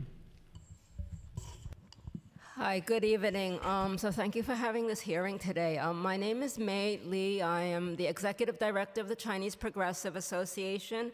Uh, we serve those who live, work, or go to school in Chinatown or the Lower East Side. Uh, so we assist immigrants with programs like English classes, citizenship classes. We have some immigration application assistance. Uh, we do help new citizens to register to vote. Um, but I wanted to share a story and make some recommendations. So I said we have these citizenship classes, and in our class we have students who are green card holders, but nevertheless, even though they're enrolled in the class, they told us they didn't plan to apply just yet for citizenship. Um, they're on Medicaid, so the plan is that they're going to wait for the Medicaid to expire. They won't go to recertify, and after they're off the Medicaid, they'll get this is health insurance. They're going to apply for their citizenship. Um, so we managed to convince them. We're armed with a lot of the correct information. We managed to convince them, no, that's not what you need to do. You should apply for citizenship now if you're otherwise eligible. So they will be. And also, our teachers will be um, uh, making these lesson plans for the students to teach them how to submit the comments. And they might do it in the class on their little iPads or phones. Um, so then, so the other thing is, um, we've heard about how you know HRA, um, uh, for their frontline staff is trained to talk to the uh, the clients, and MOIA and Action NYC is doing a lot of outreach. But we think that's not enough. You know, we think I think it would be better if HRA was much more proactive and sent the letter out to the clients right away instead of waiting for them to come. The students I talked about haven't been to HRA and they haven't called Action NYC. So I think the dependence on those, on wh- what they're depending on is not sustainable, considering the scope of the, the breadth, you know, of the confusion. And it will get worse if, I mean, I hope this doesn't happen. And I don't want to, we don't want to tell people, well, it's going to happen anyway, so you should deal with it now. You know, now the message is to fight. Um, but if it does happen, the confusion will be even more widespread. The thing that I mentioned about Medicaid, Medicaid, you know, is very complicated. There's federal Medicaid and there's state Medicaid, and it's not all the same. So it may apply to public charge or it may not. I don't know how it's going to play out. So there's going to be a lot of um, a lot of resources that need to go directly to community groups so that they can be not just be armed with the information, but actually have the manpower and the funding to deal with the people that I'm talking about right now. Thank you. Thank you.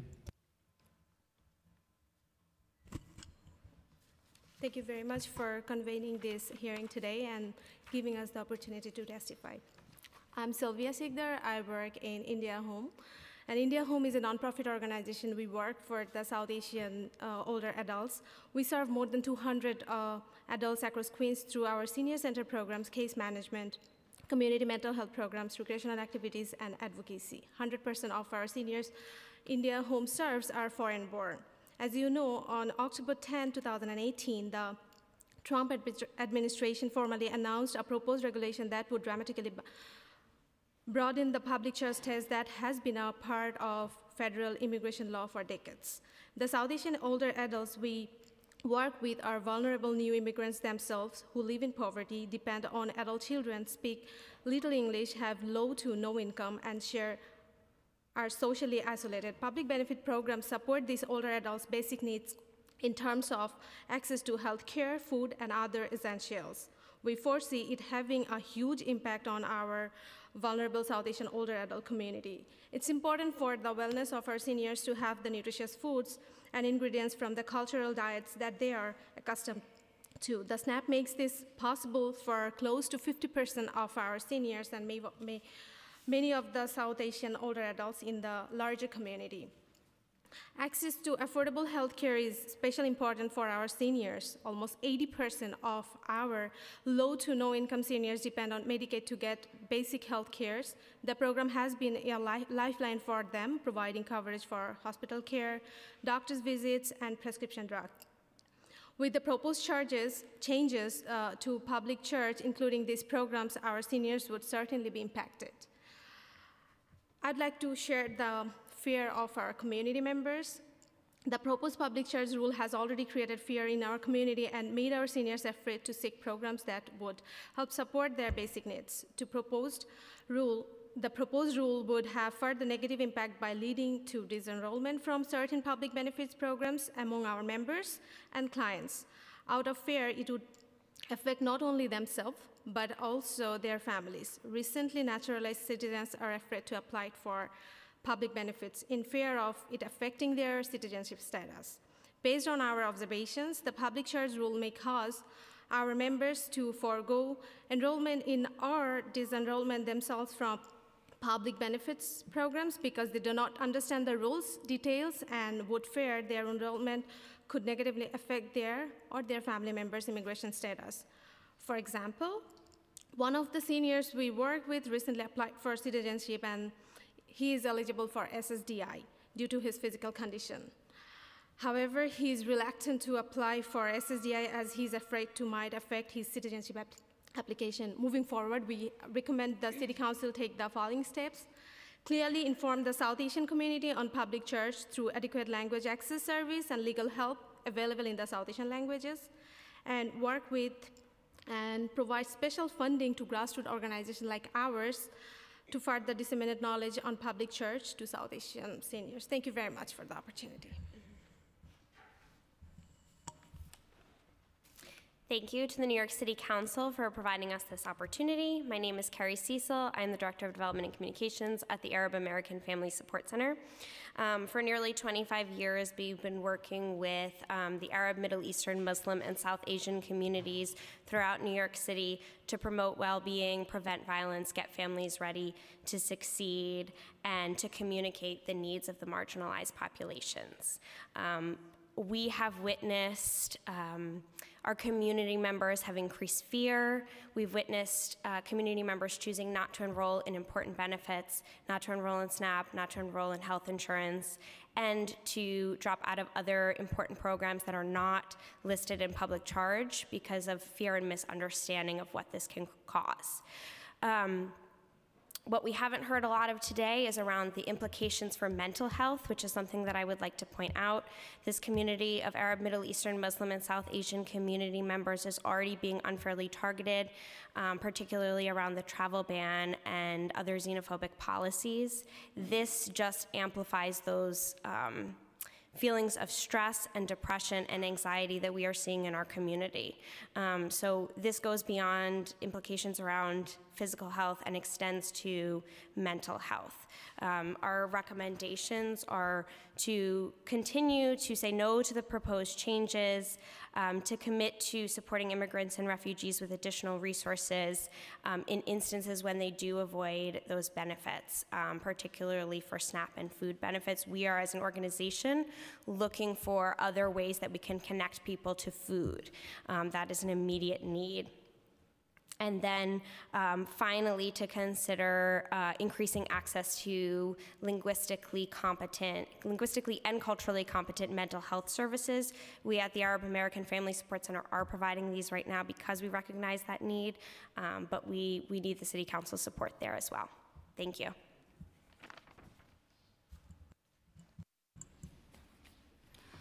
Hi, um, good evening. I appreciate the opportunity to share with you how the proposed public charge rule impact the lives of our community members. My name is Eunhae Grace Kim, and I'm an assistant director at Korean Community Services of Metropolitan New York. Um, we are a community-based organization based in Queens, and we have six different sites, and we are serving daily 1,100 individuals through uh, six sites. Um, I would like to share a story because many people share wonderful strategies and everything. So I'd like to share a story. Um, uh, the uninsured female patient in her 60s is in the process of getting her green card, and we provide a free mammogram and free hepatitis B screening and treatment. Um, so she used to get our services for her hepatitis B condition, yet she suddenly refused to take the medication, and we could not reach her anymore after she heard about public charge. So despite, despite lengthy explanation of how it would not affect her, and she chose not to get screened for her fear of getting her green card denied. Our community members now have to choose between health and immigration status. Sadly, they often choose immigration state status over health. Also, um, many ethnic media reports pub- uh, publish misleading and incorrect information, and Korean American in New York has the highest uninsured rate among Asian Americans. But due to the fear generated by this proposed rule, I expect this rate to increase even higher. Um, it is crucial to provide our community member with an accurate information around the proposed public charge rule and educate them. Then due to the highest limited English proficiency rate in our community compared to other immigrants community, the culturally competent material should be provided. And moreover, working closely with the community-based organization would be the key to reducing fear among the New York, um, New York City most vulnerable population. Therefore, working with the community-based organization with the city council support will be crucial to reach hard-to-reach population and educate and assist our community members. So I think one more story. I just got a phone call from my colleague who's helping client right now as a navigator, health insurance, and she just called me and she's asking me, oh, the two two seniors come came and then they ask, they don't want to get Medicaid, and if there is other choice, ask to me. And I'm a navigator as well. I've been working ever since 2013. And I said, what are, I asked them what are their immigration status, and they're US, US citizen. And I asked her why they're hesitating to apply for Medicaid. And she said, um, because they're just afraid of the public charge. And this is kind of like example of the mis- misinformed because as a citizen, they don't need to worry about any um, Medicaid or any application, but they do, and they are refusing. And the only option they have is just buying private health insurance. And I just got phone call from them, and I constantly um, try to educate our community and try to have a workshop. And however, um, uh, communicate, there, the communication from the attorneys and the ethnic media is so powerful. It's really hard for us to educate them without uh, proper support from the city. Thank you. Uh, good evening, I guess. Uh, my name is Tasfia. Can you pull the mic closer to you? Uh, my name is Tasfia Rahman, and I'm the policy coordinator for the Coalition for Asian American Children and Families. Um, I'm going to try to avoid repeating a lot of the information. Um, we um, we lead 50 Asian-led and Asian-serving um, uh, community and social service organizations, and we've been flooded with um, anecdotal uh, stories about disenrollment. Um, particularly, what I'd like to focus on is on health disparities. And in the U.S., we already have a major health disparity issue. Uh, particularly among marginalized communities. Um, in New York City, um, for example, at CACF, we are seeing this in our efforts to ensure more access to affordable health care. We are a lead agency in New York State that receives in person assistor IPA or navigator grant for the New York State of Health, um, the official health insurance marketplace. It's currently open enrollment, and our IPAs um, navigators provide one on one assistance to individuals, families, small businesses, and their employ- employees who apply for health insurance through the marketplace. We provide, our, part- our navigator partner organizations provide culturally and linguistically tailored outreach and education about the Affordable Care Act, as well as enrollment assistance for private and public health insurance. This year, during um, the current open enrollment period, our patient navigators have witnessed a significant decline in new enrollments since last year and in previous years. Um, I wouldn't be as optimistic to say that we solved our lack of um, inaccessibility to health insurance in a year, but what we're really getting a sense is that people are afraid that if they sign up for affordable health insurance, they may endanger their ability to remain in this country. Um, so, with this in mind, we asked uh, New York City Council and other uh, public officials to act on two things. Um, we appreciate the efforts um, that you've taken to uh, um, uh, encourage uh, constituents to submit their public comment, um, but we also um, encourage you, all city council members to submit their own comment, and when they do, that they illustrate the impact this is having on all immigrant commu- communities, including the APA, um, and also to educate their, our, our constituents and encourage community participation.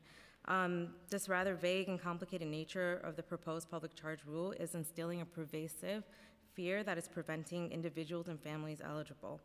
Um, Council members should continue to support community organizations leveraging um, existing initiatives that have uh, served to uh, access, serve to educate um, out of out of reach marginalized communities, um, and provide uh, CBOs with resources and outreach to their constituents about the correct information on the proposed rule.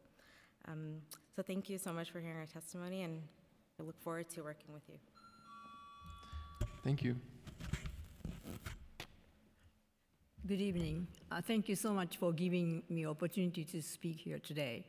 My name is Hiroko Hatanaka. I'm a board of mem member of the board of the Japanese American Social Service, Services Inc.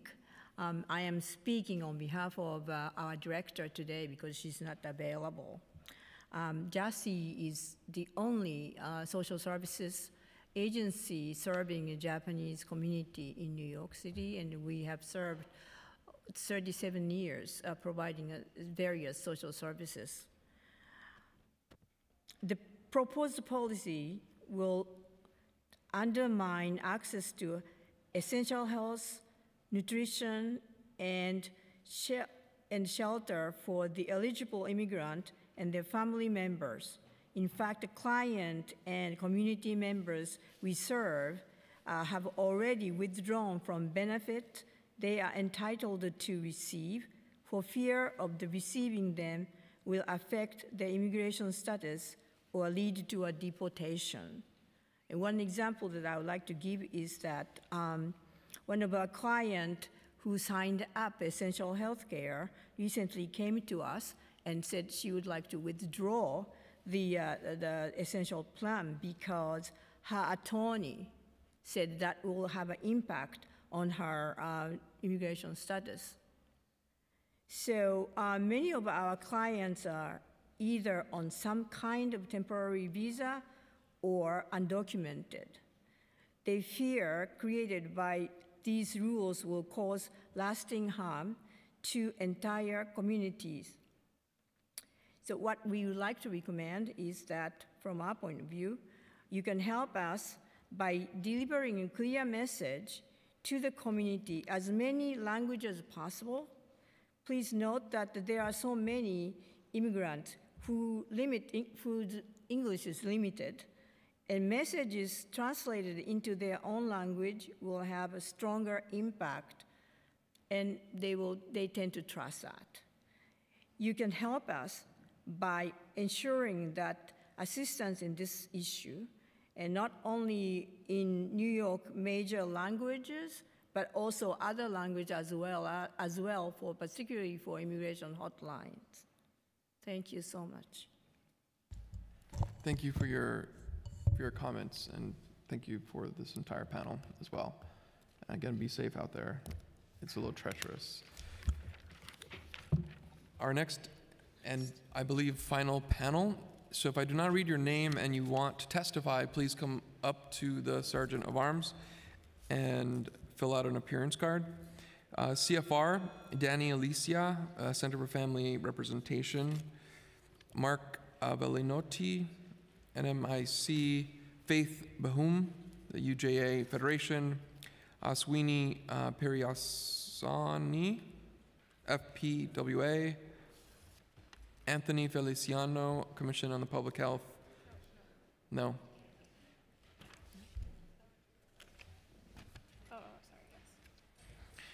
And is there anyone that has not been called that would like to testify?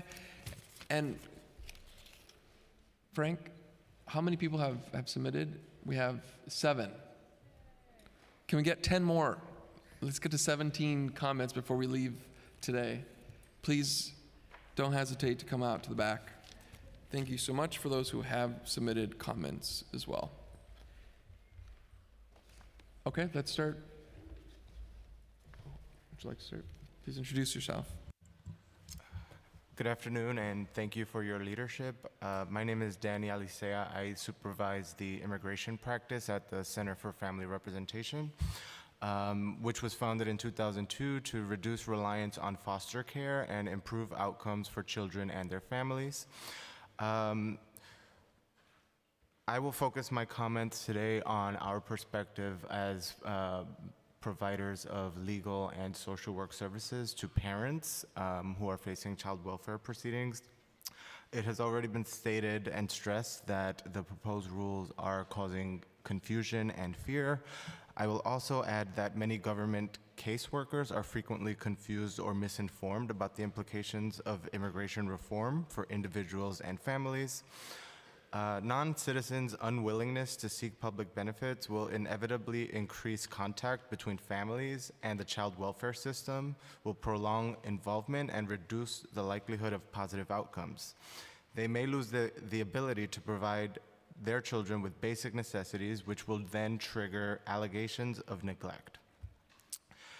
Uh, child welfare proceedings also require multiple court appearances, conferences, monitoring appointments, custodies, uh, conferences, and ACS meetings, which will take, which will cost the government significant amount of funds. Uh, in order to ameliorate the problems which brought them to court, parents are required to demonstrate parental fitness.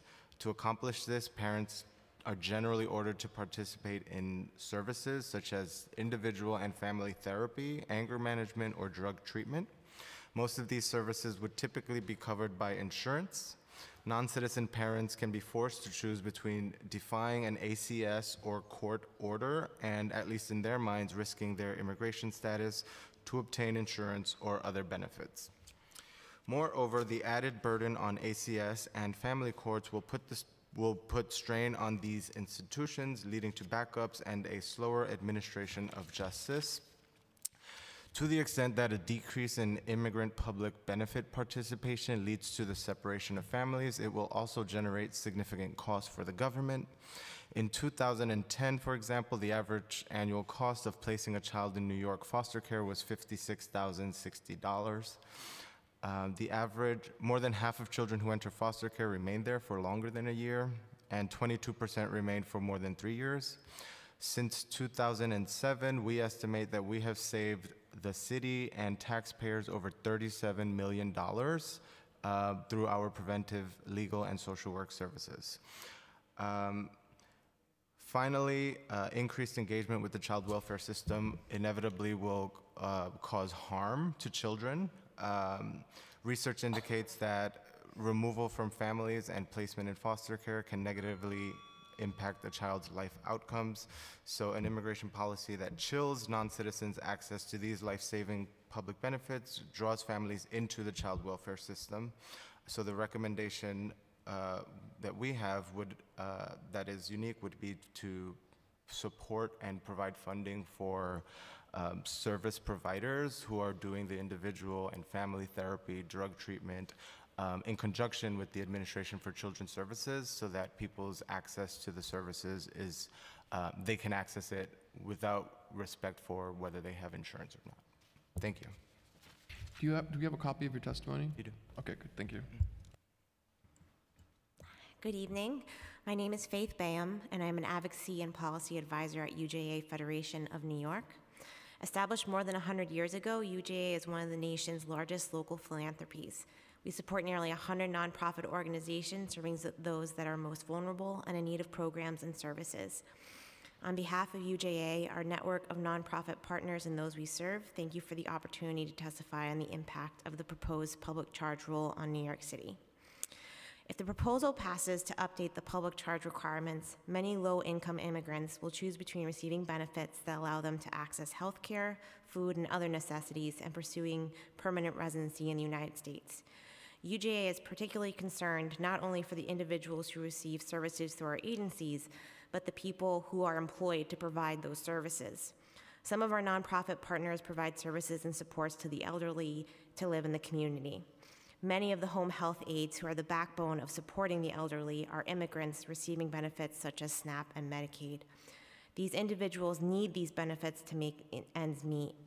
If the public, public charge proposal is passed, these individuals will be forced to choose between receiving benefits or jeopardizing their immigrant statuses.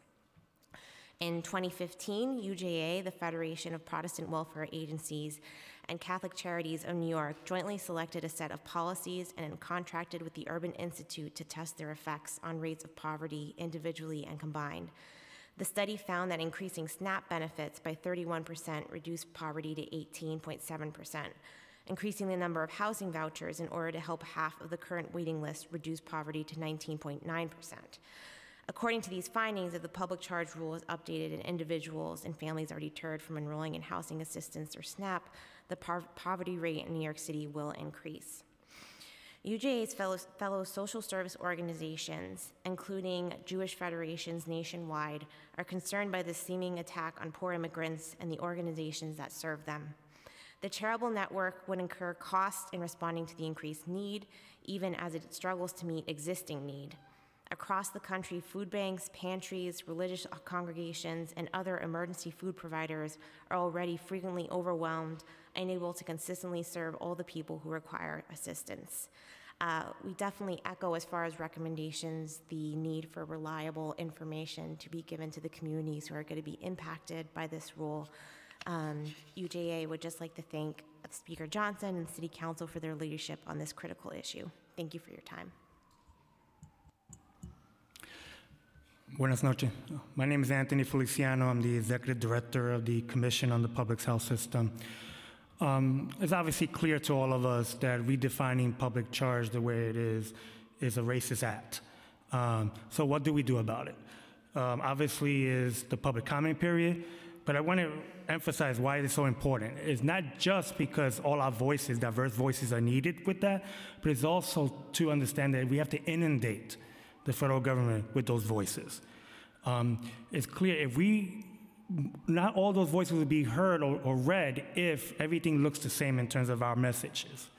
And so people need to understand that. When, and that's what the importance of inundating. And it's also to, to counter the narrative, the negative narrative that they've had on immigration um, before and after, uh, before Trump and now.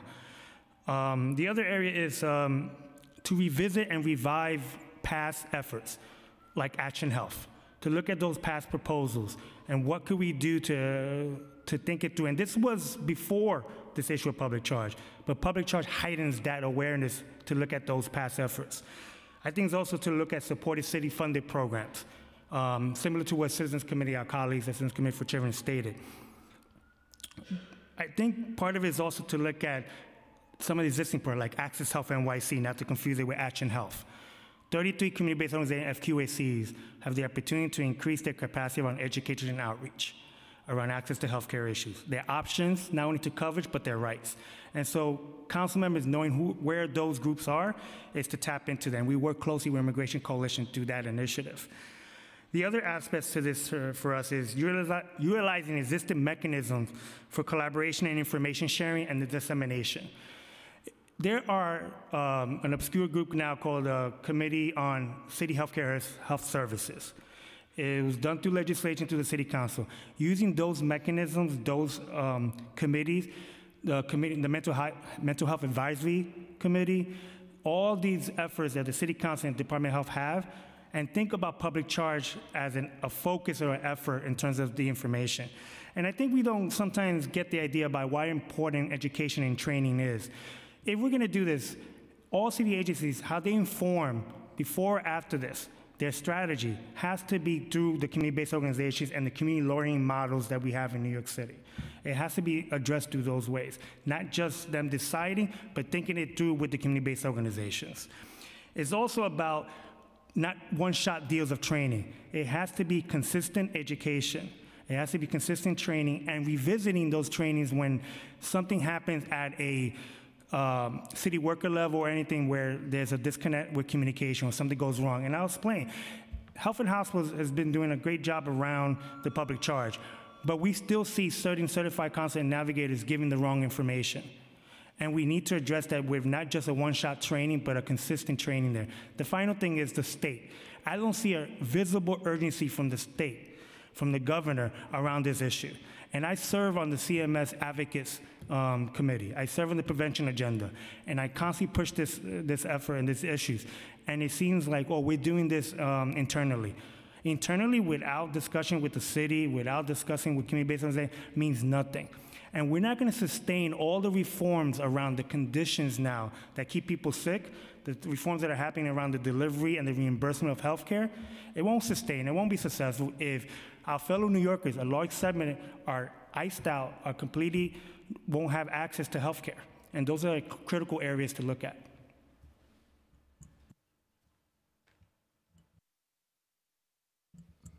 Good evening. On behalf of Northern Manhattan Improvement Corporation, or NMIC, I thank you for the opportunity to present our views on changes to public charge proposed by DHS. My name is Mark Falinati, and I'm the managing immigration attorney at NMIC.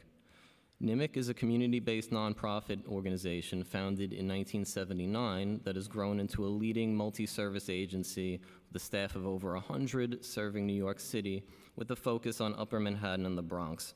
NMIC's immigration unit provides immigration screenings and a wide range of services to the New York City community. The proposed changes to public charge contain heightened income based standards that will prevent our community members from securing lawful permanent resident status. Aside from penalizing applicants who have or are likely to receive an expansive list of benefits, the changes impose onerous income requirements on new immigrants and their families. Under the new guidelines, an applicant's current lack of employment or health insurance will be considered heavily weighted negative factors against their application. The positive factors that would be taken into account include the new immigrant's ownership of financial assets or require the new immigrant's household in the U.S. to earn at least 250% above federal poverty guidelines. In our community, many new permanent residents are petitioned for by low income family members who work hard and save what they can to bring their relatives to this country.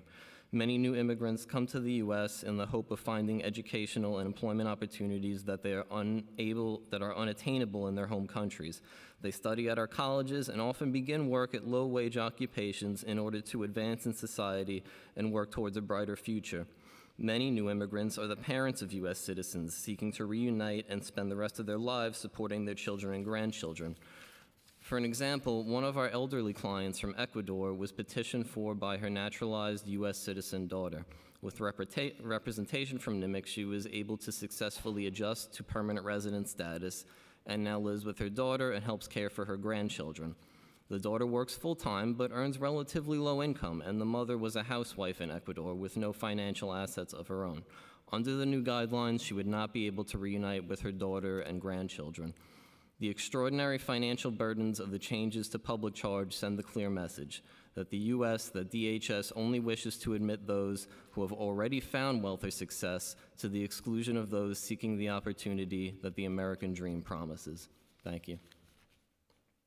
Thank you. Uh, and before we end the panel, I'm going to hand it over to our, our co-chairs for final comments. Uh, Chair Levine? Or any questions that you might have too. yes.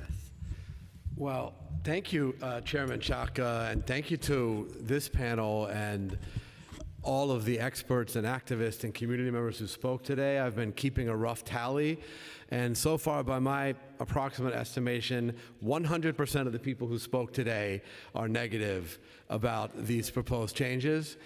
And it represents an important document of um, the smartest minds in the city, uh, making it clear just the scale of harm that awaits New Yorkers if these rule changes, rules changes are made uh, enacted. Uh, we need to stop at nothing to push back on this. I view this as no less uh, morally bankrupt than separating kids from their families at the border. And in that case, it was public pressure that forced the Trump administration to reverse course. We didn't actually win that fight legislatively because we didn't control Congress. And we have described the difficult path to overturn this legislatively. But public opinion has and can again force even Donald Trump to overturn um, anti-immigrant policies, and we need to make sure that there's an, up, an uproar of comparable scale for this proposed change. And I am more and more confident with the, the input and the activism of, of this panel and everyone else who spoke that we will indeed push back. We will win this fight and protect uh, the precious immigrants of New York City and beyond. Thank you, Mr. Chair, for your incredible leadership on this issue and every issue affecting immigrants in the city. Really a um, pleasure to be working with you in this fight.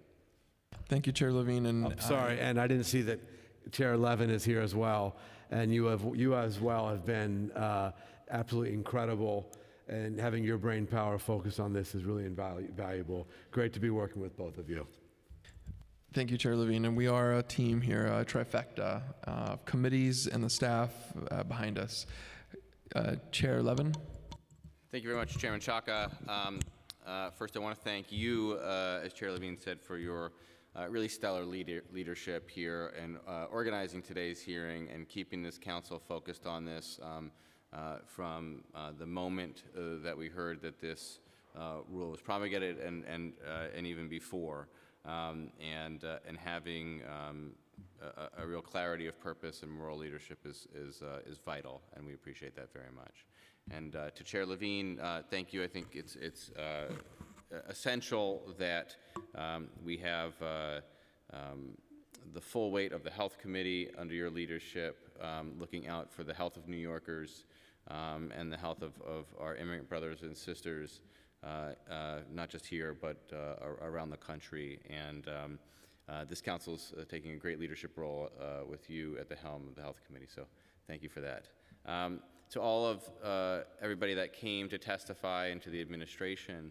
Um, I think it's so important that we keep up the pressure on this, that we keep up the pressure on our governor to do as much as he can, uh, to keep up, uh, to make sure um, that uh, when she is sworn in in January, that Letitia James, as our Attorney General, is doing everything that she can, uh, a great colleague of ours uh, for many years. Um, uh, that, uh, that our congressional delegation is going to the mat on this uh, when they are uh, going in uh, under Speaker Pelosi's leadership in January, um, that it's front and center, that this issue not get, um, you know, not play second act to any other issue.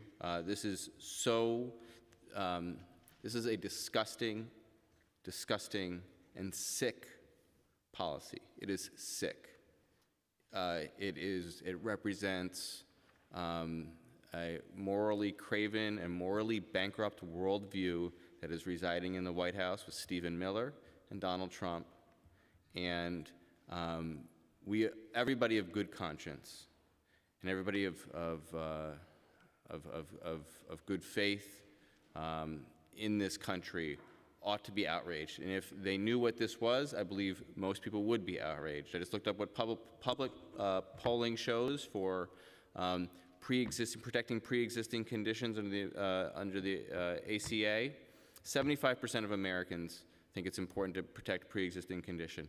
I bet you if you asked Americans, should people be denied a green card because of a pre-existing condition or because of an education status or a um, or an economic status, I bet you you'd see similar numbers. I doubt anybody's done that polling because this issue hasn't been risen to that level. And so I think that our job, um, and we had a, a, thorough hearing today, and it was a technical hearing, and we learned about this and how it would affect New Yorkers, and we heard from all of our advocate, advocate and provider communities about what it means for their day-to-day uh, operations and for their clients' day-to-day lives.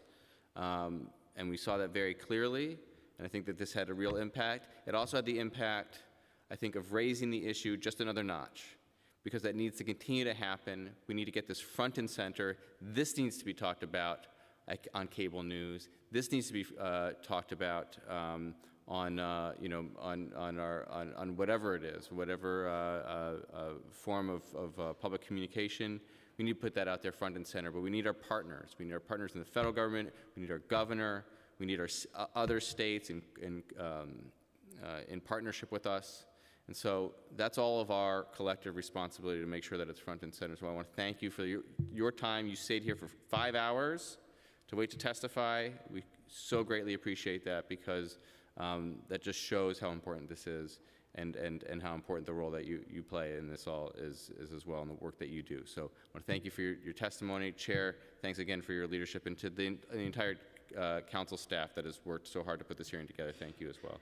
I'll turn it back over. Thanks. Thank you, uh, Chair Levin and uh, our Sergeant of uh, Sergeant of Arms as well. Thank you so much for for your dedication to this uh, hearing and the whole day of hearings. This has been a series of hearings that we've had here today. And my last real comments, as I thank you again for being here in the last, uh, are, are the following. I think the technical nature of this of this hearing presents the, the, the larger problem that we have ahead of us and how to how to fix this issue. And what I keep struggling with here is this idea that that the the, the origin of this public charge uh, is is an interesting one that is nothing compared to the proposal that we have in front of us. And this idea that we're that we're protecting the United States by folks who are going to be a burden, by impacting the people who are already here, and forcing them through this incredibly brilliant, I think, in some ways, uh, but dark and evil and wrong and disgusting. Uh, that's really fueled by uh, a white supremacist motive, a xenophobic motive, a, a motive that doesn't save any money at all, doesn't protect us. It actually does opposite. It's forcing us to think about funding in ways that we've never had to deal with in the past. It's forcing us as a city to make decisions that we shouldn't be making. In fact, um, I think what's really interesting is that it's forcing us to think about what our role is as a city and as a state. And, and right now, as the winds of change are tumultuous in the federal government, I don't know when that's going to calm down.